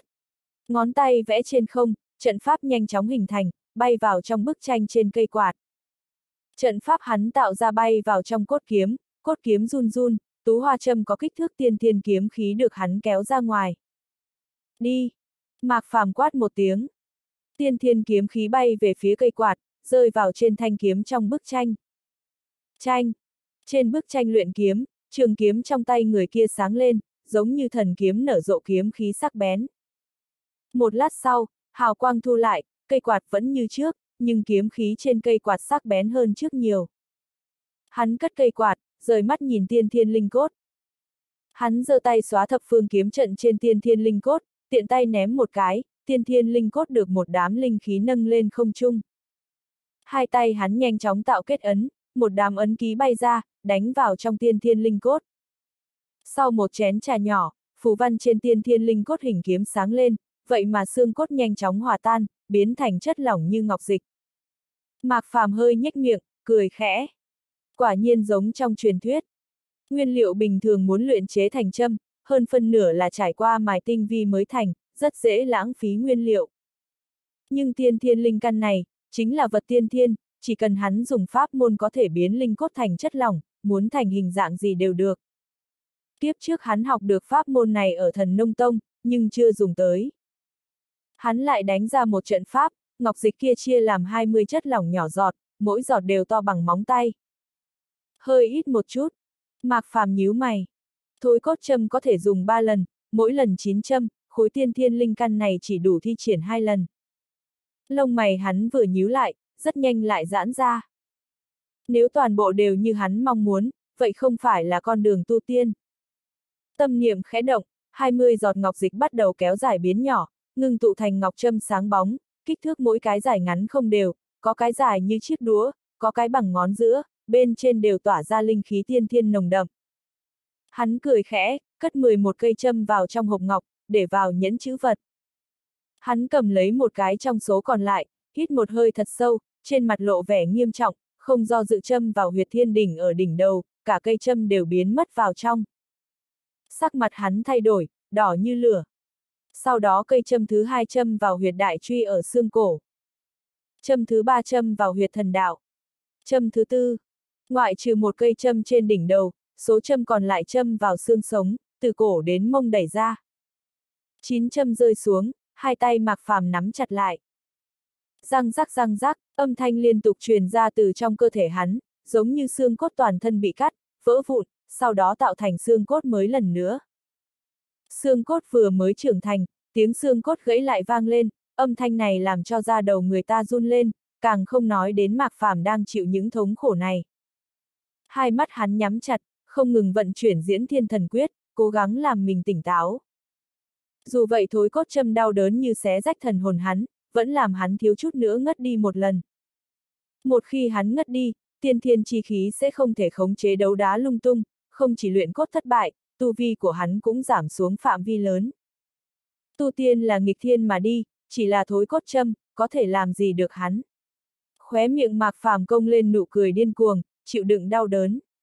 Theo xương cốt gãy nát, sinh mới một lần, tiên thiên linh cốt biến thành cốt châm cũng nhỏ một vòng, tiên thiên linh khí dung nhập vào trong xương cốt mạc phàm, khí thế của hắn cũng cường đại hơn chút. Ba ngày sau, mạc phàm mở to mắt. Châm tiên thiên linh cốt vốn đâm vào người hắn biến mất không thấy, trên cơ thể hắn có thêm linh khí dao động. Trong mắt hắn hiện lên lam quang, nhìn xương cốt tay hắn, khóe miệng nhếch lên nụ cười hài lòng. Tiên thiên linh cốt không hổ là tiên thiên linh cốt, trải qua ba ngày rèn luyện, xương cốt hiện giờ của hắn sáng trong như ngọc thạch, còn mang theo linh khí tiên thiên nhàn nhạt. Tiên thiên ngọc cốt, thối cốt thứ châm nhằm vào ngọc cốt, thiết cốt và kim cương cốt, dựa theo sử dụng thứ cốt châm khác nhau, hiệu quả cũng không giống. Hắn dùng tiên thiên linh cốt, trong xương cốt ẩn chứa linh khí tiên thiên, ngọc cốt mạnh hơn bình thường rất nhiều. Đừng nói là đạn bình thường, cho dù là pháp khí bình thường cũng không làm gì được xương cốt tiên thiên của hắn. Hắn lấy ra mấy viên khí huyết đan bổ sung khí huyết, vừa mới nghỉ ngơi. Bên ngoài phòng ngủ truyền đến tiếng ồn ào. Lão Tần, ông đừng có cản tôi, lão tử chịu đủ rồi.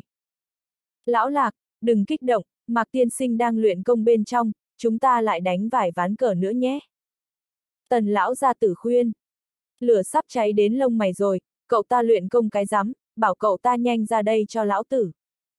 Lạc Phi thở hổn hển nói, giống như có việc gấp. Ông ngoại, sư phụ cháu thật sự đang luyện công, ông không thể đi vào. Tần Kiệt ngăn cản. Tần Kiệt không mở miệng thì không sao, anh ta vừa nói Lạc Phi càng tức hơn. Tiểu Kiệt, cháu đúng là có tiền đồ, bái sư phụ phá hoại, cho cháu một công pháp luyện thể, vậy mà dám nói chuyện với ông ngoại như vậy. Cháu! Sắc mặt Tần Kiệt trầm xuống, ánh mắt lóe sáng, không biết nên nói gì cho phải, nhưng vẫn ngăn ở cửa. Ba ngày trước Mạc Phàm dặn dò rồi, không có sự chấp thuật của cậu ta không ai được phép đi vào. Nếu để ông ngoại xông vào, nhỡ đâu quấy giày Mạc Phàm tu luyện, hậu quả khó mà tưởng tượng nổi, lúc này giọng Mạc Phàm truyền vào tai ba người. Tiểu Kiệt, để lạc lão gia tử vào đi. Lúc này lông mày ba người mới giãn ra, đẩy cửa vào, vẻ mặt lập tức sửng sốt. Mạc Phàm ngồi thẳng bên cửa sổ, ánh mặt trời chiếu lên thân thể hắn, thân thể hắn không chỉ không che khuất ánh mặt trời, trái lại giống như có thể phát sáng, kim quang lóe ra. Lạc Phi nhíu mày, ba ngày trước ông ta còn gặp Mạc Phàm, thời gian không lâu lắm, nhưng lúc này Mạc Phàm không giống ba ngày trước. Mạc Phàm giống như thay ra đổi thịt, bất luận là ánh mắt, hơi thở hay vẻ mặt, đều làm người ta có cảm giác áp bách mãnh liệt, làm người ta có kích động muốn quỳ lạy, càng đến gần loại cảm giác này càng cường đại.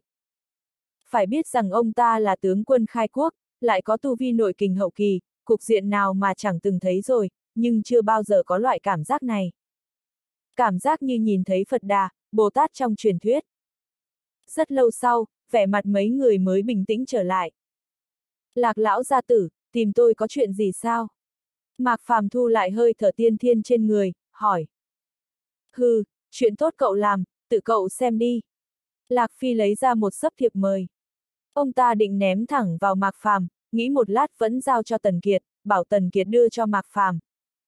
Mạc Phàm lấy một tấm thiệp mời nhìn thoáng qua, thiệp mời là cái bang gửi tới. Nội dung đại khái là cái bang và Lạc Gia vẫn luôn nước sông không phạm nước giếng, hỏi Lạc Phi vì sao diệt 35 cứ điểm của bọn họ trong một đêm, bảo ông ta giao hung thủ ra, để cái bang bọn họ xử trí. Tuy trong này không nói nếu Lạc Phi không giao ra sẽ thế nào, nhưng những câu trong thiệp mời đã đủ lực uy hiếp. Thiệp mời như vậy có khoảng trên trăm cái, nội dung đều như nhau. Trăm người cái bang cùng gửi thiệp mời, quả thật chuyện này lớn hơn ông ta nghĩ. Trừ thiệp mời của cái bang, bên trong còn có mười mấy thế gia, tông phái cũng gửi thiệp tới, hoàng gia ở thủ đô là một trong số đó. Trái lại những thiệp mời này không bảo lạc gia giao hung thủ ra, nhưng cũng chất vấn lạc gia, cái bang là môn phái không tranh sự đời, vì sao lạc gia ra tay hung tàn như vậy, một đêm diệt nhiều người của cái bang như thế, giống như đang hát đệm. Mạc Phàm cười khẽ, nhiều thiệp mời như vậy, khó trách Lạc Phi lửa cháy lông mày, muốn xông vào phòng ngủ của hắn.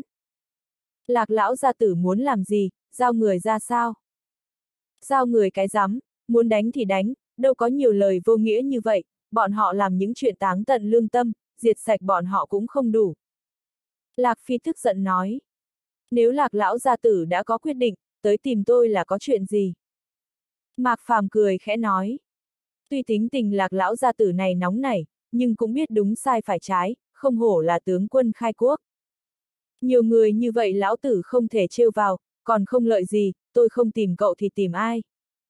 Lạc Phi nói thẳng, ông ta có thể xử lý cái bang được, dù sao chuyện này vốn là cái bang không đúng. Cái bang không biết hối lỗi, trái lại bắt ông ta đưa hung thủ ra, đúng là buồn cười, không thu thập cái bang thật tốt, ông ta không tên là Lạc Phi. Nhưng còn hoàng gia đứng đầu thế gia, tông phái, bình thường bọn họ có quan hệ thân thiết với cái bang. Đám người này có vẻ phiền phức, nhất là hoàng gia. Hoàng gia có vài bác sĩ, ở bên cạnh vài vị kia phụng dưỡng lâu dài. Mấy người hoàng gia này không có quyền lợi gì, nhưng đôi khi nói một câu có thể khiến không ít người nửa bước khó đi. Chuyện như vậy đã xảy ra không ít lần. Cho dù ông ta là tướng quân khai quốc, hiện giờ không còn là tướng quân khai quốc lúc đó. Mạc Phàm cười, lạc lão gia tử này đúng là thẳng thắn. Đầu ngón tay hắn sáng lên, lấy hai bình ngọc ra.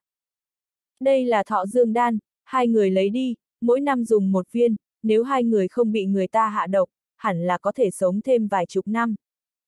Tần lão gia tử và Lạc Phi đều sửng sốt, đến độ tuổi này của bọn họ, trừ phi ở trên giường than con cháu bất hiếu, ai mà chẳng muốn sống thêm vài năm. Mạc Phàm giơ tay lấy đan dược ra, có thể làm bọn họ sống lâu vài chục năm. Thật hay giả vậy? Lạc Phi vội vàng lấy thọ dương đan, nghi ngờ hỏi. Nếu ông không tin có thể tìm con chó già thử xem. Lão tử tin cậu một lần, dựa vào bình đan dược này, tôi có thể giúp cậu chăm sóc những đứa bé kia. Lạc Phi cũng không tức giận, vội vàng cất đan dược. Mạc Phàm hơi nhếch miệng, liếc mắt nhìn Tần Kiệt một cái. Trước khi Tần Kiệt không bái sư đã là tôi thể đỉnh phong, luyện bàn long tuyệt hơn một tháng, 720 huyệt vị toàn thân đã mở toàn bộ, nội khí no đủ, cũng đến lúc lựa chọn một bộ công pháp để anh ta đến trúc cơ. Cậu muốn dạng công pháp gì? Mạc Phàm hỏi. Con muốn công phu có thể đả bại sư phụ. Tần Kiệt nhíu mày, trong mắt lóe lên chiến ý, vẫn nói. Đả bại tôi. Mạc Phàm cười khẽ, điểm chán Tần Kiệt một cái, mấy chữ lập tức xuất hiện trong đầu Tần Kiệt. Đại Phạm chân Vũ Kinh. Sư phụ, bộ công pháp này là... Tần Kiệt sửng sốt hỏi. Cậu đi tu luyện đi, bộ công pháp này có thể khiến cậu đánh bại bất luận kẻ nào, không chỉ tôi, có thể tu đến mức nào phải dựa vào cậu rồi. Mạc Phàm cười khẽ nói. Đại Phạm chân Vũ Kinh, đấu đế công pháp, trước khi quân Khương Lâm thành người mạnh nhất, là người duy nhất trong thiên hạ không bại. Con nhất định sẽ không phụ sự kỳ vọng của sư phụ. Ánh mắt Tần Kiệt kiên nghị, trên mặt hiện lên vui mừng. Sắc mặt Lạc Phi đã tốt hơn, cười gian trá. Tôi sẽ giúp cậu thu phục cái bang, đám người hoàng gia cậu xem mà làm đi. Hoàng gia. Mắt mạc phàm nheo lại, hàn quang xuất hiện. Không lâu sau, tôi sẽ diệt sạch bọn họ. Diệt hoàng gia. Lạc Phi và tần lão gia đều sửng sốt, sau đó hít vào mấy ngụm khí lạnh. Hoàng gia là gia tộc truyền thừa ngàn năm ở Hoa Hạ, tuy là đông y thế gia, nhưng nếu ra tay, còn hung tàn hơn võ đạo thế gia. Lúc trước vương gia cầu bác sĩ hoàng gia chữa bệnh, hoàng gia phái một đệ tử trẻ tuổi tới. Đệ tử hoàng gia này nắm giữ y thuật rất cao, không quá để ở trong lòng, kết quả không ngờ chữa trị thất bại. Không chỉ không chữa khỏi cho đệ tử vương gia này, còn làm đệ tử vương gia chết nhanh hơn, từ đấy hoàng gia và vương gia này trở mặt thành thù. Vương gia phế đi đệ tử hoàng gia, ném về hoàng gia.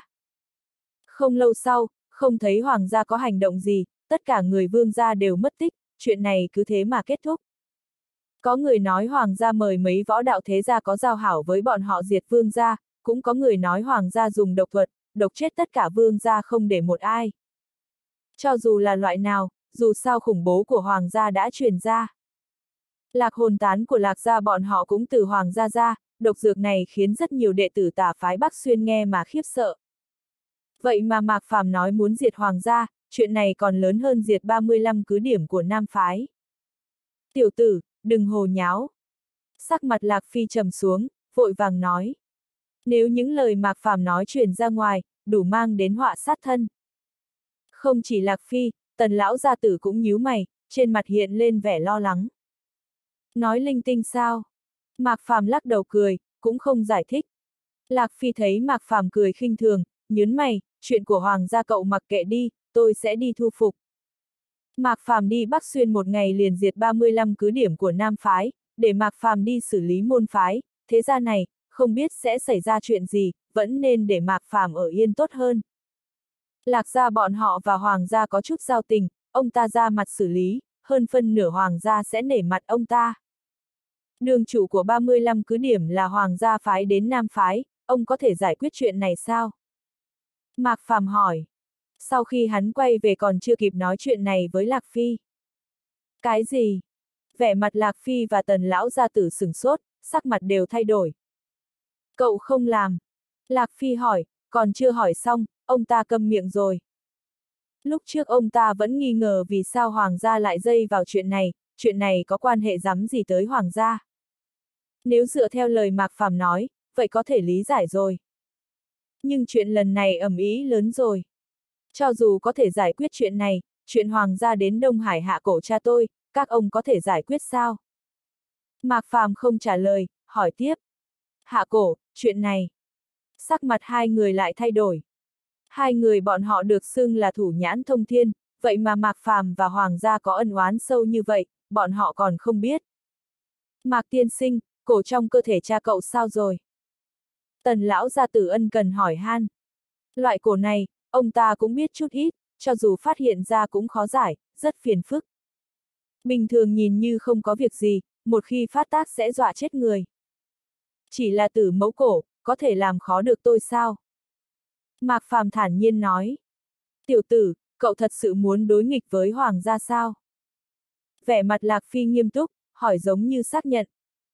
Chẳng lẽ là giả? Mạc Phàm cười nói. Chỉ riêng chuyện Hoàng gia hạ cổ cha, cũng chú định bọn họ bị diệt. Hoàng gia sẽ phải chết. Lạc Phi thấy Mạc Phàm không giống đang nói đùa, cau mày, do dự một lát, mãi mới nói. Vậy thì ra tay ngoan độc một chút, sạch sẽ chút, hoàng gia không phải là thứ tốt gì. Người khác không biết hoàng gia, trước kia ông ta hợp tác một thời gian, sao có thể không hiểu. Hoàng gia nhìn như đông y thế gia ở Hoa Hạ, bên trong có rất nhiều chuyện không muốn cho người ta thấy, còn tà ác hơn rất nhiều tà phái bình thường. Lạc gia bọn họ vừa đặt chân lên Bắc Xuyên, Hoàng gia liền đưa lạc hồn tán tới, cũng vì Hoàng gia có cán chuôi rơi trên tay ông ta. Mạc Phàm cười, hắn tưởng rằng Lạc Phi sẽ ngăn cản hắn, ai biết lại bảo hắn ra tay ngoan độc một chút. Chuyện này thì ông yên tâm, nếu muốn diệt hoàng gia, thì không để một ai. Trong mắt Mạc Phàm hiện lên sắc bén nói. Có gì cần chúng tôi giúp đỡ không? Tần lão gia tử hỏi. Hiện giờ bọn họ như châu chấu cột vào một giây với Mạc Phàm, nếu Mạc Phàm xong đời, bọn họ cũng không khá hơn chút nào. Vài ngày nữa hoàng gia sẽ mở một hội giao dịch, mình tôi là đủ rồi. Mạc Phàm nói một cách chắc chắn. Hiện giờ hắn đã tu thành tiên thiên ngọc cốt, thân thể lại bay lên một tầng mới, thứ bình thường không thương tổn được hắn, một mình hắn đủ rồi. Hội giao dịch hoàng gia tổ chức sao? Lạc Phi hỏi. Hội giao dịch này, ông ta cũng nằm trong hàng ngũ được mời, chỉ là chưa bao giờ tham gia, cùng lắm là phái đệ tử lạc gia qua đó. Không sai. Mạc Phàm gật đầu. Đợi hoàng gia bắt đầu hội giao dịch, đó là ngày hoàng gia bị diệt. Hoàng gia có yêu linh hơn 500 năm, tụ linh đại trận có nó sẽ phát huy đủ uy lực. Lạc Phi nhíu mày, Mạc Phàm đúng là biết chọn thời điểm, hội giao dịch này có rất nhiều người có quan hệ không tệ với Hoàng gia đến, ra tay lúc này nguy hiểm gấp bội bình thường. Thực sự không cần chúng tôi giúp đỡ, thuộc hạ của lão tử còn có người rất lợi hại đó. Nếu ông muốn giúp đỡ, canh giữ ở Đông Hải thật tốt, đừng để người nhà tôi trúng cổ nữa là được. Mạc Phàm tức giận nói. Lần trước hắn đến thành phố Nam Sơn, tần gia đồng ý bảo vệ người nhà hắn, kết quả cha hắn vẫn trúng cổ. Khóe miệng Lạc Phi giật giật, giống như bị tát một cái, cuối cùng không nói thuộc hạ ông ta lợi hại nữa. Một đêm mạc phàm diệt 35 cứ điểm, những cứ điểm này cho dù lái phi cơ qua, cũng phải bay mấy ngày mới diệt được, cho dù phái toàn bộ thuộc hạ của ông ta qua, cũng không làm được như mạc phàm, vẫn nên đừng tự làm mất mặt trước mặt mạc phàm thì hơn. Tiểu tử, tự cậu nhìn mà làm đi, cẩn thận con trùng ở hoàng gia, nếu cậu không thể diệt hoàng gia, tôi chỉ có thể đưa cả nhà cậu ra nước ngoài. Lạc Phi lo lắng nói. Đáng sợ của Mạc Phàm đã càng ngày càng vượt qua bọn họ tưởng tượng, nhưng muốn một mình diệt hoàng gia, không dễ như vậy, dù sao Mạc Phàm chỉ mới 16, 17 tuổi. Nếu đợi thêm 10 năm, ông ta tuyệt đối là người đầu tiên khuyên dục Mạc Phàm lập tức diệt hoàng gia, căn bản không cần đợi đến hội giao dịch. Yên tâm đi, sẽ không đi đến bước đó. Trong mắt Mạc Phàm lóe sáng tự tin, nói. Lạc Phi và Tần Lão gia tử thấy Mạc Phàm tự tin như vậy, hai người lắc đầu rời đi. Xem ra gần đây sẽ không được ngủ ngon rồi. Tần Lão gia tử cười khổ nói. Nói cho ông biết, Lão Tần, từ khi tôi có quan hệ với tiểu tử này, cho dù ngủ cũng không ngon giấc. Lạc Phi oán hận. Mạc Phàm lắc đầu cười, rời mắt nhìn Tần Kiệt bên cạnh. Tìm tôi có chuyện gì sao? Sư phụ, hôm qua Gia Cát ra đưa tới mấy tảng đá màu đỏ, có cần con mang lên cho sư phụ không? Tần Kiệt cung kính hỏi. Mạc Phàm nhấn mày, gật đầu. Tần Kiệt đi ra ngoài, một lát sau, sáu tảng đá cỡ đầu người được Tần Kiệt chuyển vào. Sư phụ cần những tảng đá này làm gì, những tảng đá này giống như không có tác dụng gì hết. Tần Kiệt tò mò hỏi. Audio điện tử võ tấn bền. Hết tập 17